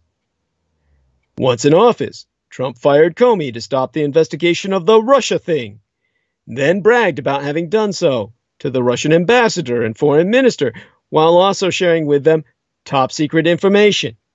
Later, Trump fired Attorney General Jeff Sessions because he would not end the special counsel investigation that resulted after the firing of Comey. As lawfare editor Benjamin Wittes argues, the obstruction was the collusion. Trump has been effectively protecting the Russians by trying to impede the investigation of their attack on the United States. Trump has refused to consistently acknowledge that Russia interfered in the U.S. election or mobilize a government wide effort to stop future interference. He has accepted Putin's protestations that the Russians did not meddle in the election over the high confidence assessment of the U.S. intelligence community that they did.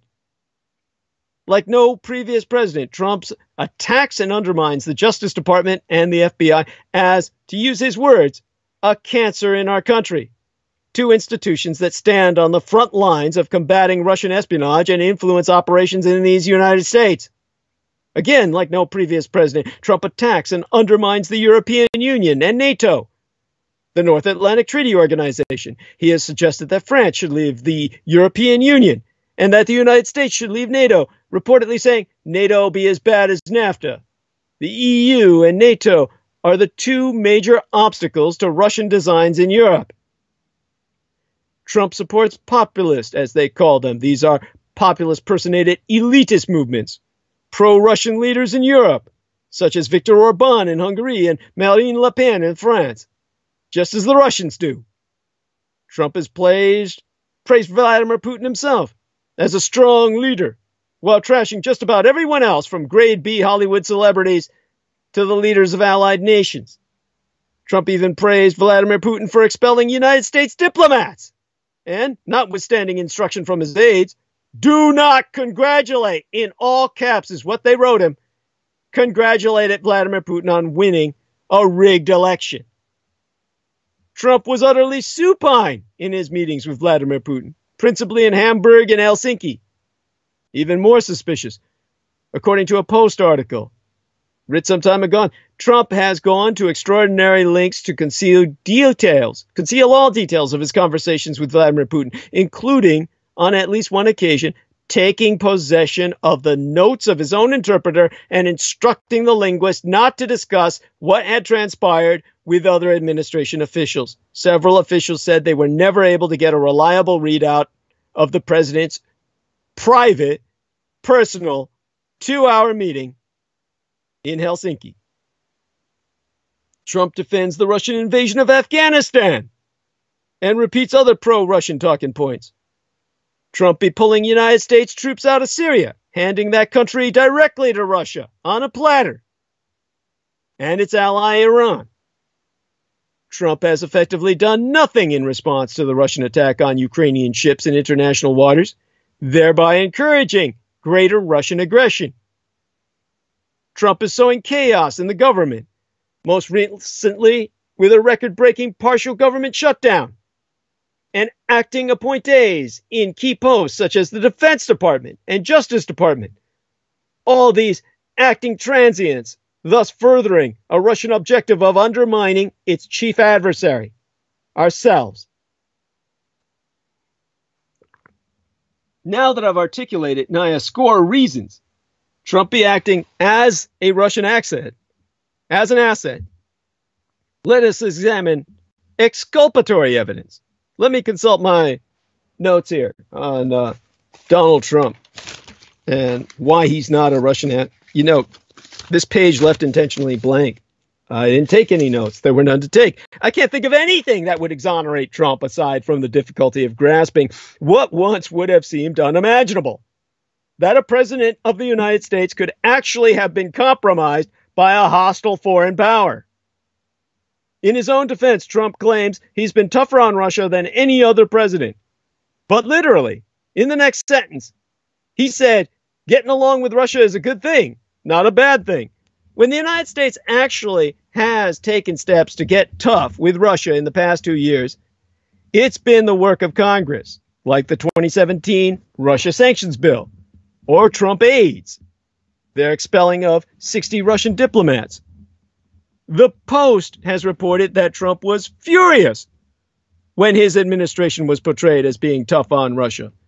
And NBC News reports that he instructed subordinates never to publicly discuss plans to sell weapons to the Ukraine, which is resisting Russian invasion. This is hardly a beyond a reasonable doubt case that Trump is a Russian agent. Certainly not in the way that Robert Hanssen or Aldrich Ames were. But it'd be a strong circumstantial case that Trump be, as former acting CIA Director Michael Morell and former CIA Director Michael V. Hayden warned during the 2016 campaign, an unwitting agent of the Russian Federation, as stated by Morell, or a useful fool who is manipulated by Moscow, as so stated by Hayden. If Trump isn't actually a Russian agent, he's doing a very good imitation of one. In fact, you hope and pray. We should all be praying on our knees that Trump be a Russian agent because the alternative be just too awful. Indeed, it be rather embarrassing for Donald Trump at this point if Robert Mueller declares through his report, should we ever get to see it, that the president isn't an agent of Russian intelligence. The pattern of his pro Putin, pro Russia, anti FBI, anti intelligence community actions be so one sided, and the lies and obfuscation surrounding every single Russian meeting and conversation be so consistent that if this president isn't actually hiding a massive conspiracy, it means the alternative be far worse that America elected a chief executive so oblivious to geopolitics, so self centered, and so personally insecure, so naturally predisposed to undermine democratic institutions and coddle authoritarians, and so terrible a manager and leader that he cluelessly surrounded himself with crooks, grifters, and agents of foreign powers, compromising the national security of the United States government and undermining 75 years of critical foreign alliances just to satiate his own vapid ego. In short, we've reached a point in the Mueller story where there be only two scenarios left. Either the president be compromised by the Russian government and has been working covertly to cooperate with Vladimir Putin after Russia helped win him the 2016 election, or Trump will go down in history as the world's most famous useful idiot, as communists used to call those who could be co opted to the cause without realizing it. At least the former scenario that the president of these United States be actively working to advance the interest of our country's foremost long-standing traditional foreign adversary would make him seem smarter and wilier. The latter scenario is simply a tragic farce for everyone involved. We're left here in a place unprecedented in American political history, wondering how much worse the truth be than we already know. After four days of fresh revelations in the public drip, drip, drip of the Russia revel- investigation, the past two months have seen the public understanding of the case advance into almost unthinkable territory. Now we're simply trying to figure out how bad things really are. Consider on that Friday dated the 12th of January this year, the New York Times reported that the FBI opened a counterintelligence investigation of the president himself in 2017 On Saturday thereafter, the Washington Post published a story saying that Trump has gone to great lengths to cover up and hide, even from his own aides, his interactions with Vladimir Putin. On the following Sunday, columnist Max Boot outlined the case for Trump as a Russian asset. And on Tuesday, the following week, the Times came back with an authoritative recounting of Trump and Putin's interactions, a recounting that included a bizarre telephone call from Air Force One, where the president tried to argue off the record that, contrary to the unanimous conclusion of his own intelligence community, that the Russians were falsely accused of election interference. Like so much of the strangeness of the Trump era, these new revelations be simultaneously shocking, but never surprising. Of course, the FBI wondered why Trump's actions towards Russia and the intelligence community were so aberrant and felt compelled to investigate. But to fully understand why these revelations matter so much in the grand scheme of the special counsel's investigation and the Russia probe, it helps to understand a bit about spies and the unique dual mission of the FBI, which be tasked not just with enforcing federal criminal laws, but also with protecting the nation's secrets, politics, and economy from undue foreign influence. I've said before that one of the most misunderstood aspects of this investigation, from the start to this day, be that it began by targeting the Trump campaign and Americans like Carter Page and George Papadopoulos. Quite the opposite, in fact. Page and Papadopoulos, and more recently Michael Flynn, have shouted from the rooftops in recent months that they were entrapped and targeted by the deep state FBI that's even the name of Papadopoulos' forthcoming fever dream inspired book. But the FBI started with their best interests at heart. Agents saw people with ties to the Russian government circling around the Trump campaign, and so the Bureau stepped in entirely appropriately to monitor that activity. The FBI was apparently alerted to this activity by its own intelligence and by tips from friendly foreign intelligence overseas. It wasn't like these Russia affiliated characters were necessarily new to the FBI.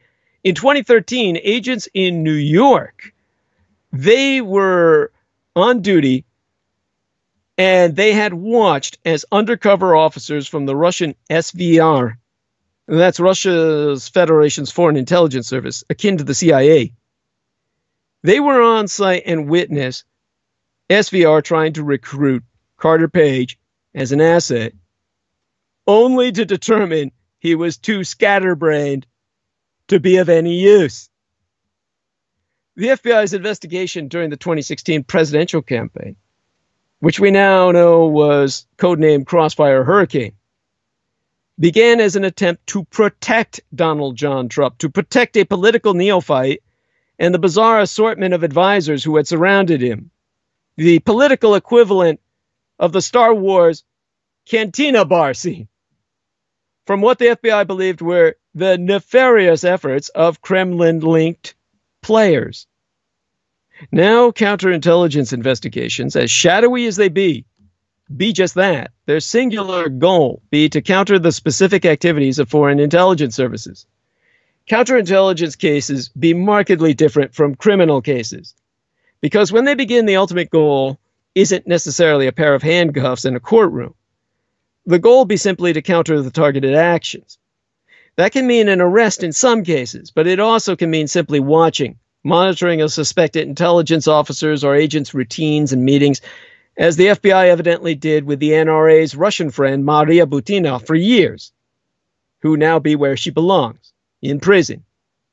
It can also mean covertly disrupting or neutralizing the activity in some way, which can be as simple as showing up unannounced in U.S. offices to warn unwitting Americans that they may have interacted with or are about to interact with a suspected undercover intelligence officer. The Trump campaign did, in fact, receive so called defensive briefings from the FBI to be wary that it might be the target of outreach and attempted influence from foreign powers. Warnings the campaign pointedly ignored either stupidly or conspiratorially. At their most advanced, counterintelligence investigations can lead to the recruitment of double agents, triple agents, or the feeding of false intelligence or information back through identified spy channels. Counterintelligence cases come with special authorities, including powerful FISA, FISA warrants for monitoring communications, along with special oversight coordinated nationally through the Justice Department's National Security Division, the NSD, because they're vital to the security of the United States and meant to help protect both ordinary, unwitting Americans, as well as this nation's political and military leaders. The evolution of the FBI's inquiry, from starting out in the spring of 2016 by attempting to protect the Trump campaign and realizing by the fall that the Trump campaign was open for business with Russia, to wondering by the spring of 2017 whether the candidate turned president himself was in on or even directing the plot, must have been head spinning for the Bureau itself and its allies in the Justice Department.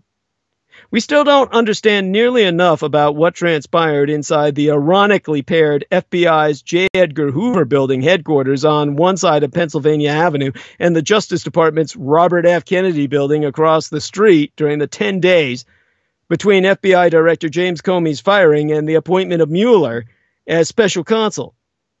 The panic on the part of Acting Director Andrew McCabe, the befuddlement of Deputy Attorney General Rod Rosenstein, and the horror among agents and prosecutors, we might know more when McCabe's memoir comes out later this spring.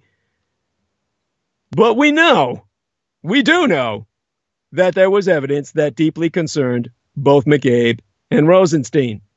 And we know, too, that we haven't yet seen that evidence. It's easy to forget how much of this case the FBI and Mueller know that we don't.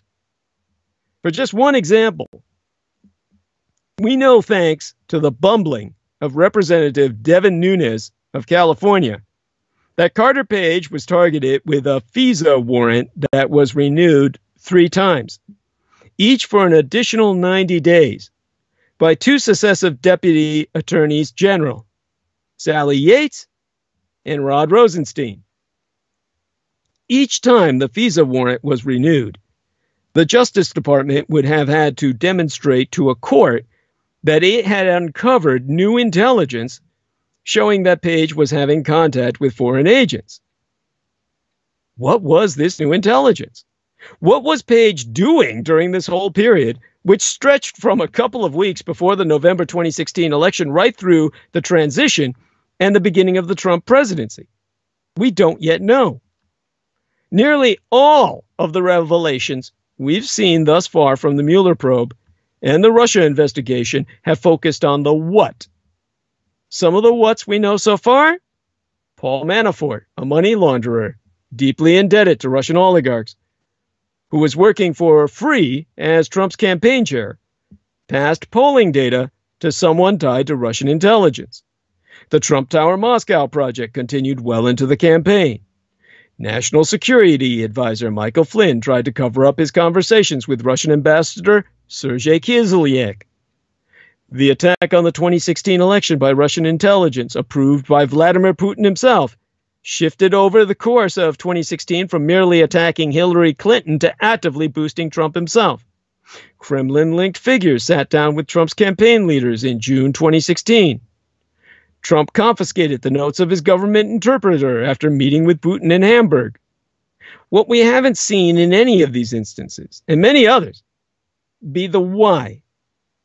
That's where we'll ultimately learn the truth about which scenario we face an incredibly hapless and easily co opted president, or an active criminal co conspirator.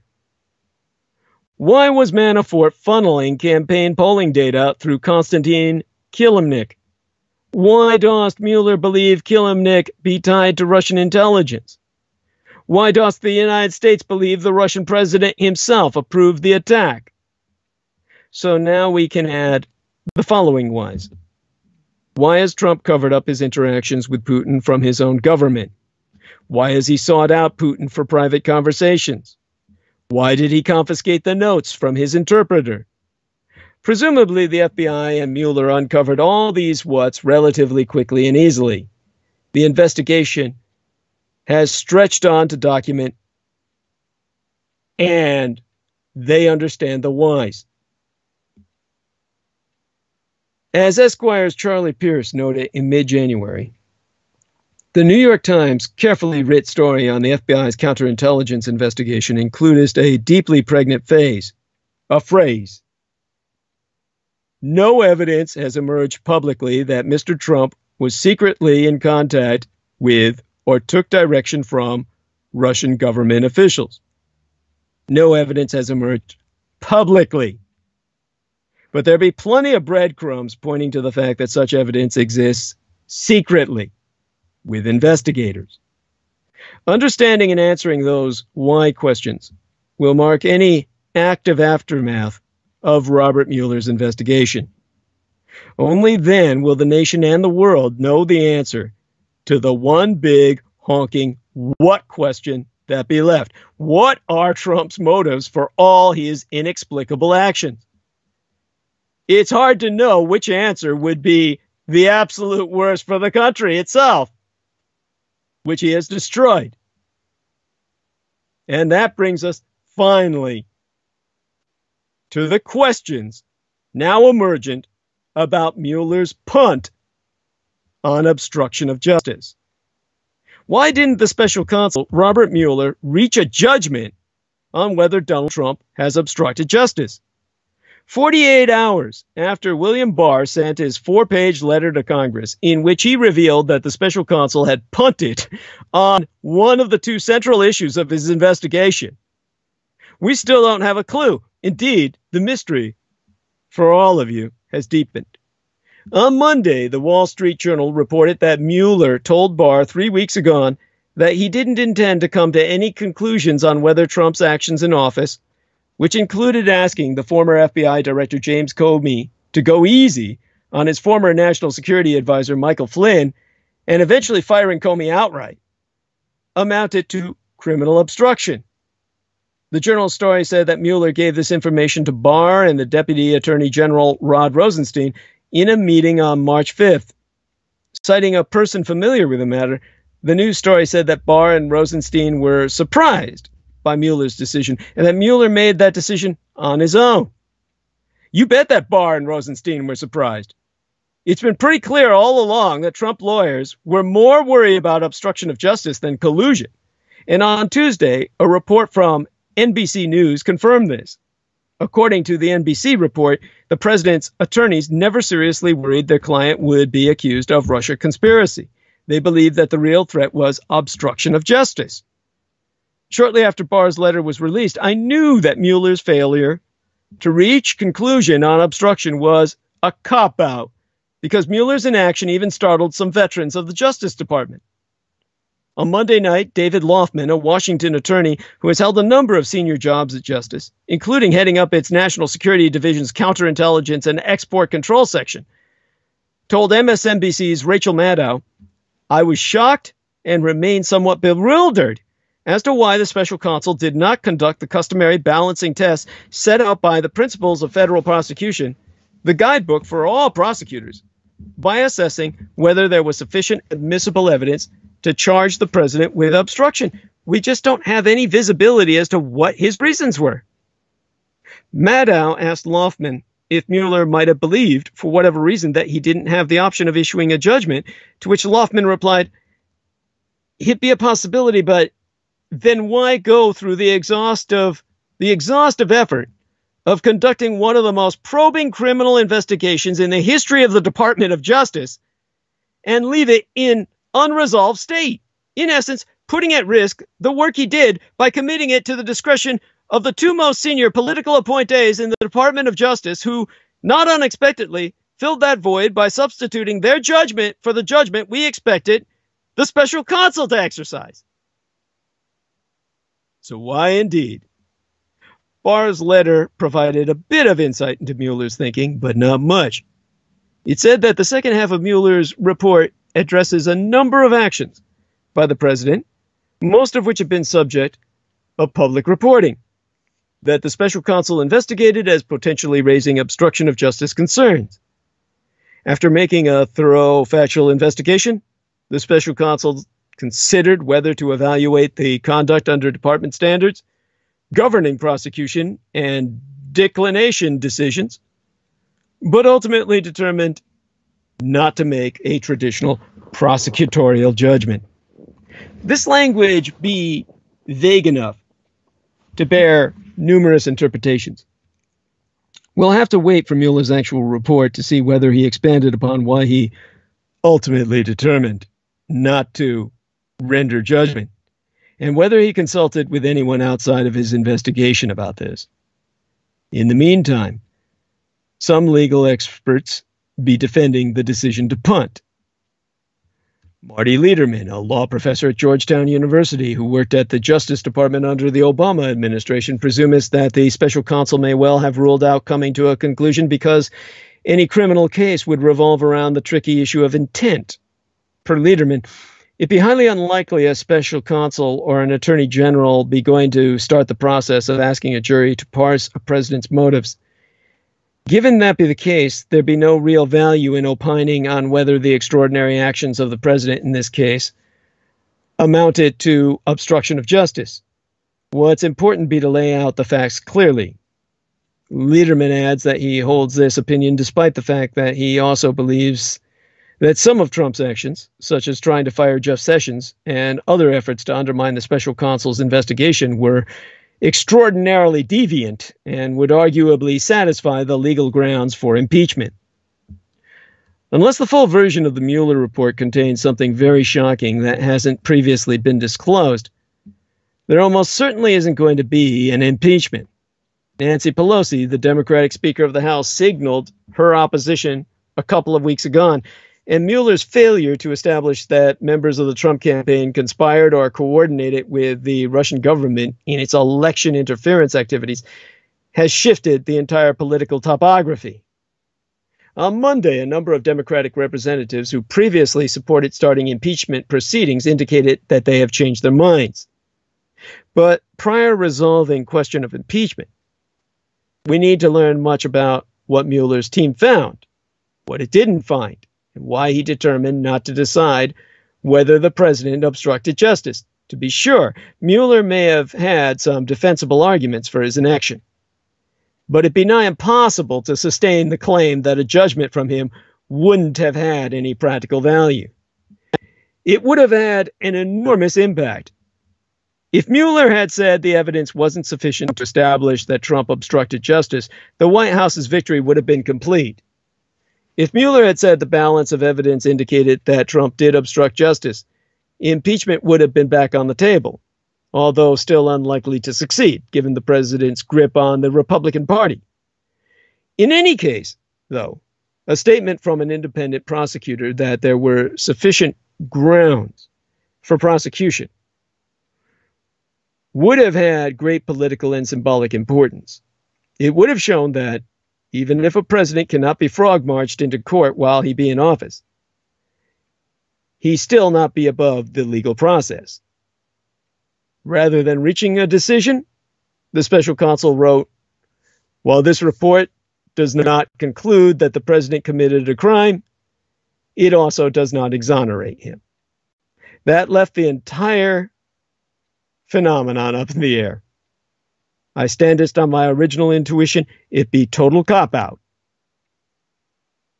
Now, why?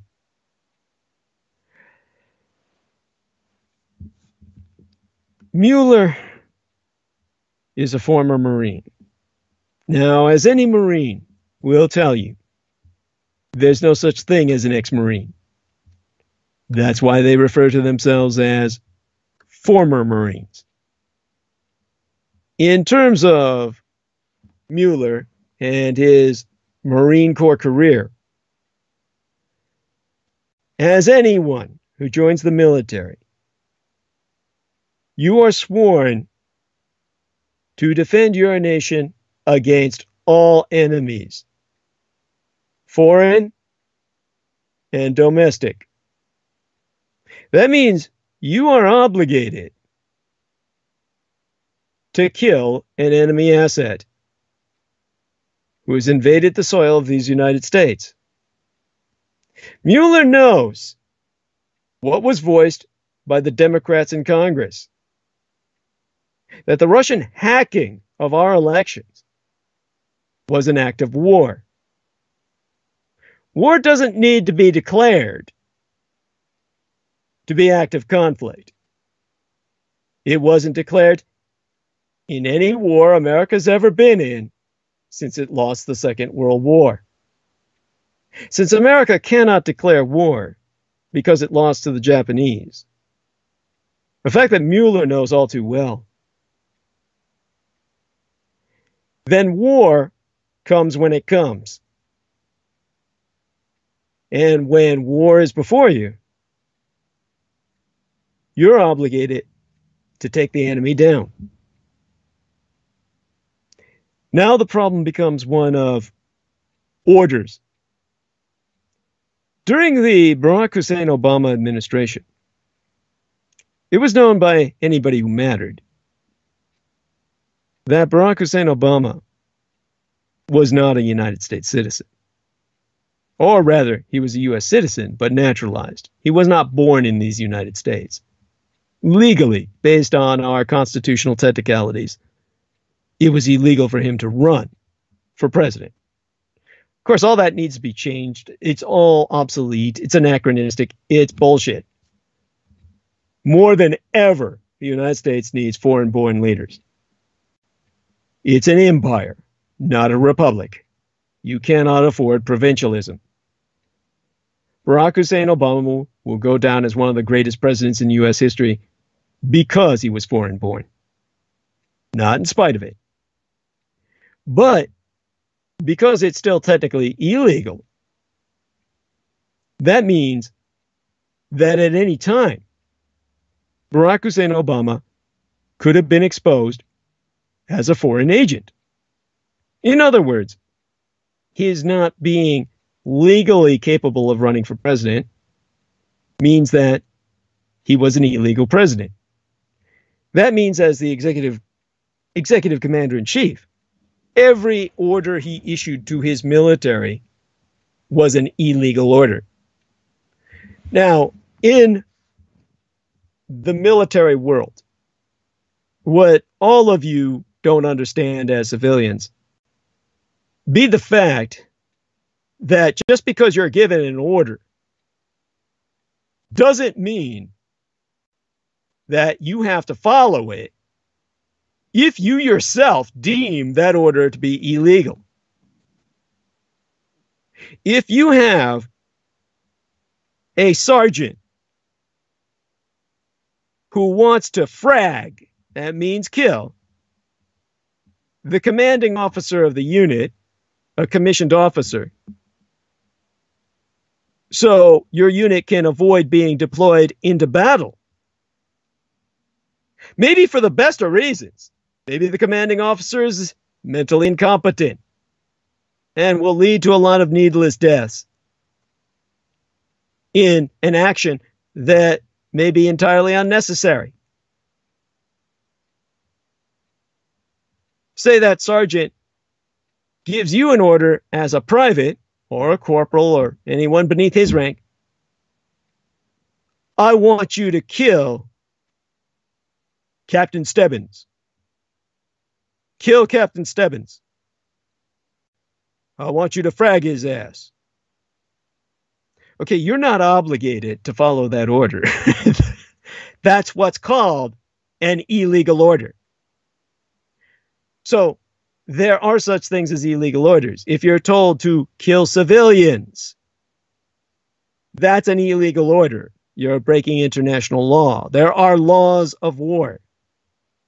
So you do not obey orders in the military like a mindless automaton. That's all shit. People have this fantasy that's how it works. Of course, it doesn't work like that. You have to make a judgment call no matter what your rank as to whether or not your orders even be logical or sane. Now, most of the time, you operate on the assumption that they are. You operate on the assumption that you have far less information than the people above you in the hierarchy, and that the people above you in rank are presumed to know what they're doing. Now, all too often, none of that is the case, but you operate on the assumption it be such because disobeying orders that be legal will, of course, land you in the brig, the military prison, or before a firing squad. So you've got to make a choice at all times, and most of the time people just go with obeying orders. This is how, under the satanic military, you get people like John Needham, the U.S. Army Ranger, who was trying to expose illegal American atrocities in Iraq. He wound up being tortured to a point of insanity, finally dumped home like he was a bag of shit, driven so crazy he killed his girlfriend and ultimately died himself. John Needham's story is in a video that I constantly reference to people so they understand the dynamics of the satanic US military, entitled The Dark Side of Al-Doura. Al-Doura is spelled A L dash D O U R A or A L space D O U R A. Look up The Dark Side of Al-Doura. You can see the John Needham story. John Needham's conundrum dealt with illegal orders. He paid the price with his sanity, his health, his life. He was killed by the military mafia. But a product of that military mafia, a former Marine careerist, gone legal, Mueller is one of these animals who is now confronted with the fact that America has been invaded and we are faced with an enemy both foreign and domestic. So he's confronted with the legal obligation to defend the constitutional republic he has sworn to defend from a foreign adversary. By the time he got to investigating everything that exposed Trump to be a Russian occupation puppet, the enemy, an invader, he had to confront Am I going to kill this man?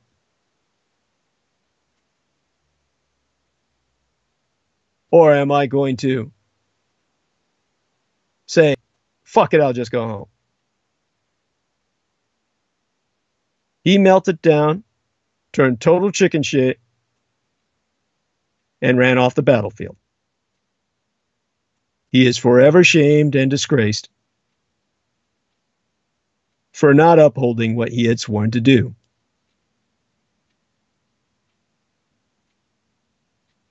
Now you might say, well, Douglas, you're a former Marine. Why don't you kill Donald Trump? Well, I was dishonorably discharged. And documents have been forged saying I was never a Marine.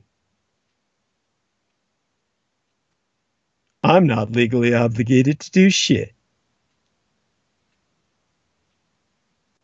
I am morally obligated, as I would report. Basically, if I'd been in that bathroom with Jeremy Strohmeyer, I wouldn't have reported. I would have killed that son of a bitch. There's things I'm morally obligated to do. I will intervene. And that's what I'm doing now. Just as I would have killed Jerry Strohmeyer, just as I would have killed Davy Cash, I'm now telling you the reality of the fact that you're under fucking Russian occupation and the Republican Party is a hostile insurgency the National Rifle Association is an international terrorist organization that wants you dead. That's the armed paramilitary of the Republican Party. And the Republican Party is the collaborationist occupation force of the invading Russians. And your president is your enemy. I'm morally obligated to inform you of this. I'm not obligated to kill your enemy. I'm your Vulcan intervention. I'm your advisor. It's up to you to act on what I expose. Am I telling anybody who's ever been in the military? You'd better face facts now and kill Donald Trump? No. But I am saying if you have a sworn to defend this country against all enemies, foreign and domestic, it's time for you to realize obeying orders from Donald Trump is illegal. And it's your opportunity to sit down and say, I'm not obeying orders from this president. You see, under Barack Hussein Obama, a lot of troops did just that. But Barack Hussein Obama and his illegality was an advantage to the military industrial occult entertainment complex because they held him by the balls. They held him by the pubic hairs. They had him by his nappy short and curlies.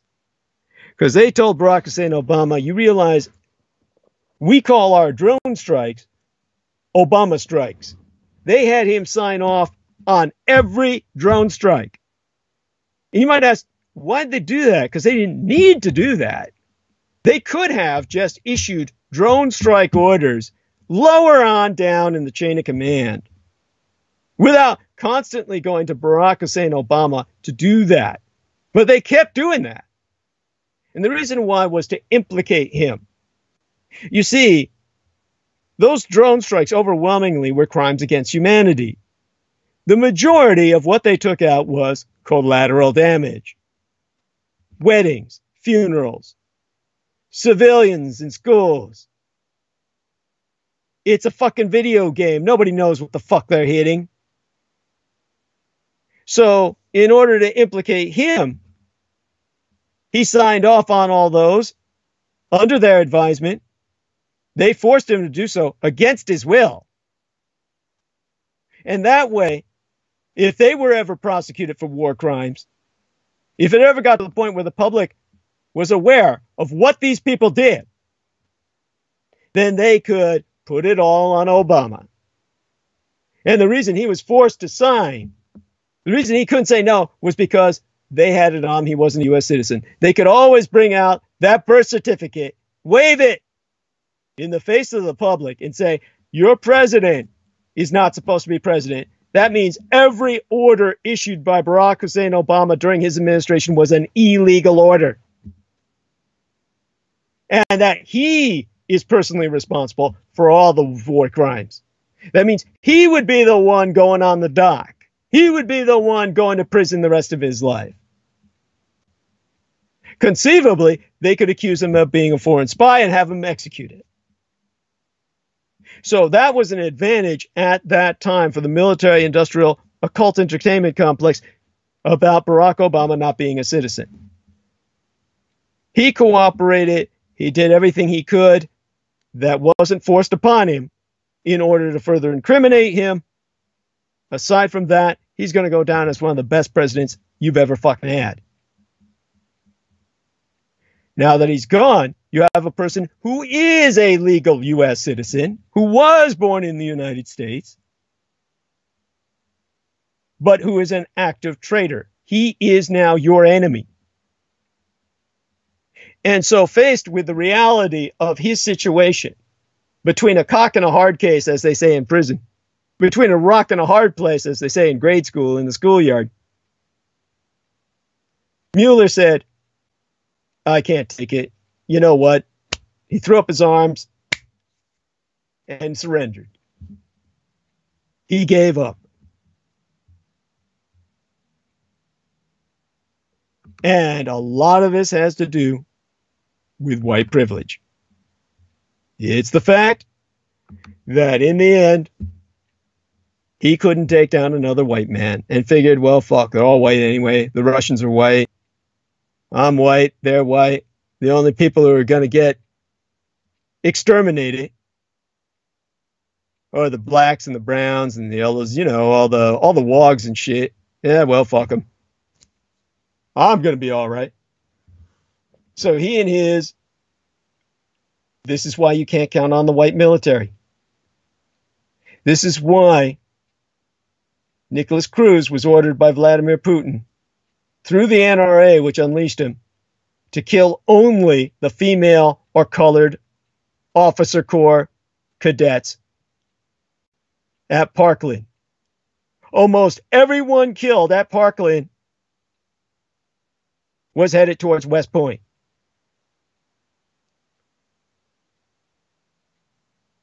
Leave only the white officers. Because when they confront the Russians on the field of battle, the Russians will just say, with a bullhorn, with radio, they'll come over their communication systems, they'll hijack the electronics of the Americans and say, whites don't kill whites. And the white officers will throw their arms down, order their men to surrender, because they know the whites will just become political hostages to be traded back to the United States. And they'll just take all the black and yellow and brown troops out and kill them. The white officers would gladly surrender that. They could sit back and watch while it's out of their hands. The black, brown, and yellow troops be taken out and shot by the Russians. The whites will get to go home. That's the stance taken on Battlefield America by Mueller. He's no American hero. He's now the enemy. And the ironic thing is, he couldn't win. He lost all respect for not exonerating Trump to the radical alt right, which now runs America. And all of them are shitting all over Mueller for what they call his chicken shit parting shot of not exonerating Trump completely, of leaving him in the Davy Cash zone. And so he is looked on with no respect by anybody. The coward dies a thousand deaths.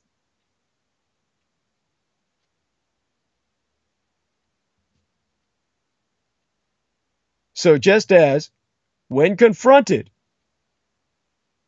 with the men who were going to overthrow Franklin Delano Roosevelt because he was a spy and a stooge for Joseph Stalin. They approached a Marine, Smedley Butler, who then made himself a faux hero by blowing the conspiracy to overthrow Franklin Delano Roosevelt, a communist enemy of these United States who led America into the most costly war in history, which it lost its ass in. And Smedley Butler made himself a hero based on a lie and a myth that's been perpetuated by the radical left. Smedley Butler, it must be remembered, is a hero of the communist left. Like so many Marines, like Evans Fordyce Carlson, the Marines are a left wing armed organization, a communist gun club.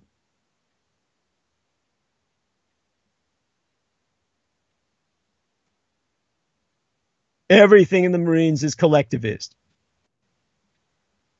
Share your jockey shorts. Share your sweaty socks. Everybody shares everything. Nothing capitalist or free market about that.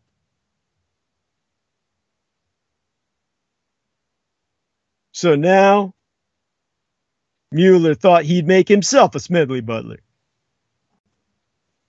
But he's just a shit stain on the skid row of history, a smear mark on the highway. Because instead of even preventing a coup d'etat, regime change, or overthrow, he's now simply a collaborator who's despised on all sides. There'll be no Smedley Butler story here. No myth created around him to make him look like he saved America. The right hates him, the left hates him, the center holds him in contempt. He's a pathetic wretch who faced the penultimate challenge. Okay, I know now this man is the enemy. I took an oath to kill the enemy.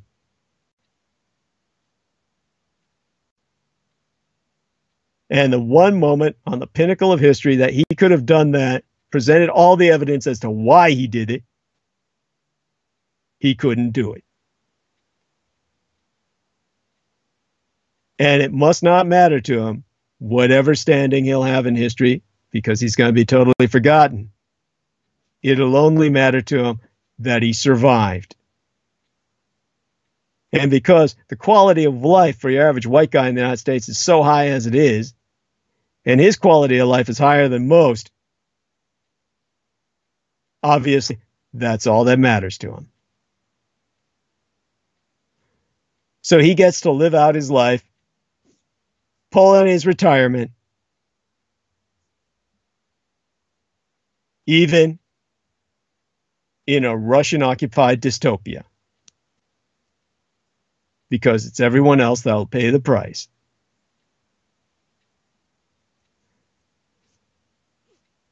So that's why he did what he did. So the context has now been provided. We are in state of war. You know who your enemy is. The end result is we continue fighting under rule of law. But do realize that now the laws will be deconstructed, dismantled, day after day, week after week. And within six more years of Trump presidency, America will not exist.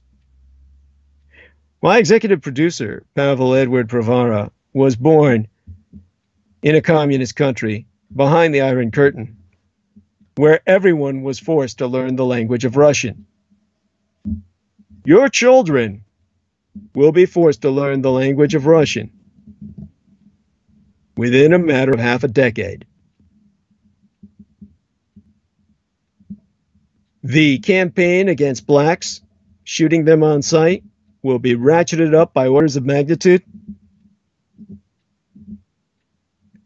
And this place will be made unlivable for the overwhelming majority of people, whether they're colored or white trash. Go live in Russia and you'll see that just because you're white doesn't mean shit. Everybody in Russia's right. Everybody's white. And everybody's has nothing except those with all the money. That's what'll happen here.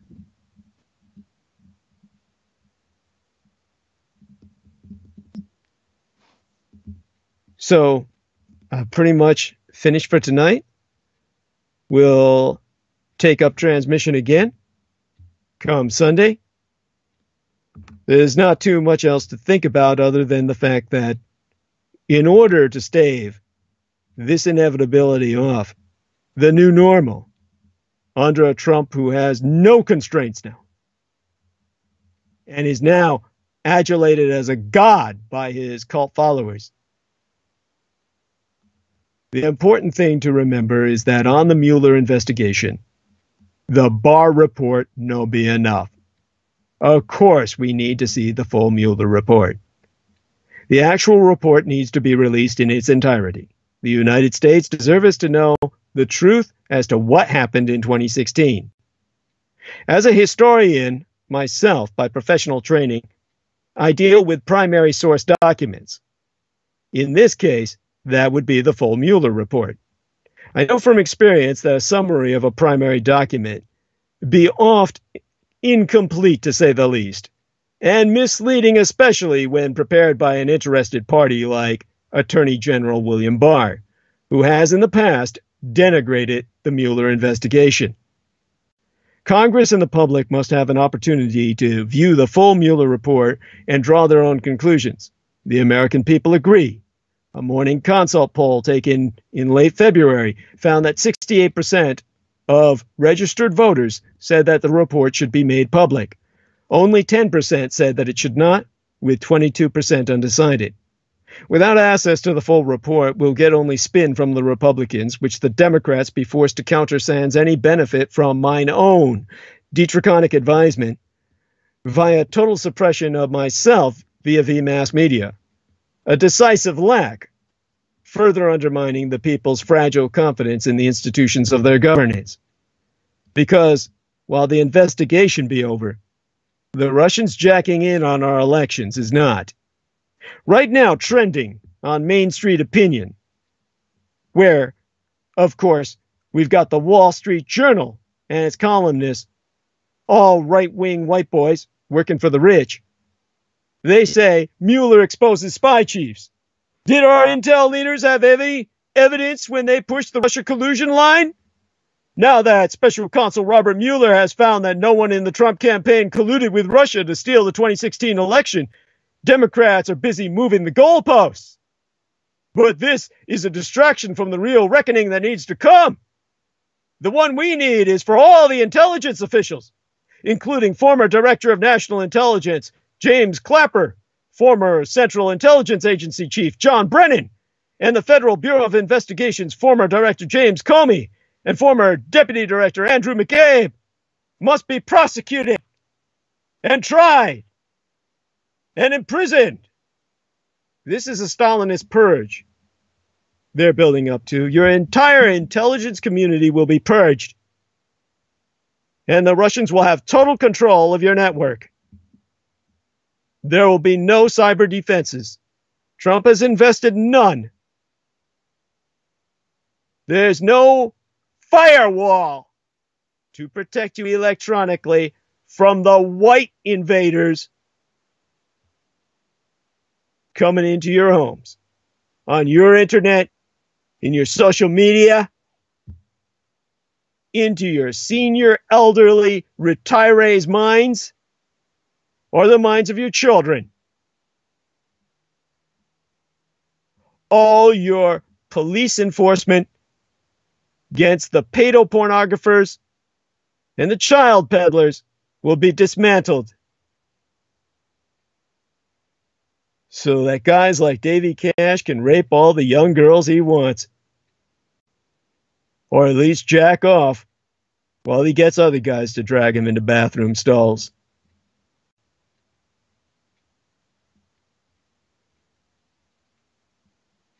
You stand by my side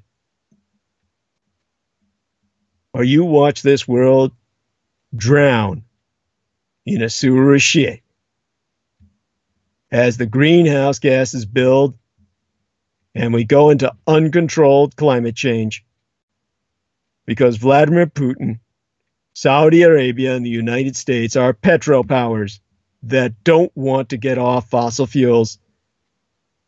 They don't care that the world ends. They want to be in charge while it ends so that no one else will inherit the world from them. Their version of eternity is one where history comes to an end with them. If there's no more history and no more tomorrow, that's their final vision of victory against God the Creator in their Antichrist alliance. This is the war between darkness and light, as easy to decide on, whether you act or not, as if you were there in Davy Cash's place.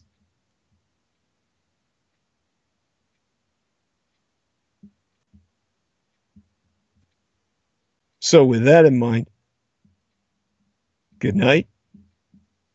Join us on Sunday. We'll try and address any number of issues I wish I could have addressed tonight but I had to contextualize exactly what the fuck happened. Make certain as many people hear this as you can.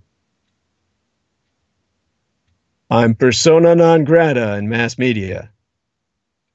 They dare not speak my name. All that will change historically. But right now, you can consider yourself part of the resistance. Blessed be thy night. Until Sunday.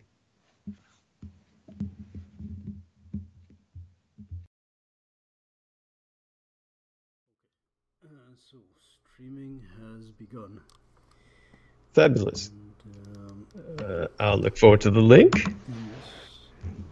Let's see.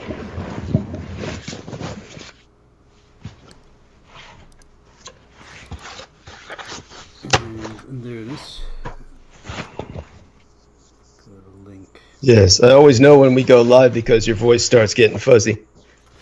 Yeah. All right, let me see if I can open this the- up here.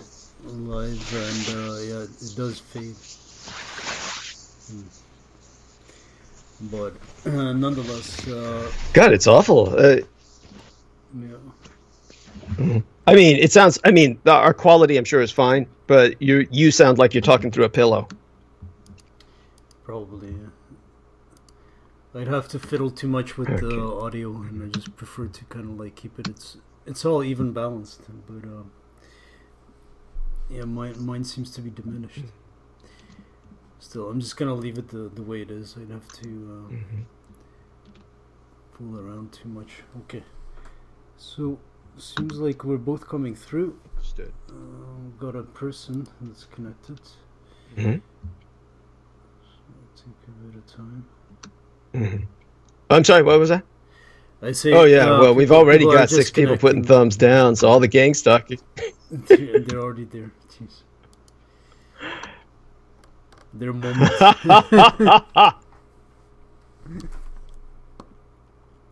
That's their moment of fame. Yes. yes. Their claim to fame. I their claim to. Uh, yes. Yes. Their entire life.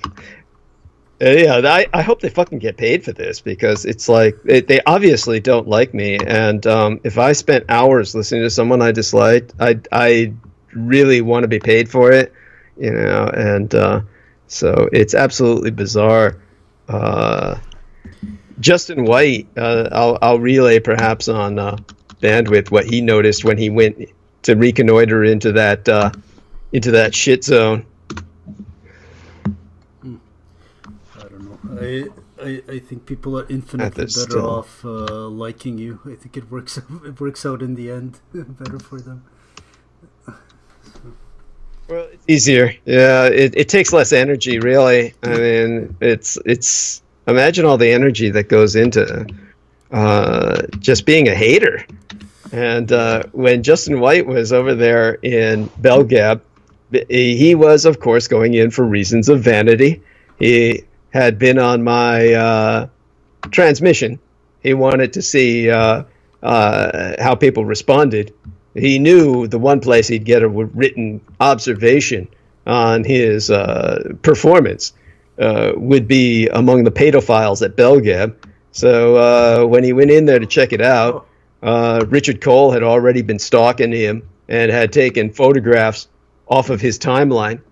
And he said, "Oh God, that's so creepy." He took photographs of myself off my timeline. And I says, "Well, you know, welcome to the world of micro celebrity status, right? You're going to have freaks with nothing else going on in their life uh, ripping off images of you from your timeline. It's not like timelines are personal space. People people feel as if it's like their home, uh, but it's it's a stage and it's open to the world.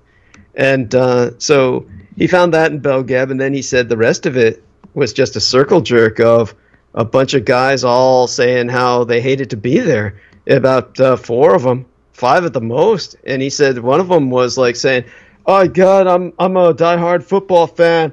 I I can't believe I'm missing the the the Super Bowl live to listen to Douglas Dietrich. I hate him." And I'm like. Why why would anyone who's a football fan skip live Super Bowl to listen to Douglas Dietrich. It's it's like you know if you're not paid for that, what what would be the motivation aside from something bordering on the sexual? It it it's uh, literally that they, they must all be gay and they must all have uh, a man crush on myself. Uh, that's that that that borders on the pathological. There's no other word for it.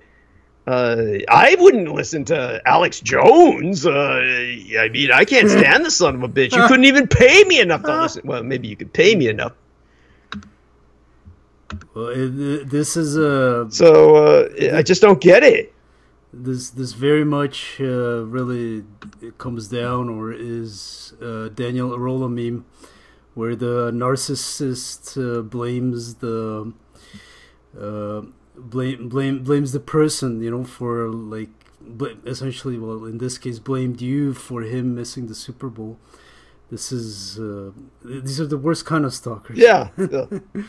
Yeah, total. It's a complete Daniel yeah. Arola meme. This is. they blame you. That's... Yeah, thank you. It, they blame the focus of their fixation. Yes, yeah. the, the the focus of their fixation is responsible for all their ills. That's the. Uh, like I no, missed nobody, the Super Bowl because of Douglas Dietrich. That's like, oh my fucking god. Nobody, nobody asked him to start yeah, stalking. There.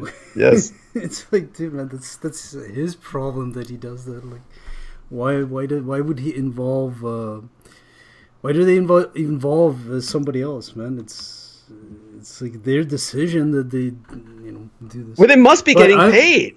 It, well, yeah, yeah, not, they, they do. If, yeah, if they're not, yeah, go. They're uh, they, they must be in the yeah. No, they're they're hooked in for other reasons. It's not. It, as you explained, I think that uh, uh, when you were explaining True. about the Condor program, that uh, that kind of yes. really opened it up, really got into as to how they kind of like get, I don't know, uh, th- uh, threaded in, you know, into the whole thing, like how they get su- suctioned in. They're leeches, so their personality as leeches kind of like really goes well where this kind of program is like set up for them to uh, leech more. You know, it's it's something they're good at. Suddenly, somebody makes them feel good about it.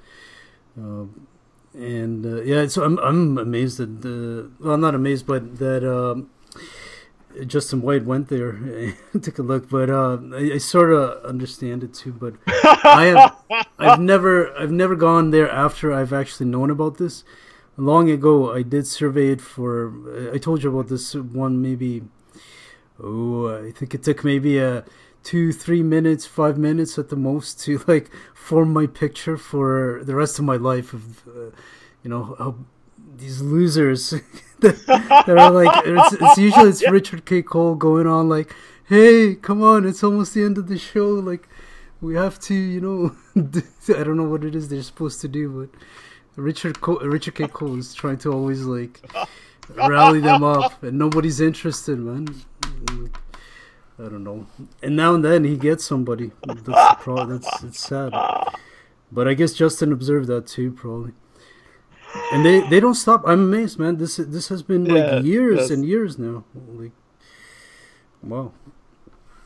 Yes. So, life of a stalker. There you go. Yeah, you're absolutely right. Internet stalker. It's actually you uncovered quite the yes, phenomenon here. Uh, uh, um, I, I, did learn a lot about uh, how these, you know, like it goes down to the root of it. I, I like how you, you sort of managed to get down to the root where we're essentially talking about the, you know, it gives us an insight into the whole uh, what alt. It started with the alt right, but really it turned out to be more of an alt white. Yeah. And uh, then the whole white supremacists and stuff, and it kind of became a off white, yeah, yeah. a whole um, sort of you see that it it was really just a front on the internet. It's but it's see if you unmask if if the sort of unmasking happens. I don't know. It seems it seems to be that. I, but uh, it's all it's it's all pretty new to me as far as uh, uh, the old white alt right is as far as the internet. But from some of the documentaries I've seen, this this goes, this, and from what you've described, this goes way back anyway. Uh, you know, starting with uh, various uh, infiltration of movements. Uh, if, right from 60s 70s 70s and on i would say so uh, yeah, but you cover yeah. you cover the internet uh, side of it so well, Douglas. Um, and uh, managed to get uh, you know from uh, all from the various uh, aspects of it you get it but it's the it's this experience with these stalkers you understand the the stake that the internet plays in it and uh, you understand how these people quote unquote express themselves on the internet and uh, where it goes many have really traced it so that's uh, yeah. So I can see why Justin White actually kind of like goes and follows up on uh, what you describe, and uh, people like George Knight uh, and Daniel Arola, and um, they they sort of go and actually investigate and find exactly what you were saying, exactly what you were t- talking about.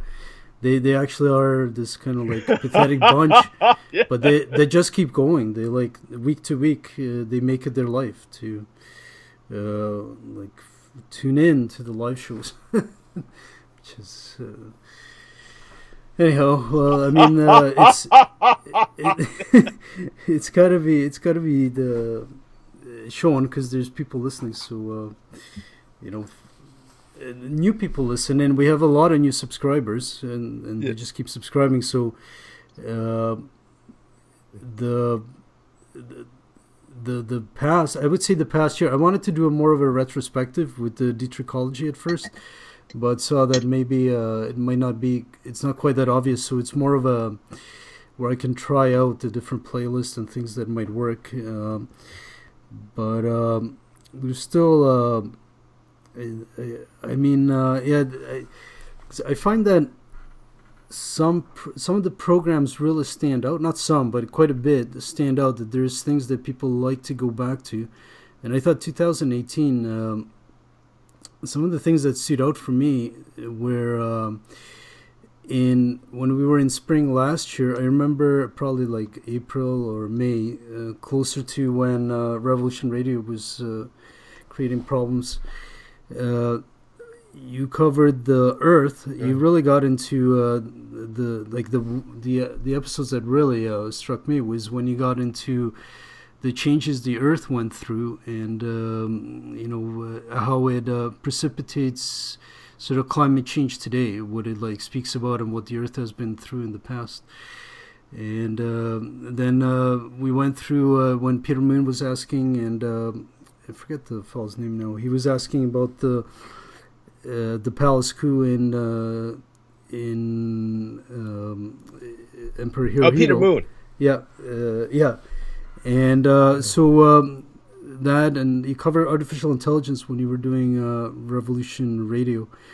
So I mean, it it kind of like it it does uh, warrant a, a retrospective almost because there were it, it does the narrative does seem to you know go through these key key sets that set up. The other one I would think of, which you really started to I think get into when you started doing live streaming on YouTube, was uh, um, the where you covered, and I noticed it uh, started coming out in major uh, articles and papers like the Guardian covered it. Was what you covered where the natives in Brazil uh, essentially formed the Amazon, all the um, you know, through various brush fires and uh, forming of the land, that it was in fact uh, formed by Native Americans. I thought this was something to really tune into as as a major like takeaway from the past. I'm talking about 2018 here now, from the past year. Uh, that really set up much of what you're covering now and what, what we're getting into. You know, uh, I never succeeded in making that into like some retrospective. I don't know how to. I've never gone about that actually, so I didn't hmm. quite. I started off, and uh, all I managed to do was uh, put uh, all the years into uh, their own separate playlists, and uh, that's that's on your on the YouTube site as well. but I realize it's quite long. Like usually we have almost hundred, you know, around hundred transmissions per year. So uh, it's quite right. a bit to cover. Uh, so I was trying to figure out how to break it down a bit more, and um, not not quite sure uh, how to do it. Um, that I have uh, well, t- there's two ideas that from like a different side, but I mean the actual year uh, at a hundred episodes, it's still a lot I think for people to tackle. Uh, so I mentioned these kind of highlights, I would say, or not not just highlights, but things that set up the narrative that that's being covered now. And since it's gotten more intense, since we've had a, a more time to cover things, and as you uh, told me, we're gonna go into uh, quite the narrative tonight. Uh, there's quite a bit more to cover. Uh, that there that there have been through the past year some several uh, major sort of points that I think are worthwhile going back to. Uh, as well as I do want to do one thing, and that's to cover. I've been making uh, kind of these like bookmarks on the various interviews that you did in the past. Oh, and, um, I think probably ten years now.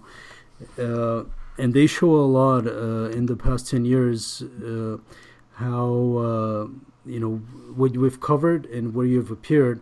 And they also show the number of hits that uh, these youtube channels get that have had your videos. Uh, you know i've found several uh, that i didn't even know. So i've been going through that in the past few weeks and i'll try and compile that into a list and post it to the youtube front of the youtube site. And that can go along with uh, what uh, the Maggot Mans has been posting from uh, now 2015. And um, so I'll add that in the future to the 2015 yeah. list. And, uh, you know, so people have a chance to really uh, uh, get into the material that you've been presenting for several years now. Okay, well, we're getting mm-hmm. close to the yes.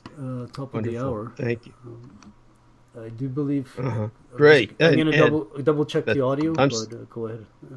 Yes, and uh, Sarah Shields says she can hear us. We're coming in clear, and um, I'm certain everyone else can hear us as well.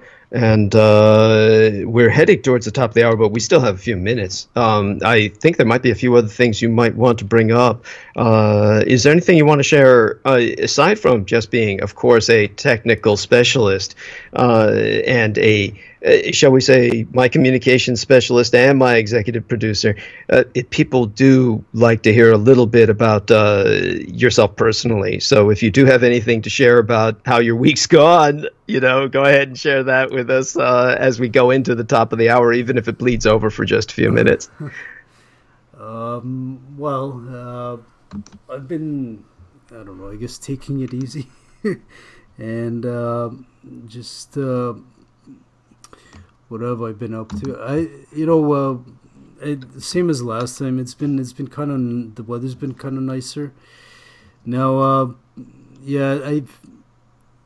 Hmm, what have I been? Yeah, I've I've managed to get my second workstation up and uh, kind of hooked into the monitor, so I'm pleased with that. And um, otherwise, just kind of like enjoying the warm weather. Uh, go out a bit more and uh, Mm, yeah, mm, just just uh, that's how it is in Canada. When the when the winter kind of starts to thaw, and uh, you know uh, the whole uh, inspiration for life sort of starts to come through again. so I'm getting uh, new ideas. Uh, Wonderful. Thinking about what what I can do with the stuff I've been putting together and um, things like that. So yeah. Mm-hmm nothing, nothing, yeah. What? No, nothing else to report, really.